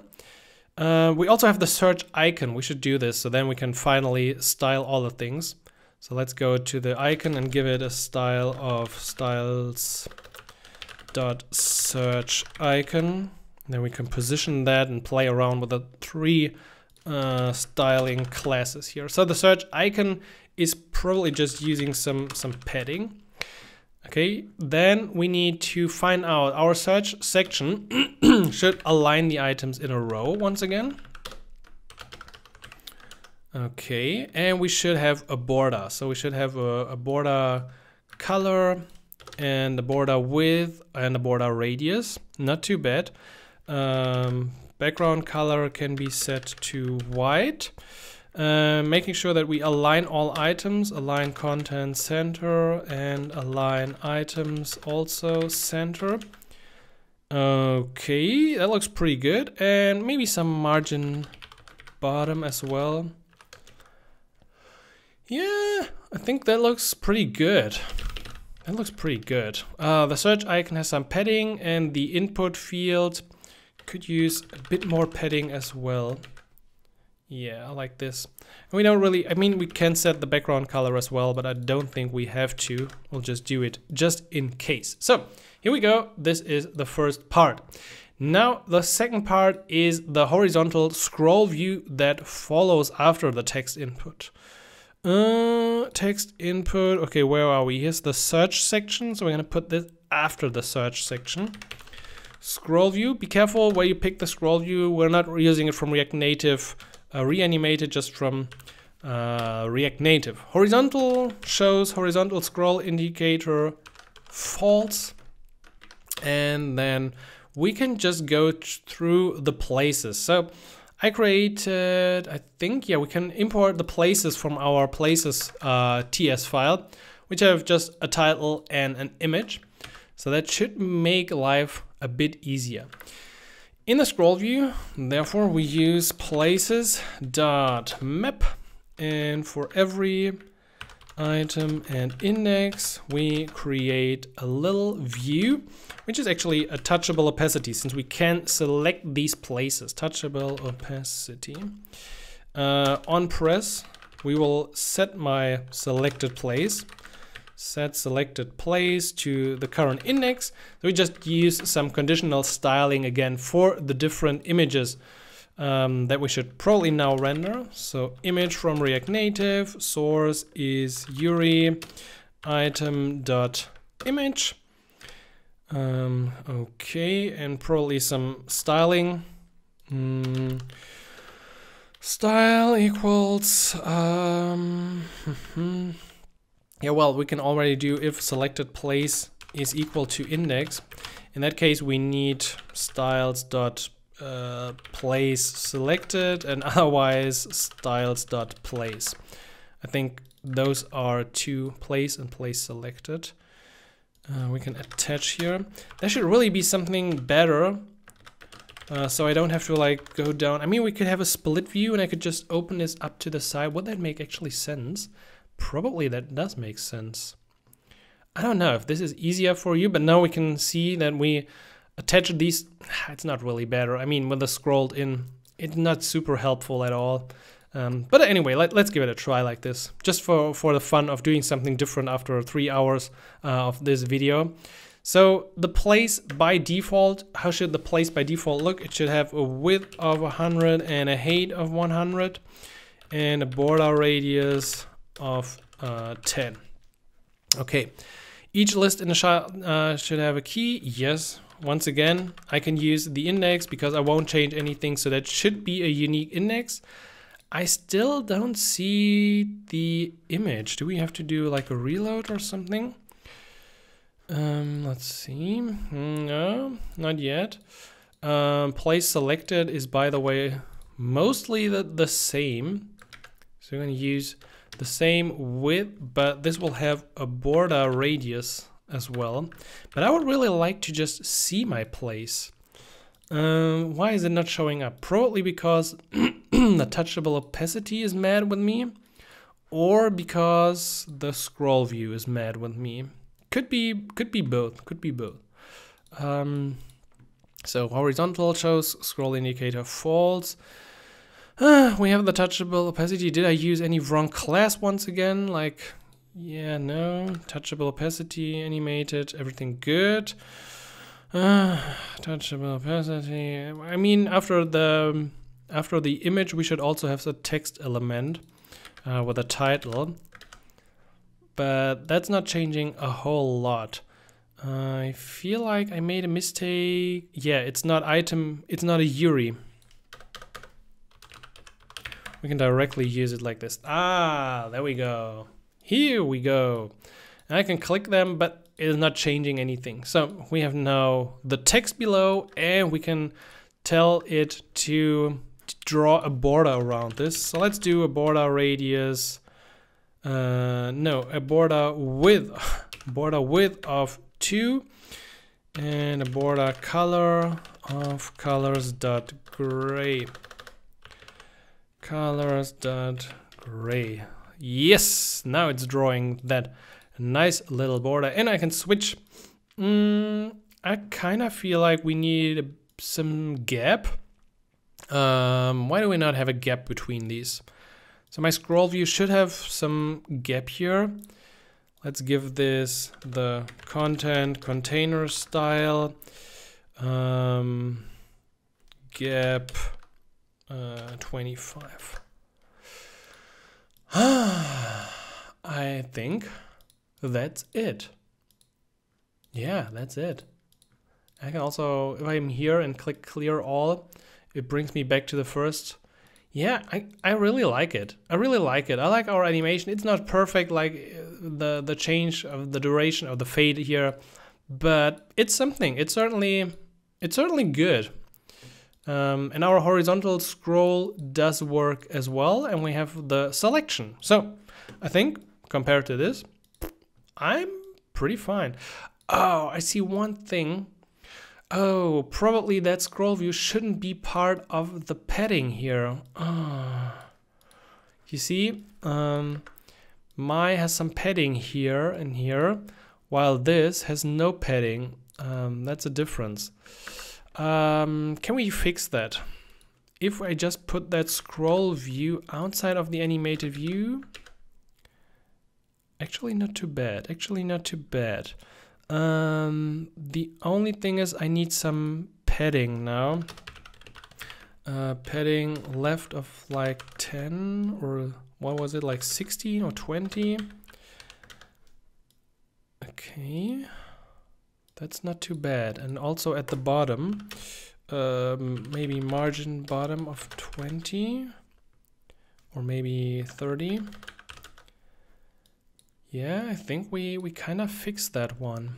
We kind of fixed that. Also, there's a bit, that gap up there is too big. Like that padding bottom here of the 20, yeah, I'm getting rid of that. Yeah, I think we just made it even better. Um, this is even better now. Uh, yeah, the, let, let's increase the gap a bit. I want to show that Italy is just like a fraction. Or maybe if we use 120 for the places width and height, yeah, that's it. That's it. nice. Uh, actually, yeah, we could make the text also use semi-bold. Um, can we do this easily like this? Let me try this out. Uh, where it says item not title, can we check if active or selected? Um, what is it? Selected place. Selected place equals index.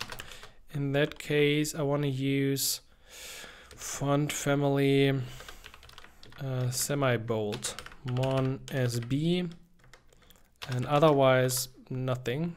Ah, otherwise null. Ah. Something must be allowed.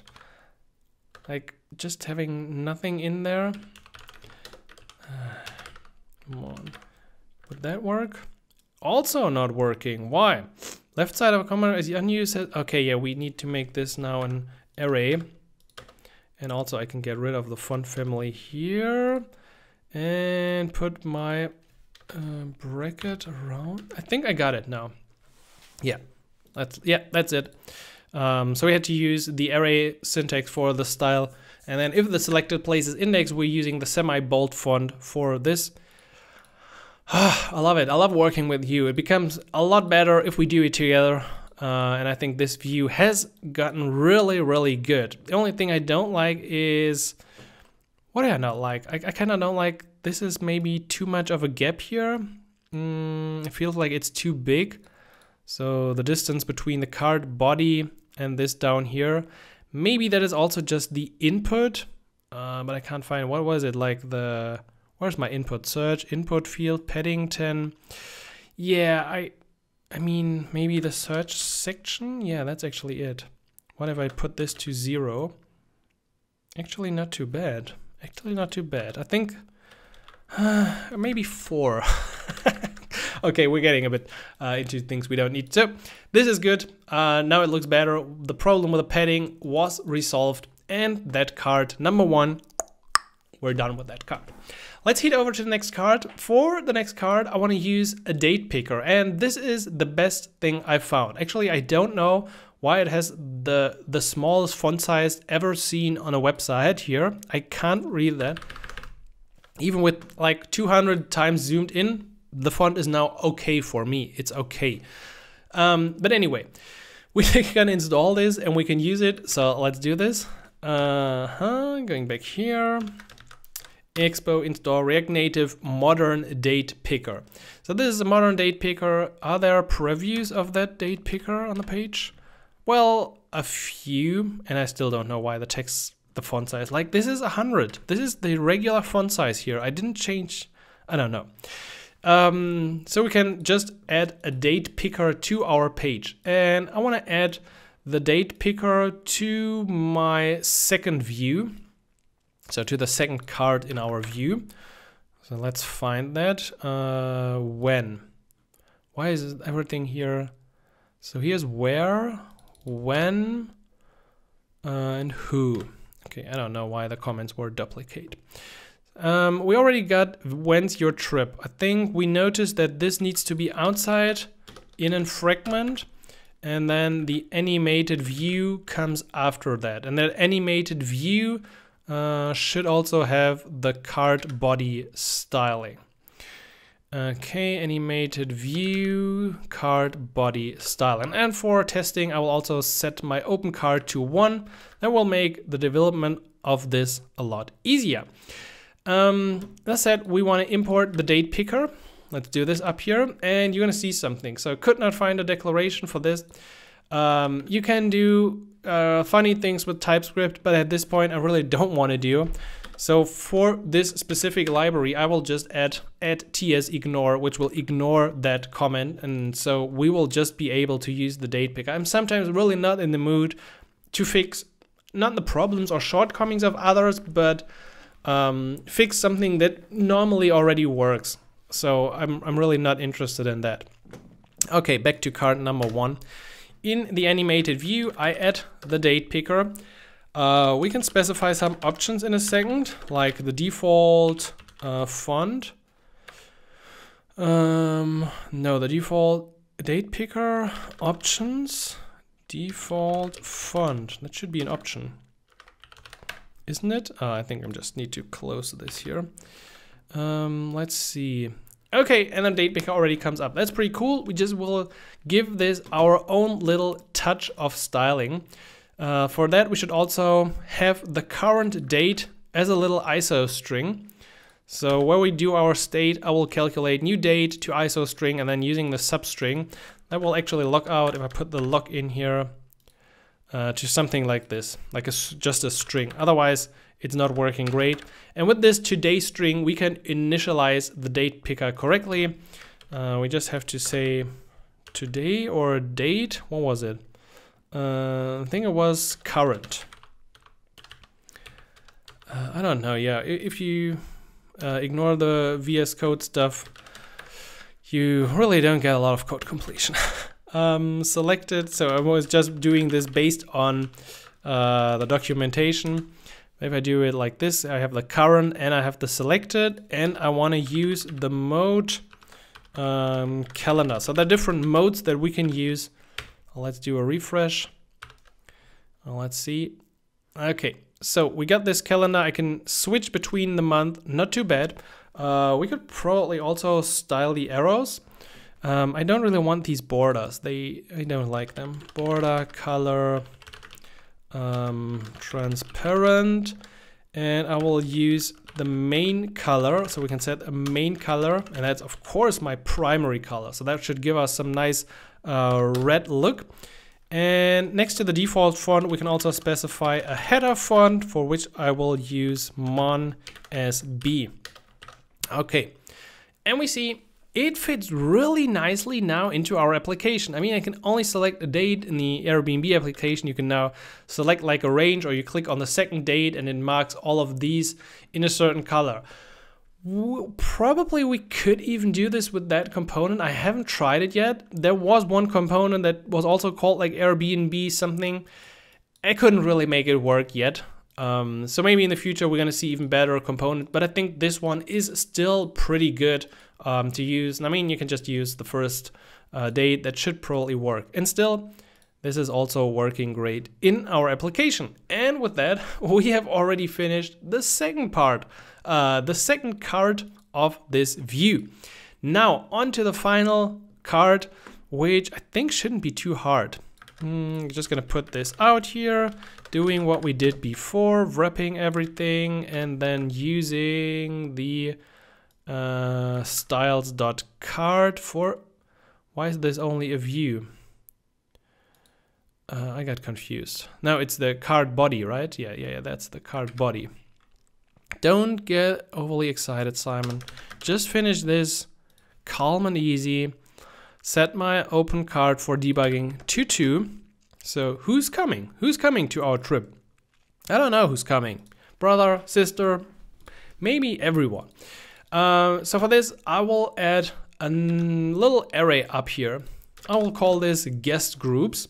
So these are the different categories that I've seen here in the app. We have adults, children, infants, and pets, and all of them have a count and a little text.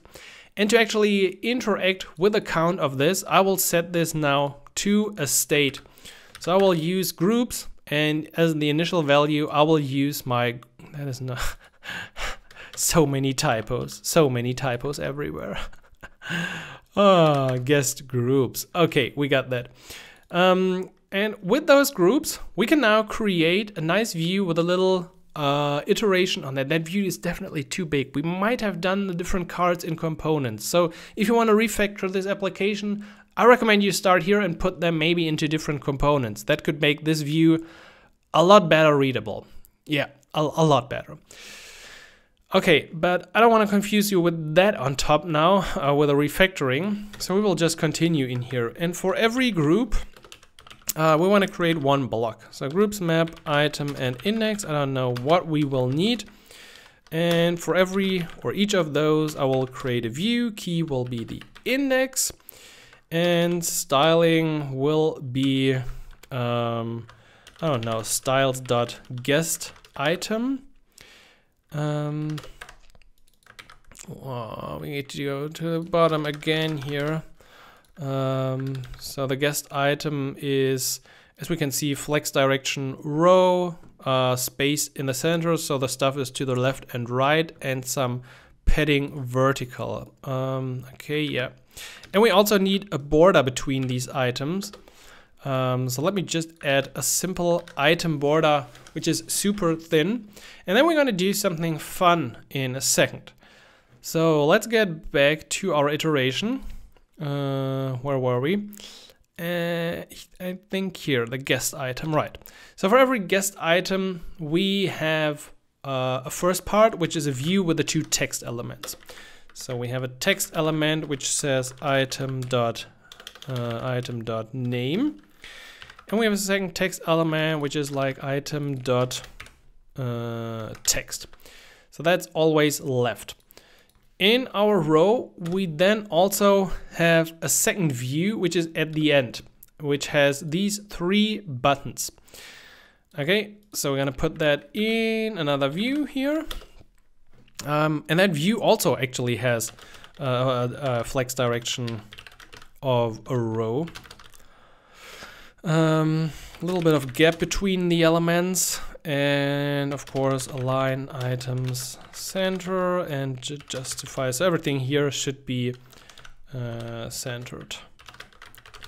And in that view we have two touchable opacities for plus and minus and we have the actual count in between. Uh, so let's put this in here.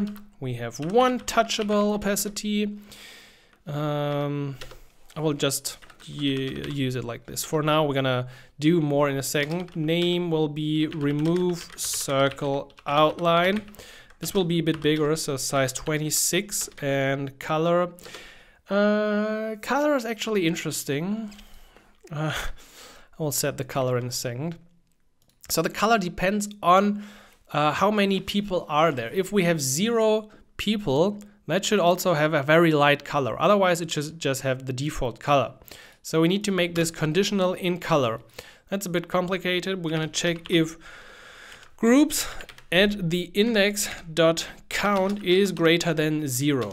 If that's the case, uh, I will use colors dot gray.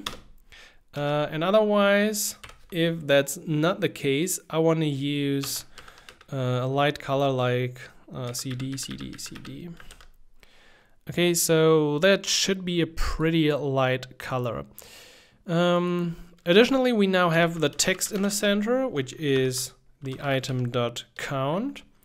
And then we should have another touchable opacity uh, after the text, which is the add circle outline. But this one is always color gray because you can always add something. We don't need that check here.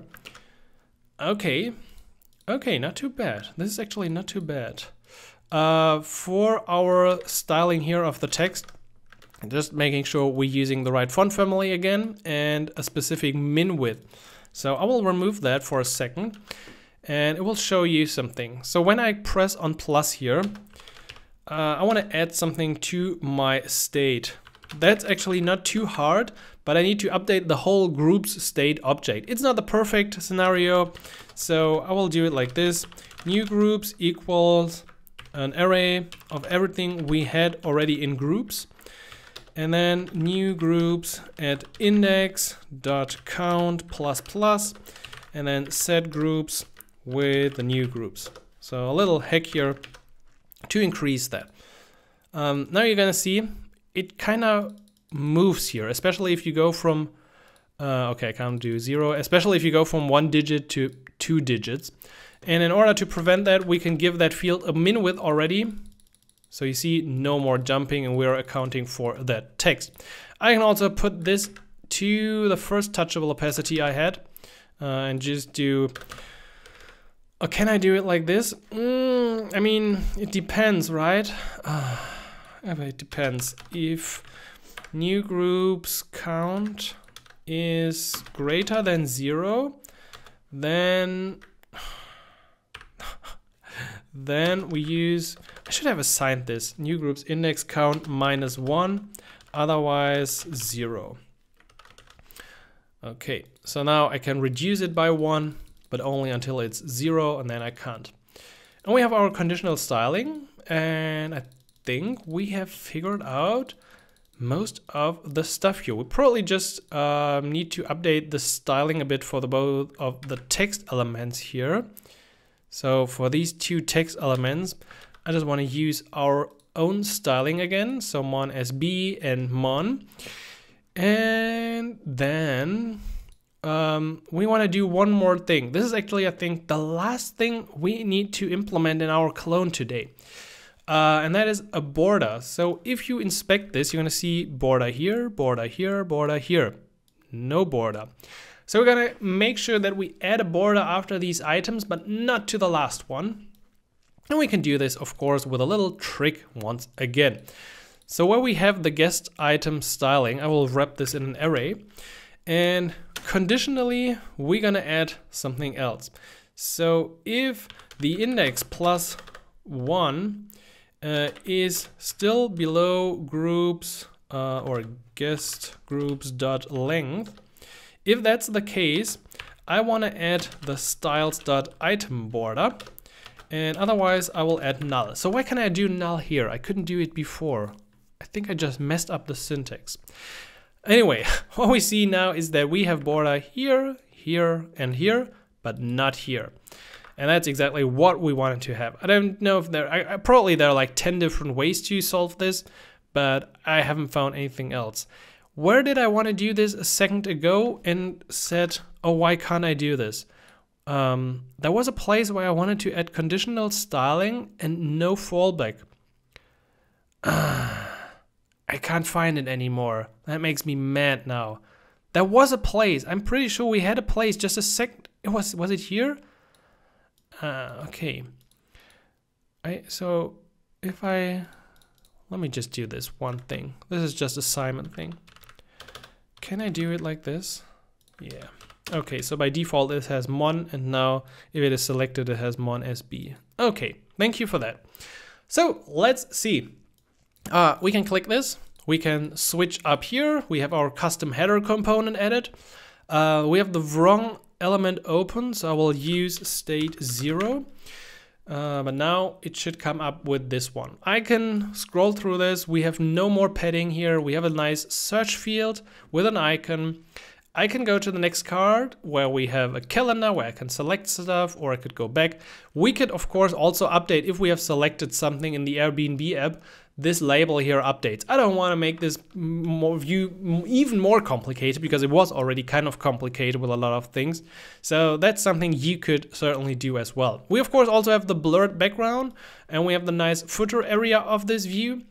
Uh, we have the calendar and we finally have the selection actually with a bit of logic involved for some conditional styling and some borders. And if I press clear all, we will be back here and uh, not everything's back. Um, probably I should call set groups back with the initial guest groups.